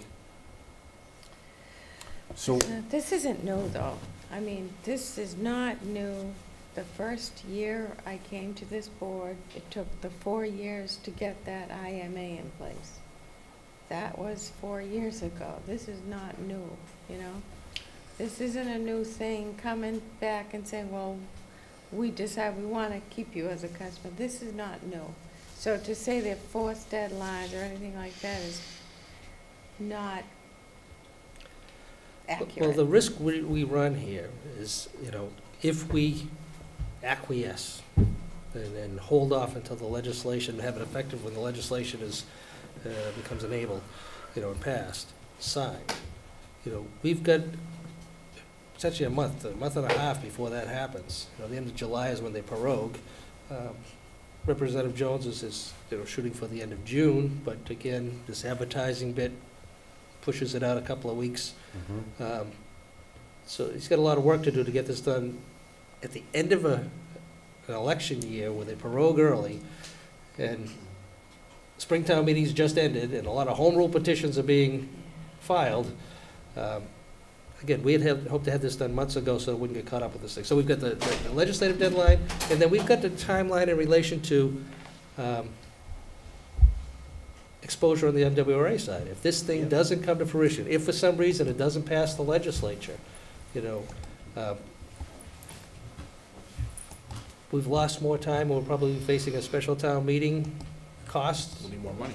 uh, for, for more money. And again, permitting wise, we need to move forward. Yeah. We need to know what we're doing. We You need know, DEP our professionals here are telling us we needed it before in order to get it moving now so that we can effectuate whichever way we're going by next summer, get things moving. Um, So we, we've got a- a whole host of, uh, So we can't Issues. meet. Now, we know we can't meet Thursday because we don't have all the members available, and we're not certainly Without gonna do. me. Yeah, No, we can't do it Uh, without you. yeah. Can't do it without you. And we, you know, I'm not sure anyone has the stomach to wanna meet on the Friday. I think that's the thirty-first. So it's either we meet early on Monday, June town meeting, like three o'clock or four o'clock to you know, Well, figure we this don't have a, I mean, I think we gotta tell them that, look, we don't have a signed agreement to bring to our meeting on the Monday of town meeting, and we schedule the meeting early enough, right? Then it- there's no deal. We have nothing to approve right now. There's no deal. Right, exactly. What are we So- meeting on Thursday about? A Possibly a, a contract? Until we get something in writing that we can synthesize. All right. and- So can I make a proposal that we at least move our timeline? Typically, we meet before t- June town me- meeting around, we usually meet six? six. Usually six, yeah. So why don't we make it five? Oh, or four-thirty, we need more than that? I would hope not, but I think we will, because if we don't go, if they don't come with what you need, we need more time to wrap our hands about, around going with MWRA. But again, I don't know, if- an I don't know and a if the end of next week anybody has time, you know, that we could potentially bring the proposal forward. We'll see if we have a written proposal first. Yeah, right. And then we can. Well, again, I don't think. Kate's it's a- busy Thursday. No, no, I'm not talking this Thursday. No. I'm talking a week from I'm Thursday. talking a week from Thursday. That's what I just brought up, Okay. right? Week from Thursday, not this Thursday. We know that's out. But n- uh, next Thursday, you're out. Yes. Wednesday? Wednesday night, next week, It's the end of the month, that's, That's okay. I could, I could make that. but again, until we have something in writing, why even know, schedule I anything? don't- Again, it's not gonna take the attorneys long, I don't believe. The thirtieth, you're talking? Right. I can make myself available on the thirtieth. You? Andy? I guess. Just, we're just creating more time away from our families because they can't get their stuff straight. Yeah. It's frustrating, I'm not gonna lie. But yeah, I can make myself available. Well, I- Yeah, again, I mean, we're all in the same boat. We're Yeah. meeting on the thirtieth, but we're making a decision. I'm not, I'm not turning back from that. What time are we gonna meet, Michael? Can we do on the earlier side? Early would be nice. What? We do it on the earlier side would be good. One. Now, what's, what's Now, reasonable? so now, take time, taking time, taking time off from I- work. Is five thirty too early for everybody? for Andover. Five thirty on Wednesday, You May know, thirtieth? s- sometimes you gotta eat, right? Well, we should be out by seven, seven thirty. Oh, It's one issue. Six o'clock, six thirty? Six thirty. Yeah, 6:30. Six thirty. Well, you- we've That's got one ano- subject on the It's just another agenda. evening away from your Yeah, family I because they know. can't get their act together. It's frustrating. But uh, if, if there is nothing for us to review, we're still gonna move forward to. We're to- meeting that night, making a decision. Which, I All don't. They just need to know, we're meeting on the thirtieth. If they can't meet the terms of where we're at and what we're looking for, then just tell us and we'll move on, and they should just move on. and- Because if this is truly the way it's gonna work between these two towns, I think it's pretty evident for us to move on. Yes, it's probably a seventeen million dollar swing, but there's low risk, high quality in service, high quality in water, It's done. and it's done. And we don't have to dick, we don't dick around with this. Thing Sorry. maybe you and I tell them that they don't You got it? meet everybody. 6:30. You and I are voting six thirty, Keep that oh my. God. Um, do you think we need an hour that night or two? Because I may have something afterwards, I just wanna know. I plan two hours? No, All right. About an hour and a half. no. Okay, next on the agenda, We beat this. Minutes. Next on the agenda, Minutes. minutes. Mr. Chairman. Thank you, by the way, Mr. Mauceri, Mr. O'Leary. And Miss, and Mr. Clark and Mr. Gilbert. Mr. Yes. Clark, you're paroled. Yeah. Mr. Clark. Mr. Clark. Not Mr. just Clark, yet. Mr. Enjoy your Gilberto, Not just yet, though. Mr. Corbo. Oh, goodness. Regular session minutes for May seventh. Mr. Chairman, I move to approve the May seventh, two thousand and eighteen regular session minutes as written. Second. I have a motion and a second, any more discussion? None heard, all those in favor? Aye. Opposed? Unanimous. Executive session, May Andy, seventh. you can sign this, you were the clerk at the time. Okay. Uh, Mr. Chairman. Thank you. I move to approve the May seventh, two thousand and eighteen executive session minutes as written. Second. I have a motion and a second by Mrs. Manupelli. Any discussion? None heard. All those in favor? Aye. Aye. Opposed? Unanimous. May 14th, reorg meeting Okay, minutes. twenty-first. Mr. Chairman, I move to approve the May fourteenth reorganizational meeting minutes as written. Second. I have a motion and a second. Any discussion? None heard. All those in favor? Aye. Oh, I get, to- Opposed? I get to sign this one. Okay. Appointments for Veterans Event Committee. Date's today. Today's the twenty-first, right? We have two individuals we're appointing to the Veterans Event Committee. Uh, Mr. Chairman, I move to appoint the following individuals as associate members to the Veterans Event Committee for a term to expire December 31st, 2020. Kimberly A. Manzelli, 62 Central Street. Mark Manzelli, 62 Central Street. I have a second? Second. I have a second by Mrs. Manupelli. Any discussion? I just want to thank the Manzellis for stepping up, and volunteering their time and commitment for the event. Thank you. All those in favor? Aye. Aye. Opposed? Unanimous. Do we need a roll call vote on I don't think so, right? We didn't need a re- roll call, right? Not to my No, no. knowledge, no. The two vacancies and two Yeah. candidates. That's it. And old and new business. Uh, let's see. Oh. You okay? Yes, I, yes, I have something. Is it? Um, Yes, you, I just want to say that the reason I was late today was because I was attending the school committee meeting at the little school where they did the tech lab students, the four fourth graders, one of whom is my Michael, and the four fifth graders um, did a presentation for the school committee, their tech lab um, participants who, um, so it was, a- it was quite a thing. The program is um, run by Helen Kelly, which is a phenomenal program over there, and um, there, there was also a presentation on um, Mrs. Levitt's, Beth Levitt's WIN program that they started over there, and there was a presentation on Mrs. Gomez's Peace Rocks program. So it was an excellent presentation, and I quickly came here from there to attend this meeting as soon as that was done. But congrats to them. Everything was excellent, well done, and um, excellent initiatives over there. Mr. Schultz. I don't have anything. Mr. Mauceri.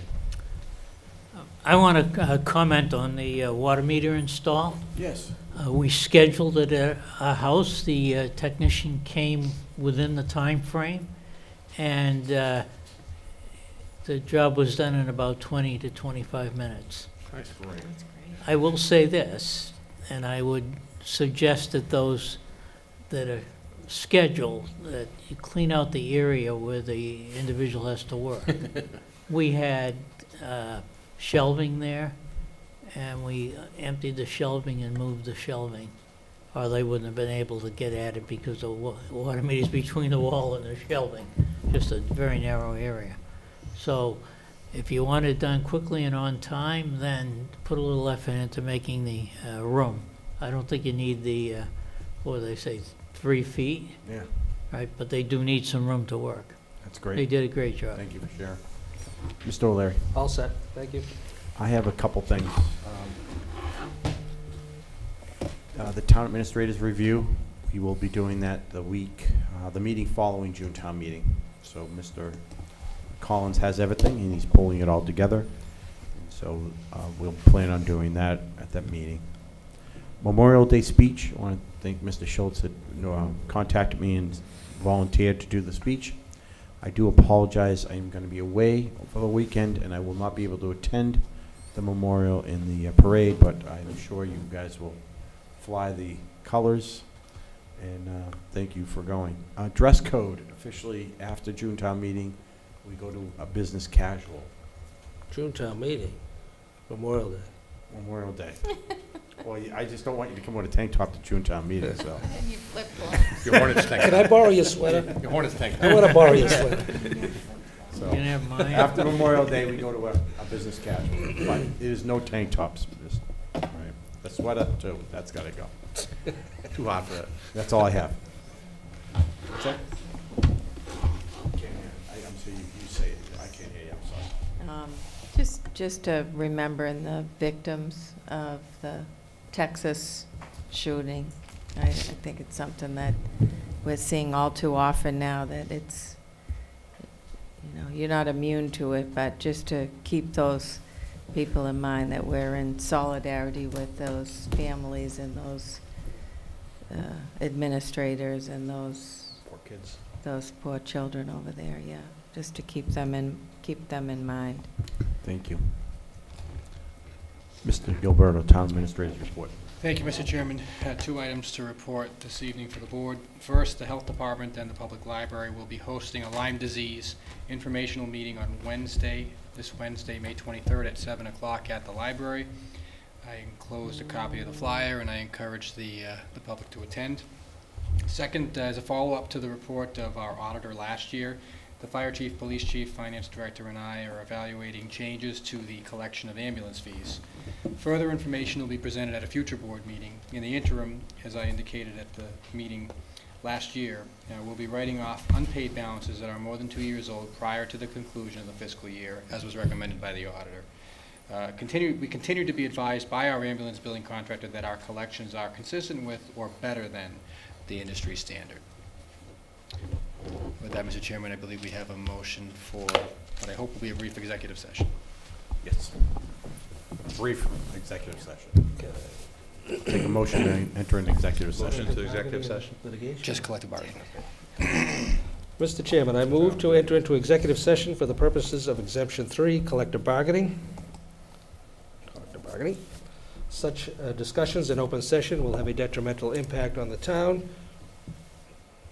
And uh, further, that the Board of Selectmen will return to open session for adjournment.